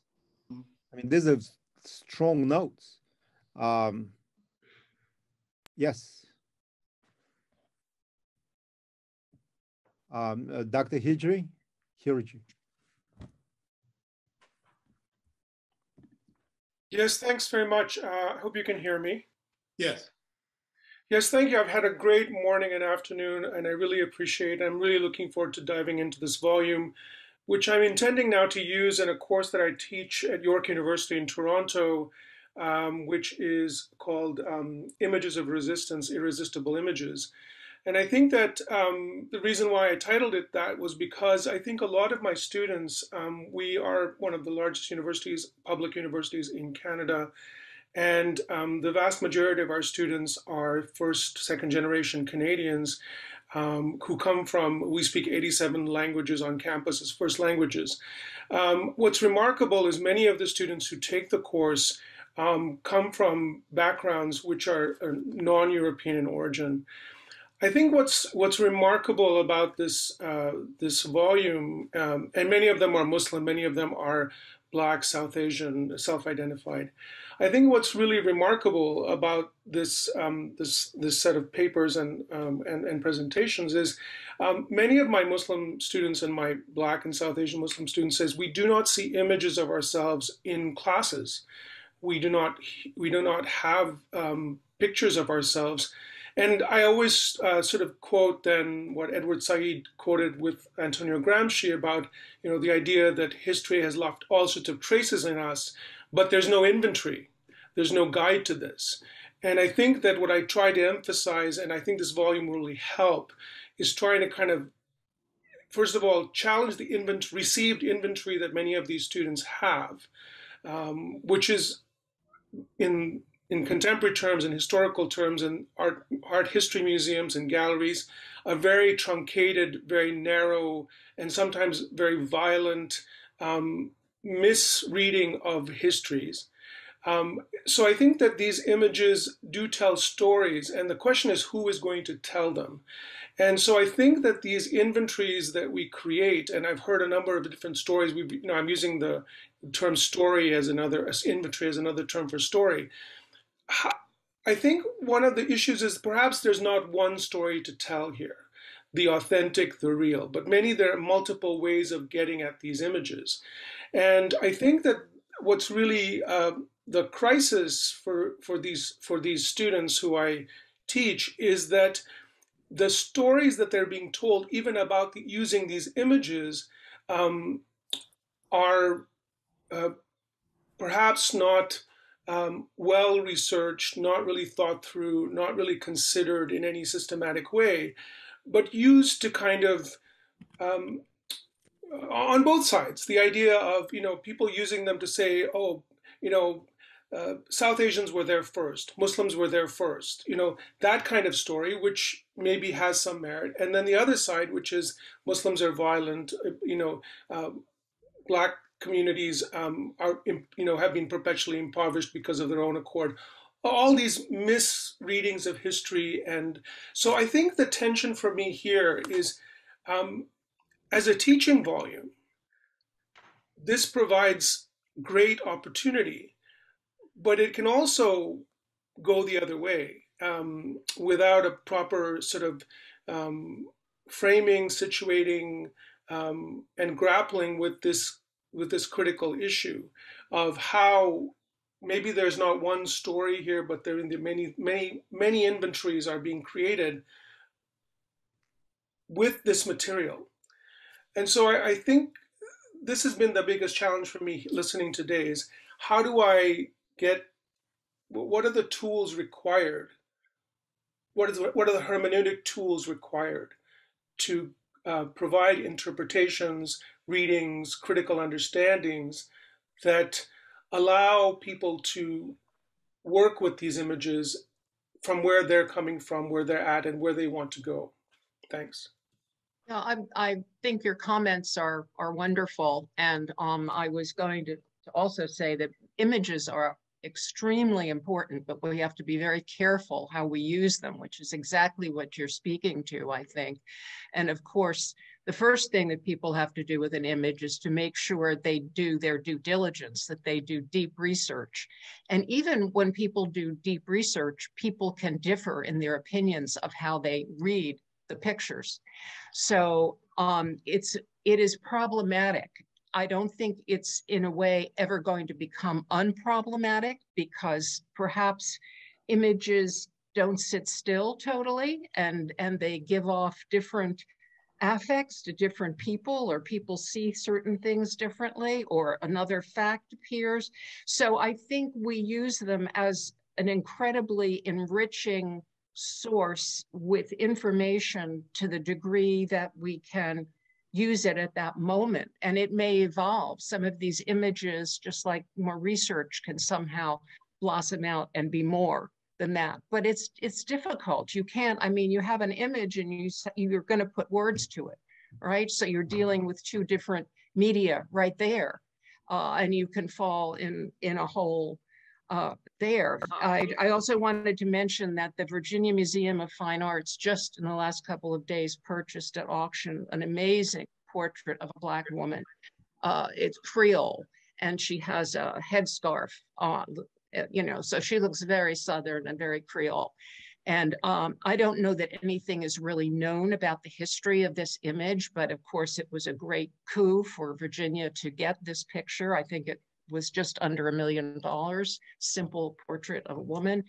Uh, we, I don't think we know who the artist is or any of that. So there's an there's an image. There's what are we going to do with it? What will happen to that image over time? What will we be able to find out about it or not? How will people, what will people project upon the image? And of course, people are always projecting upon the image with portraiture for example, because we are human and we are relating to them to some degree as we relate to other human beings, uh, positively, negatively, whatever. So that's just my two cents.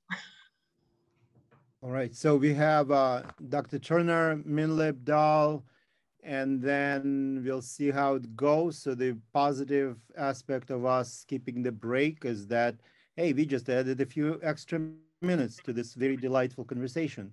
Uh, at the same time, by adding a few minutes, we are extending the stress on our bodies. So we have to be careful. So, so, um, um, so we'll see how it goes. Uh, Zain, you will have the last word, but, uh, and then I will have maybe the para penultimate word. Uh, but Dr. Turner. Yes, going back to the very important issue of, um, of, of Muslim women of African descent enslaved in the United States.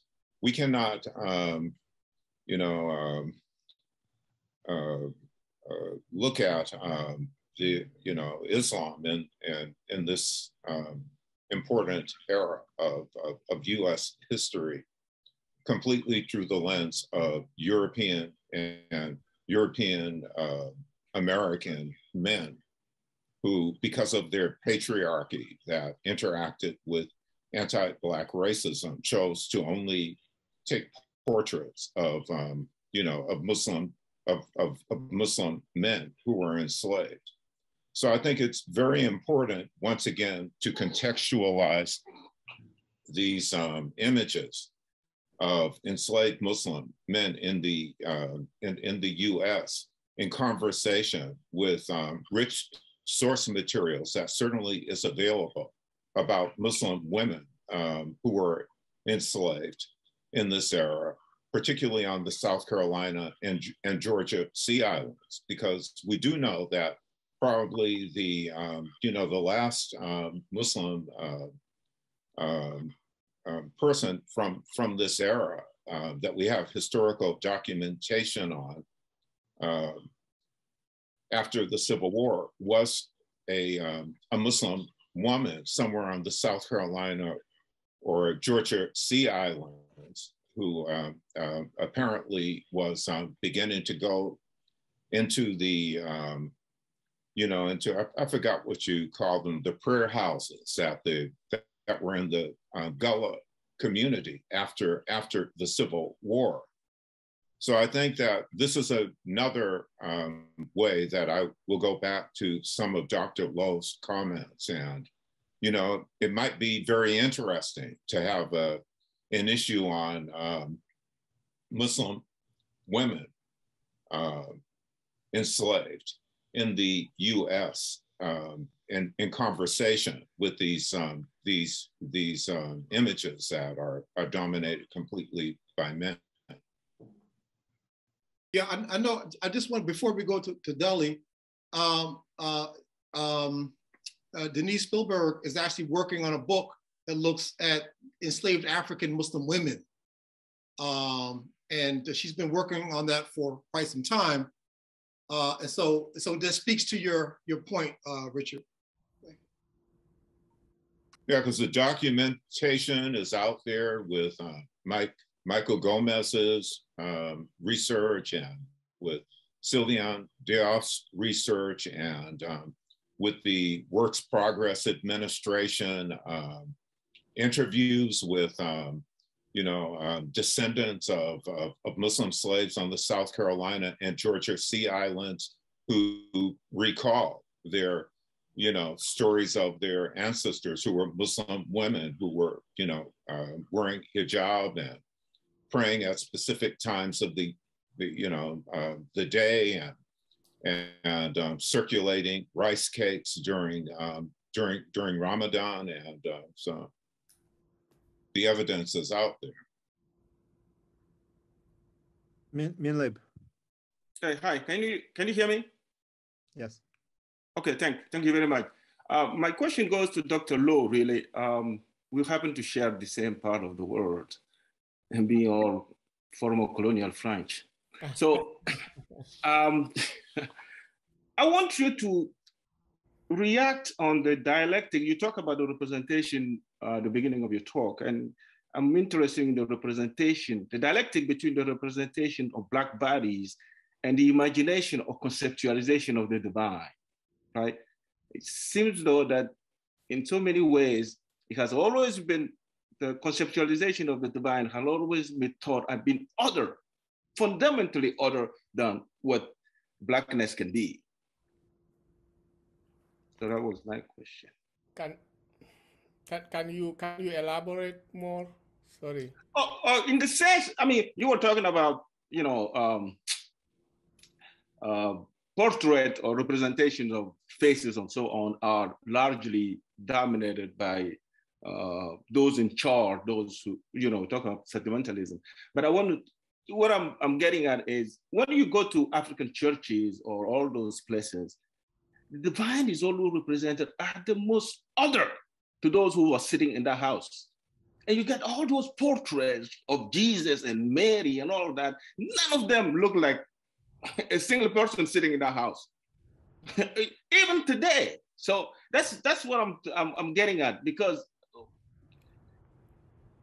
you know the way we imagine and conceptualize the divine at least in my view, has a lot to do with that those who count or do not count, right?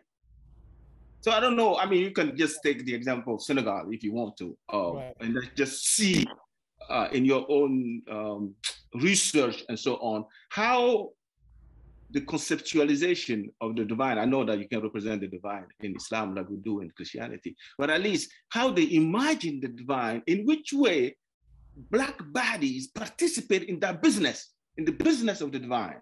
Right. Yeah. yeah. Your your your question is very powerful.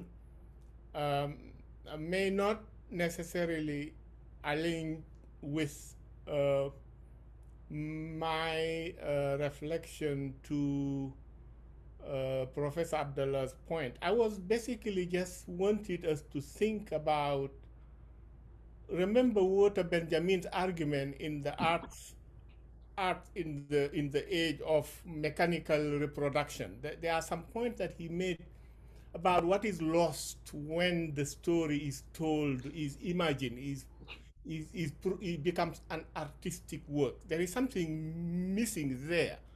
So it's, it's just a piece that we all need to go back and read. Walter Benjamin's one of yeah.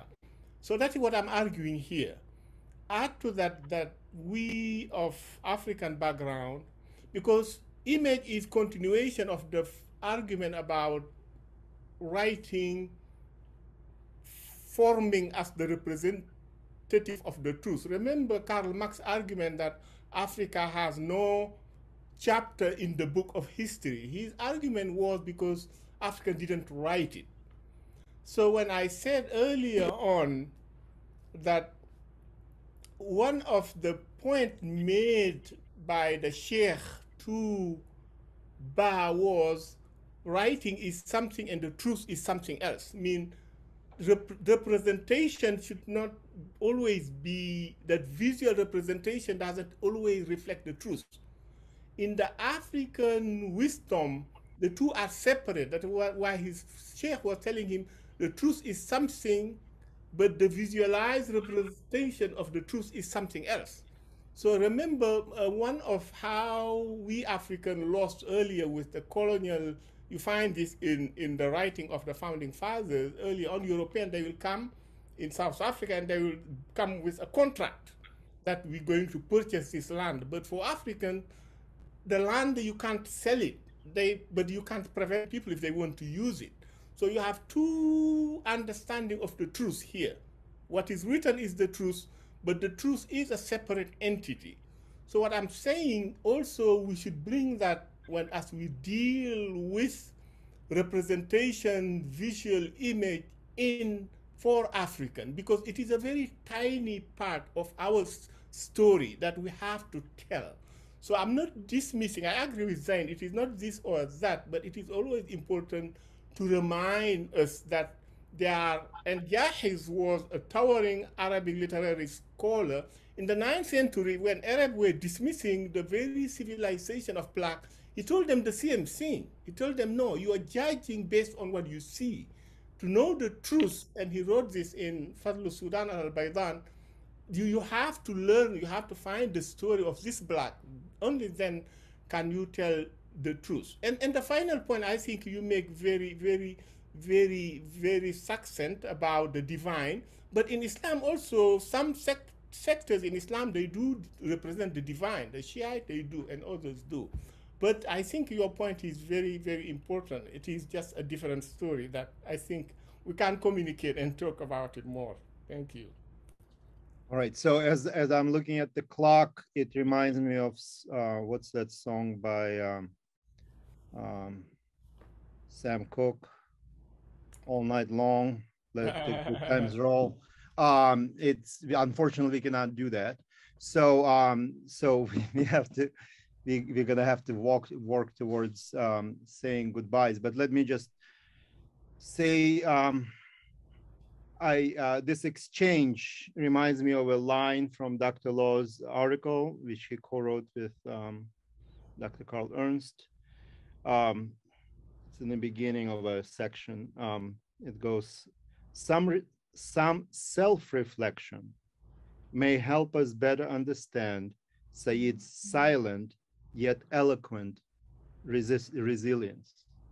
So the first kind of step is self-reflection is part of it.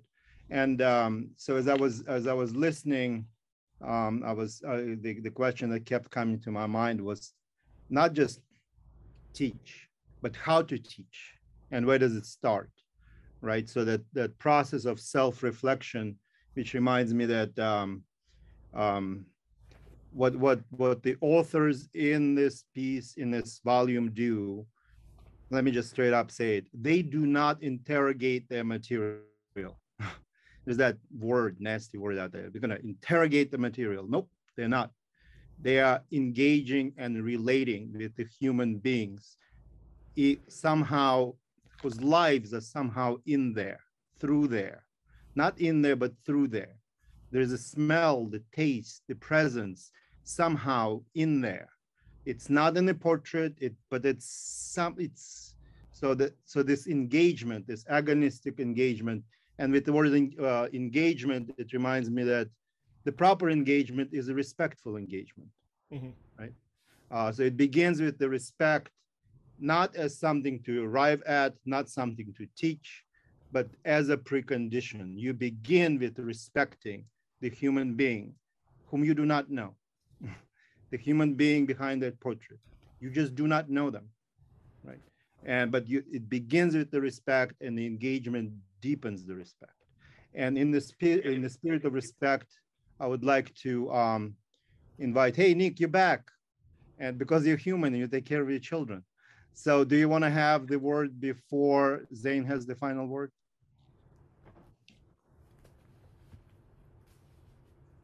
I, I, I apologize. Yeah, I was off. I was off with my kids. I don't have much to say other than um, I, I thank you for the conversation, and then uh, we'll we'll allow Zain to have the final word. Thank you.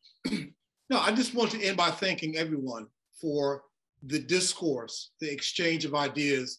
Um, any conversation about art definitely is an ongoing one, right? As what Carol said as well. Um, and, and this is, I think this is the value of producing a piece like this, is that it allows us to actually discuss ideas, exchange thought, um, get feedback, insight. Um, but it's not, it's definitely not something that um, is is a discussion that, that sort of will be settled. This is, this is not something to be settled it's something that is ongoing. Um, and I think that's an indication of, of real knowledge. Um, Du Bois talked about art. He says, he says, I don't give a damn about art except as propaganda, right? So Du Bois was really succinctly involved in the production of art and what it meant, right? I think that was a powerful way of thinking about it. The other part is that what, what Dr. Lo was working on too was interesting in terms of Omar Omar ibn Said's letter, something we didn't talk about uh, is that in that letter, he's, he, he's writing art, right? He's drawing art. There's, there's a geometric pattern. Like, why is that there? Right? I mean, what I think about that piece, I don't think it more, I know, I know Dr. Lo has suggested that it might be a talisman. Um, I have a different view of that, right? And and but because when you look at the geometric geometric patterns, it actually speaks to something I think larger that relates to resistance and a way of thinking about the cosmos, right? Because it's like the way it is structured, there are sort of unending structures. They, they can be repeated repeated and repeated, right? Right. So more about that later, but but I think that um, it, it shows up in all sorts of ways. I think something we didn't talk about is the way art is, is a Western concept. It's a Western construct. It's in and of itself. This notion of art that you can pull out of, of, of human creativity, something that we can call art, right? We have to some that's something we have to unpack, right? And other, as Dr. Lo said, other parts of the world, they don't, they don't consider these artifacts art. They, they, they, they have utilitarian purpose, right? Um, but the West takes it and puts it in, in a museum. Right? Now it's art, right? So we have to talk about like, so I, I just think that this is a, an ongoing, rich, you know, valued conversation uh, that that I look forward to us coming together again and, and continuing it and, and bring more people into the discourse. So thank you all so very much for your time, for your feedback, your energy. Uh, I'm humbled by that. I look forward to seeing uh, see you all again very soon. Thank you.